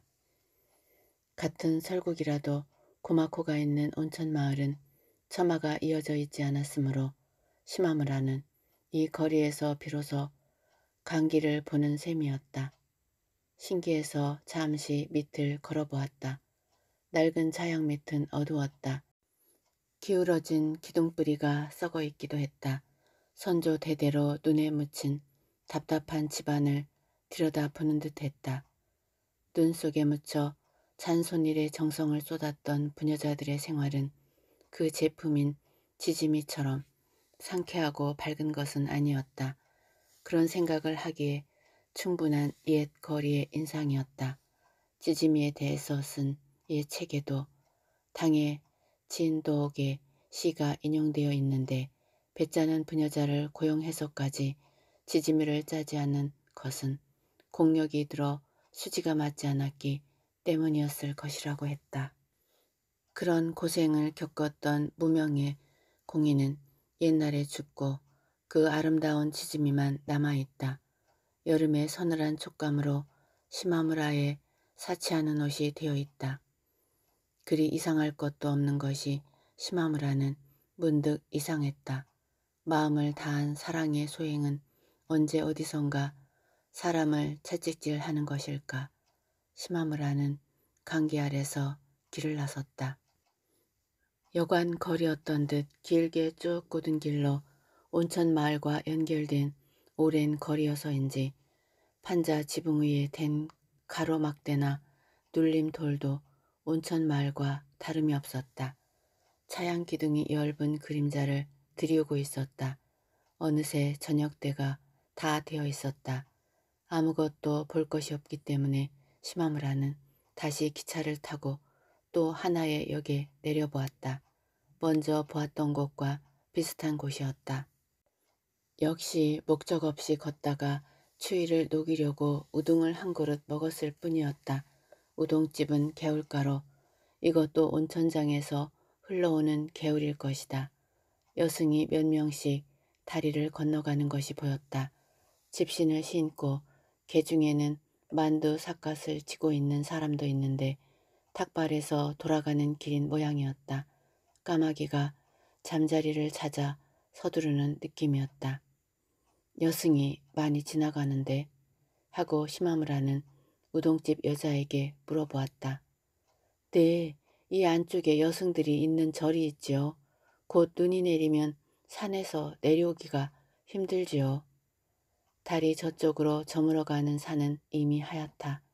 이 고장에서는 나뭇잎이 떨어지고 바람이 차가워질 무렵 싸늘하게 흐린 날씨가 계속된다. 눈을 재촉하는 것이다. 원근의 높은 산이 하얗게 된다. 이것을 산돌림이라고 한다. 또 바다가 있는 곳에서는 바다가 울고 깊은 산에서는 산이 운다. 먼 내성 같다. 이것을 몸통 울림이라고 한다. 산돌림 보고 몸통 울림을 들으면 눈이 멀지 않았음을 알 수 있다. 이의 책에 이렇게 쓰여 있었던 것을 시마무라는 생각했다. 시마무라가 아침 잠자리에서 단풍 구경 온 손님의 우다이를 들은 날에 첫눈은 내렸다. 금년에도 이미 바다와 산은 운 것일까. 시마무라는 혼자 애로운 온천에서 고마코를 만나다 보니 청각이 묘하게 날카로워졌는지 바다나 산이 우는 소리를 생각만 해도 그 먼 울림이 귓속 깊은 곳을 지나는 듯 했다. 여성들도 이제부터 동면이겠군. 몇이나 있나요? 글쎄요, 많겠죠? 여성들만 모여서 몇 달이나 눈 속에서 몰하며 지낼까. 옛날에 이 지방에서 짰던 지짐이라도 절에서 짜는 게 어떨까. 후사가인 시마무라의 말에 우동집 여자는 배시시 웃을 뿐이었다. 시마무라는 역에서 기차를 두 시간 가까이나 기다렸다. 엷은 해가 지고부터는 한기가 별을 갈듯이 쌀쌀했다. 발이 시렸다. 뭘 하러 갔었는지 알지 못한 채 시마무라는 온천장으로 왔다. 차가 언제나처럼 건널목을 지나 신사의 삼나무숲 옆에까지 오자 눈앞이 불을 밝힌 집이 한 채 있어서 시마무라는 마음이 놓였다. 그것은 요리집 기쿠무라로 문간의 기생들이 서너 명 서서 잡담을 하고 있었다. 코마코도 있구나 하고 생각할 틈도 없이 코마코만이 보였다. 자동차의 속력이 갑자기 떨어졌다. 시마무라와 코마코의 사이를 이미 알고 있는 운전사는 자연히 천천히 몰았던 모양이다. 문득 시마무라는 코마코와는 반대 방향인 뒤쪽을 돌아보았다. 타고 온 자동차의 바퀴 자국이 눈 위에 또렷하게 남아있고 별빛 속에서 뜻밖에도 멀리까지 보였다. 차가 코마코의 앞까지 왔다. 코마코는 문득 눈을 감았다고 생각하자 훌쩍 차로 뛰어올랐다. 차는 멈추지 않고 그대로 조용히 비탈을 올라갔다. 코마코는 문 밖의 벌판에 몸을 웅크리고 손잡이를 꼭 잡고 있었다. 뛰어들어 착 달라붙는 듯한 기세이면서도 시마무라는 포근한 무엇이 다가드는 듯해서 코마코의 행위에서 부자연스러움도 위험도 느끼지 않았다. 코마코는 문을 끌어안듯이 한 팔을 올렸다. 소매 끝이 말려 긴 속옷의 빛깔이 두꺼운 유리 너머로 쏟아지고 추위로 굳어진 시마무라의 눈시울에 스몄다. 코마코는 유리창에 이마를 밀어붙이면서 어딜 갔었어? 음, 어딜 갔었어? 하고 큰 목소리로 말했다.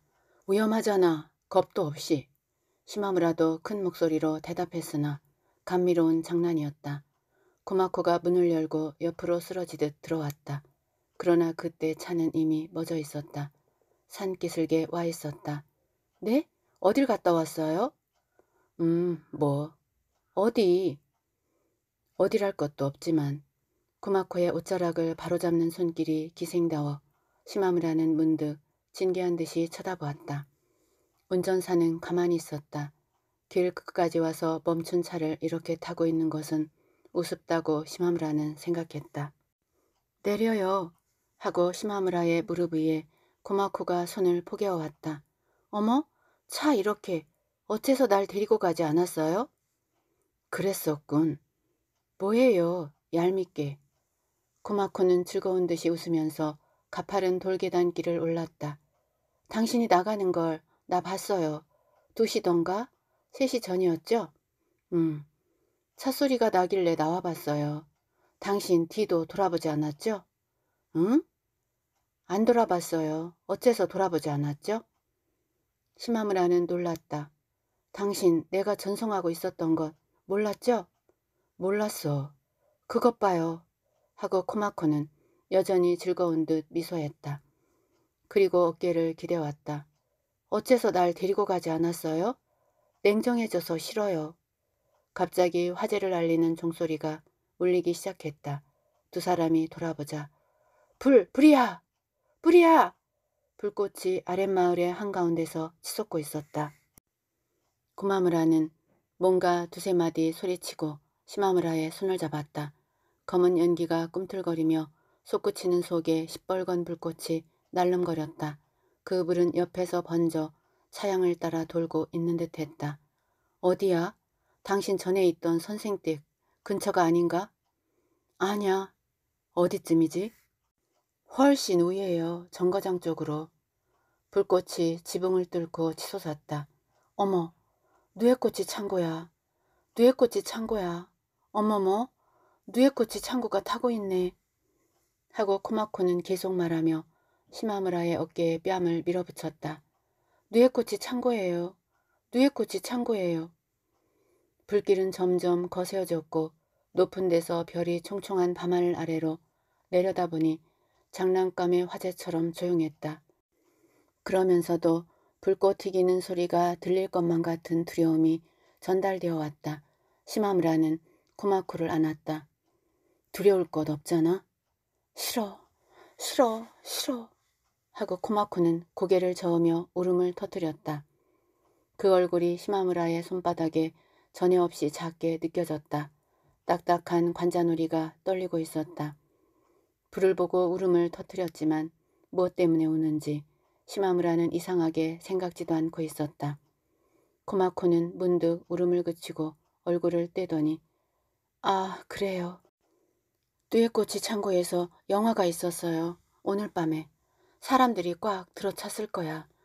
당신 그거 큰일이군. 부상자가 생길 거예요. 다 죽을 거예요. 두 사람은 황급히 돌계단을 뛰어 올라갔다. 위쪽에서 떠드는 소리가 들리기 때문이었다.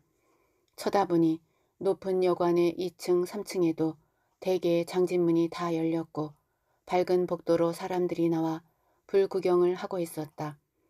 뜰 한쪽에 늘어선 국화의 마른 줄기가 여관 불빛인지 별빛인지를 받아 윤곽을 드러내고 문득 불이 옮겨 붙은 듯이 느껴졌다.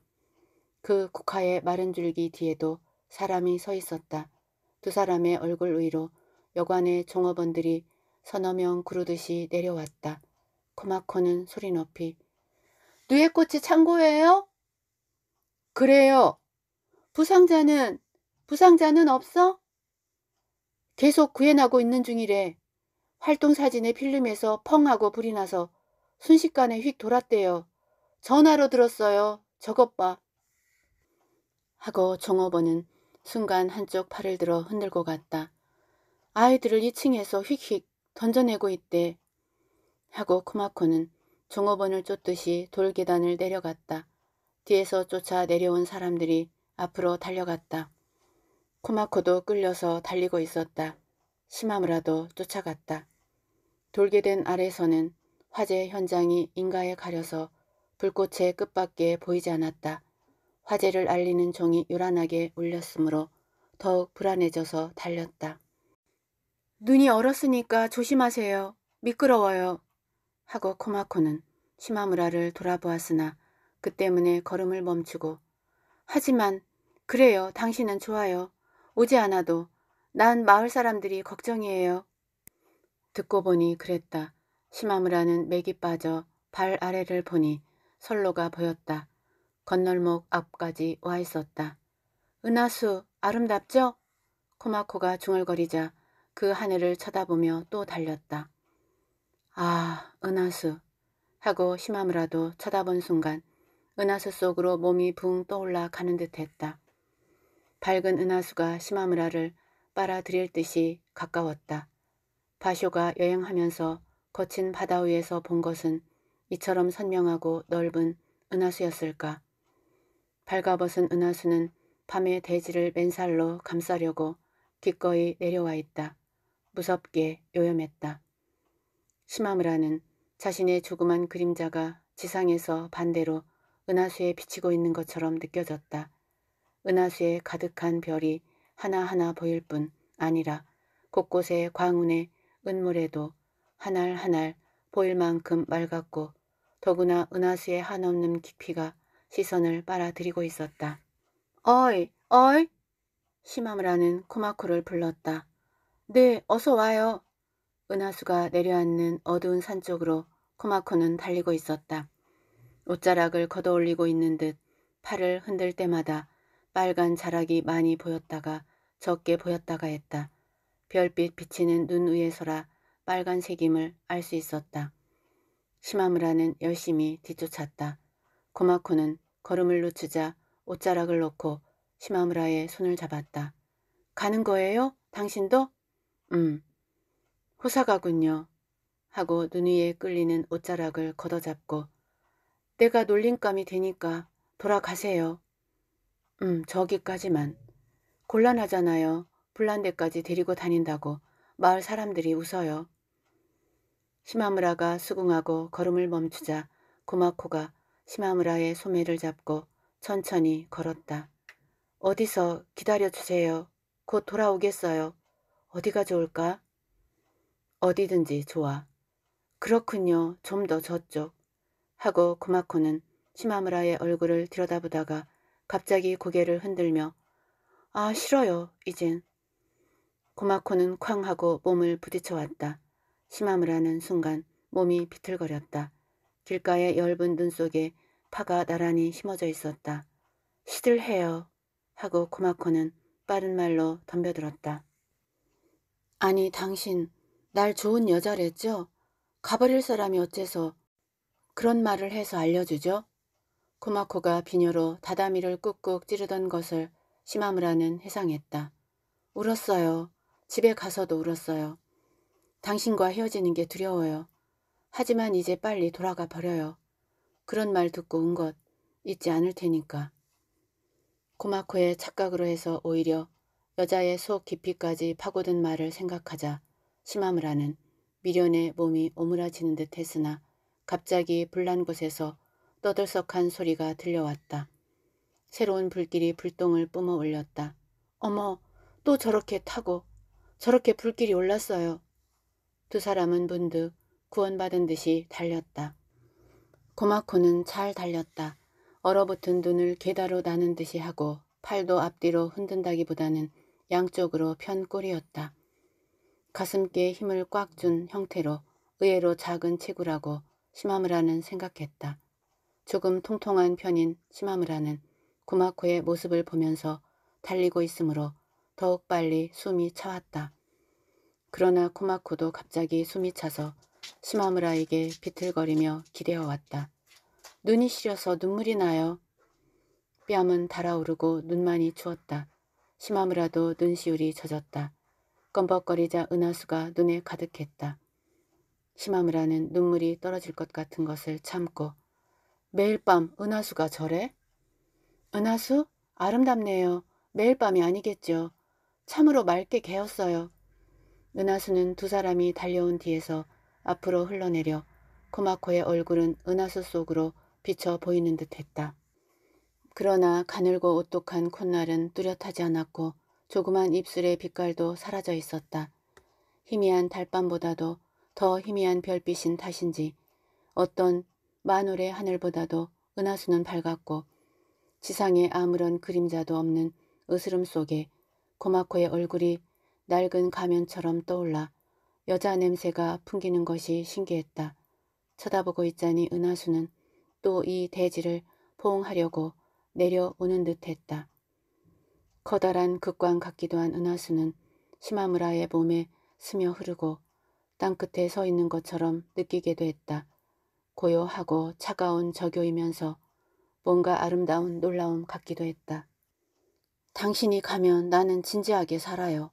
하고 코마코는 말하며 걸음을 옮기자 느슨해진 머리에 손을 가져갔다. 대여섯 걸음 가서 돌아보았다. 왜 그래요? 싫어요. 시마무라는 선체로 있었다. 그래요. 기다려요. 네? 나중에 같이 여관으로 가요. 코마코는 왼손을 살짝 들어보이고는 달려갔다. 뒷모습이 어두운 산속으로 빨려 들어가는 듯했다. 은하수는 그 산봉우리의 선으로 잘리는 데서 넓어지고 또 반대로 거기서부터 굉장한 넓이로 하늘에 펼쳐지는 듯 했으므로 산은 더욱 어둡게 가라앉아 있었다.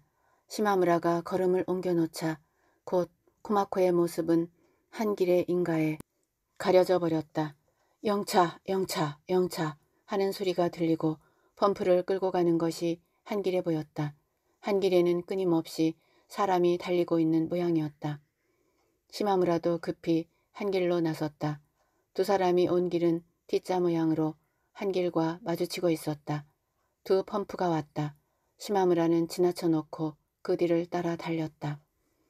고식인 수동식 나무 펌프였다. 긴 밧줄을 앞에서 끄는 사람들 외에 펌프 주위에도 소방대원들이 둘러싸고 있었다. 그것이 우술 만큼 펌프는 작아 보였다. 그 펌프를 고마코도 길가에 비켜서서 지나쳐 보내고 있었다. 시마무라를 발견하고 같이 달렸다. 펌프를 피해서 길가에 섰던 사람들이 펌프에 빨려가듯이 뒤를 쫓았다. 이제는 두 사람도 화재 현장으로 달려가는 인파에 일원에 불과했다. 오셨어요? 호기심 때문에. 음, 한심한 펌프군. 메이지 이전 거야. 그래요. 넘어지지 마세요. 미끄럽군. 네, 이제부터는 눈보라가 밤새도록 휘날릴 때 당신 한번 와보세요. 못 오겠죠? 꽁이나 토끼가 인가로 기어 들어와요. 이런 말들을 고마코가 했다. 그 목소리는 소방관들의 영차 소리와 발소리를 따라 밝게 들떠 있었다. 시마무라도 몸이 가벼웠다. 불꽃 소리가 들렸다. 눈앞에 불길이 솟았다. 고마코는 시마무라의 팔꿈치를 잡았다. 한 길에 낮고 검은 지붕이 불빛에 훤히 숨쉬듯이 떠오르고 또 쓰러졌다. 발밑 길바닥에 펌프물이 흘러왔다. 시마무라도 고마코도 사람의 벽에 막혀 자연이 멈춰섰다. 그 흐름 냄새에 고치 삶는 냄새가 섞여 있었다. 영화의 필름에서 불이 났다느니 영화 보던 아이들은 2층에서 휙휙 던졌다느니 부상자는 없었다느니 지금은 마을에 고치도 쌀도 들어있지 않아 다행이라느니 사람들은 여기저기서 비슷한 말들을 소리 높이 짓거려댔다. 그러나 화재 앞에서는 모두 무언인 듯 원근의 중심이 빠진 듯한 일종의 고요가 화재 현장을 지배하고 있었다. 불이 타는 소리와 펌프 소리를 듣고 있다는 시기였다. 가끔 뒤늦게 달려온 마을 사람이 있어서 가족들의 이름을 불러댄다. 대답하는 사람이 있고 기쁘게 애쳐댄다. 그러한 목소리만이 생생하게 오갔다. 화재를 알리는 종도 이젠 울리지 않았다. 남의 이목을 생각해서 심함을 하는 고마코 곁을 살짝 떨어져서 한때 아이들 뒤에 섰다. 불의 열기로 아이들은 뒷걸음을 쳤다. 발밑에 눈도 조금 녹는 듯 했다. 몰려선 사람들 앞에 두는 불과 물 때문에 녹아내려 어지러운 발자국으로 질척했다. 그곳은 누에꽃이 창고 옆에 파신 듯 시마무라와 함께 달려온 사람들은 대부분 그곳으로 들어섰다. 불은 영사기를 설치한 입구 쪽에서 난 듯 누에꽃이 창고의 반쯤은 이미 벽도 지붕도 타버려서 기둥과 대들보 등에 뼈대만이 엉성하게 서 있었다.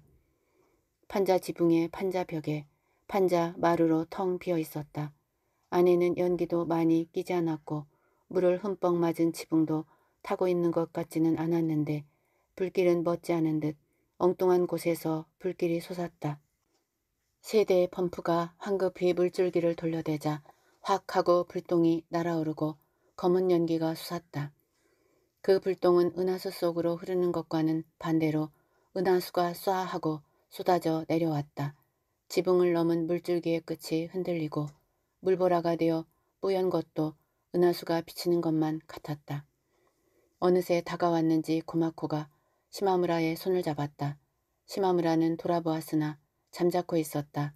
고마코는 불 쪽을 본 채 조금 상기된 진지한 표정 위에 불꽃의 호흡이 흔들리고 있었다. 시마무라의 가슴에 격한 무엇이 솟아왔다.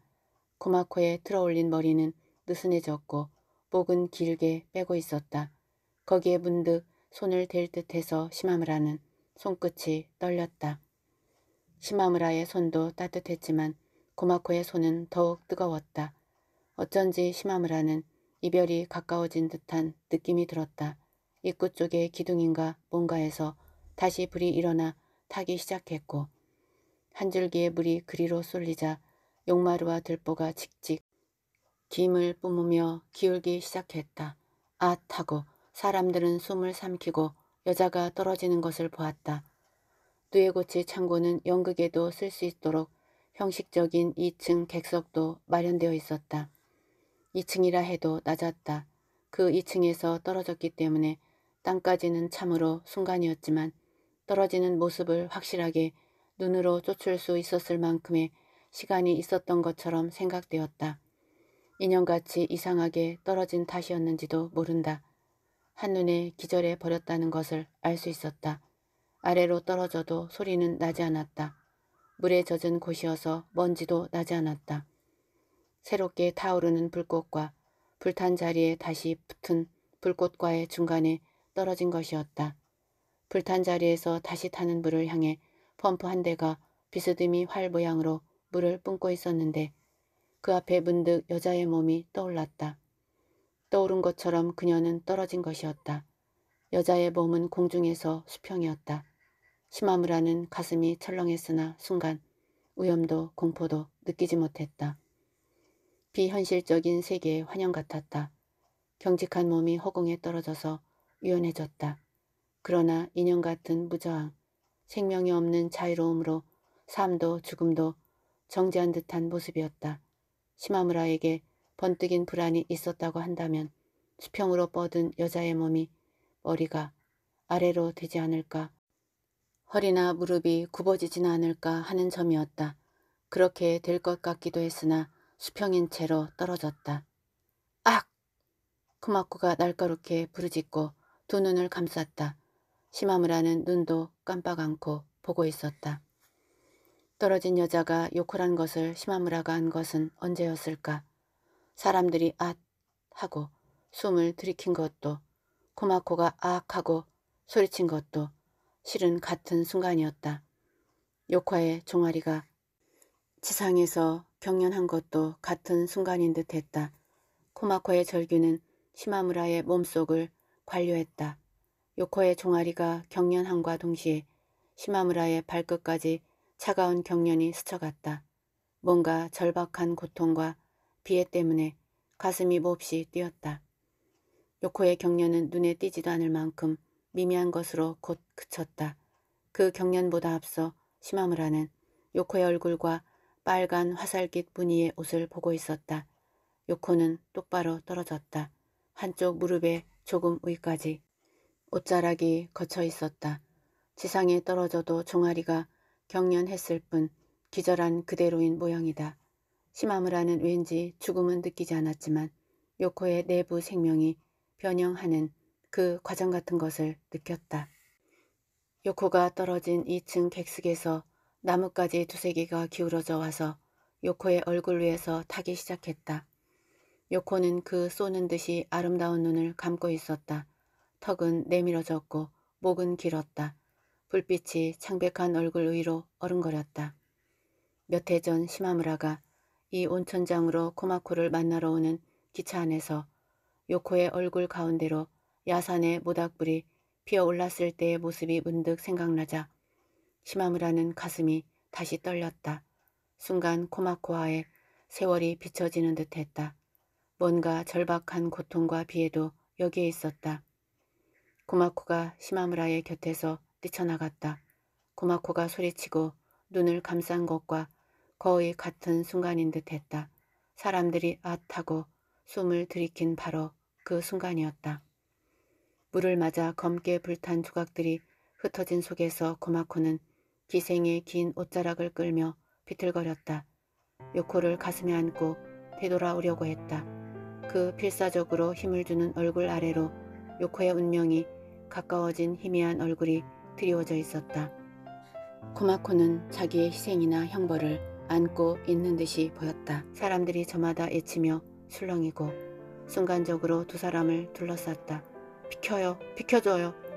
코마코의 부르짖음이 시마무르에게 들렸다. 얘가 미쳐요, 미쳐요. 그렇게 미치광이 같은 목소리에 코마코에게로 다가가려던 시마무라는 요코를 코마코로부터 받아 안으려는 남자들에게 밀려 비틀거렸다. 몸을 가누고 시선을 든 순간 쏴 하는 은하수가 시마무라의 가슴 속으로 쏟아져 내리는 듯 했다.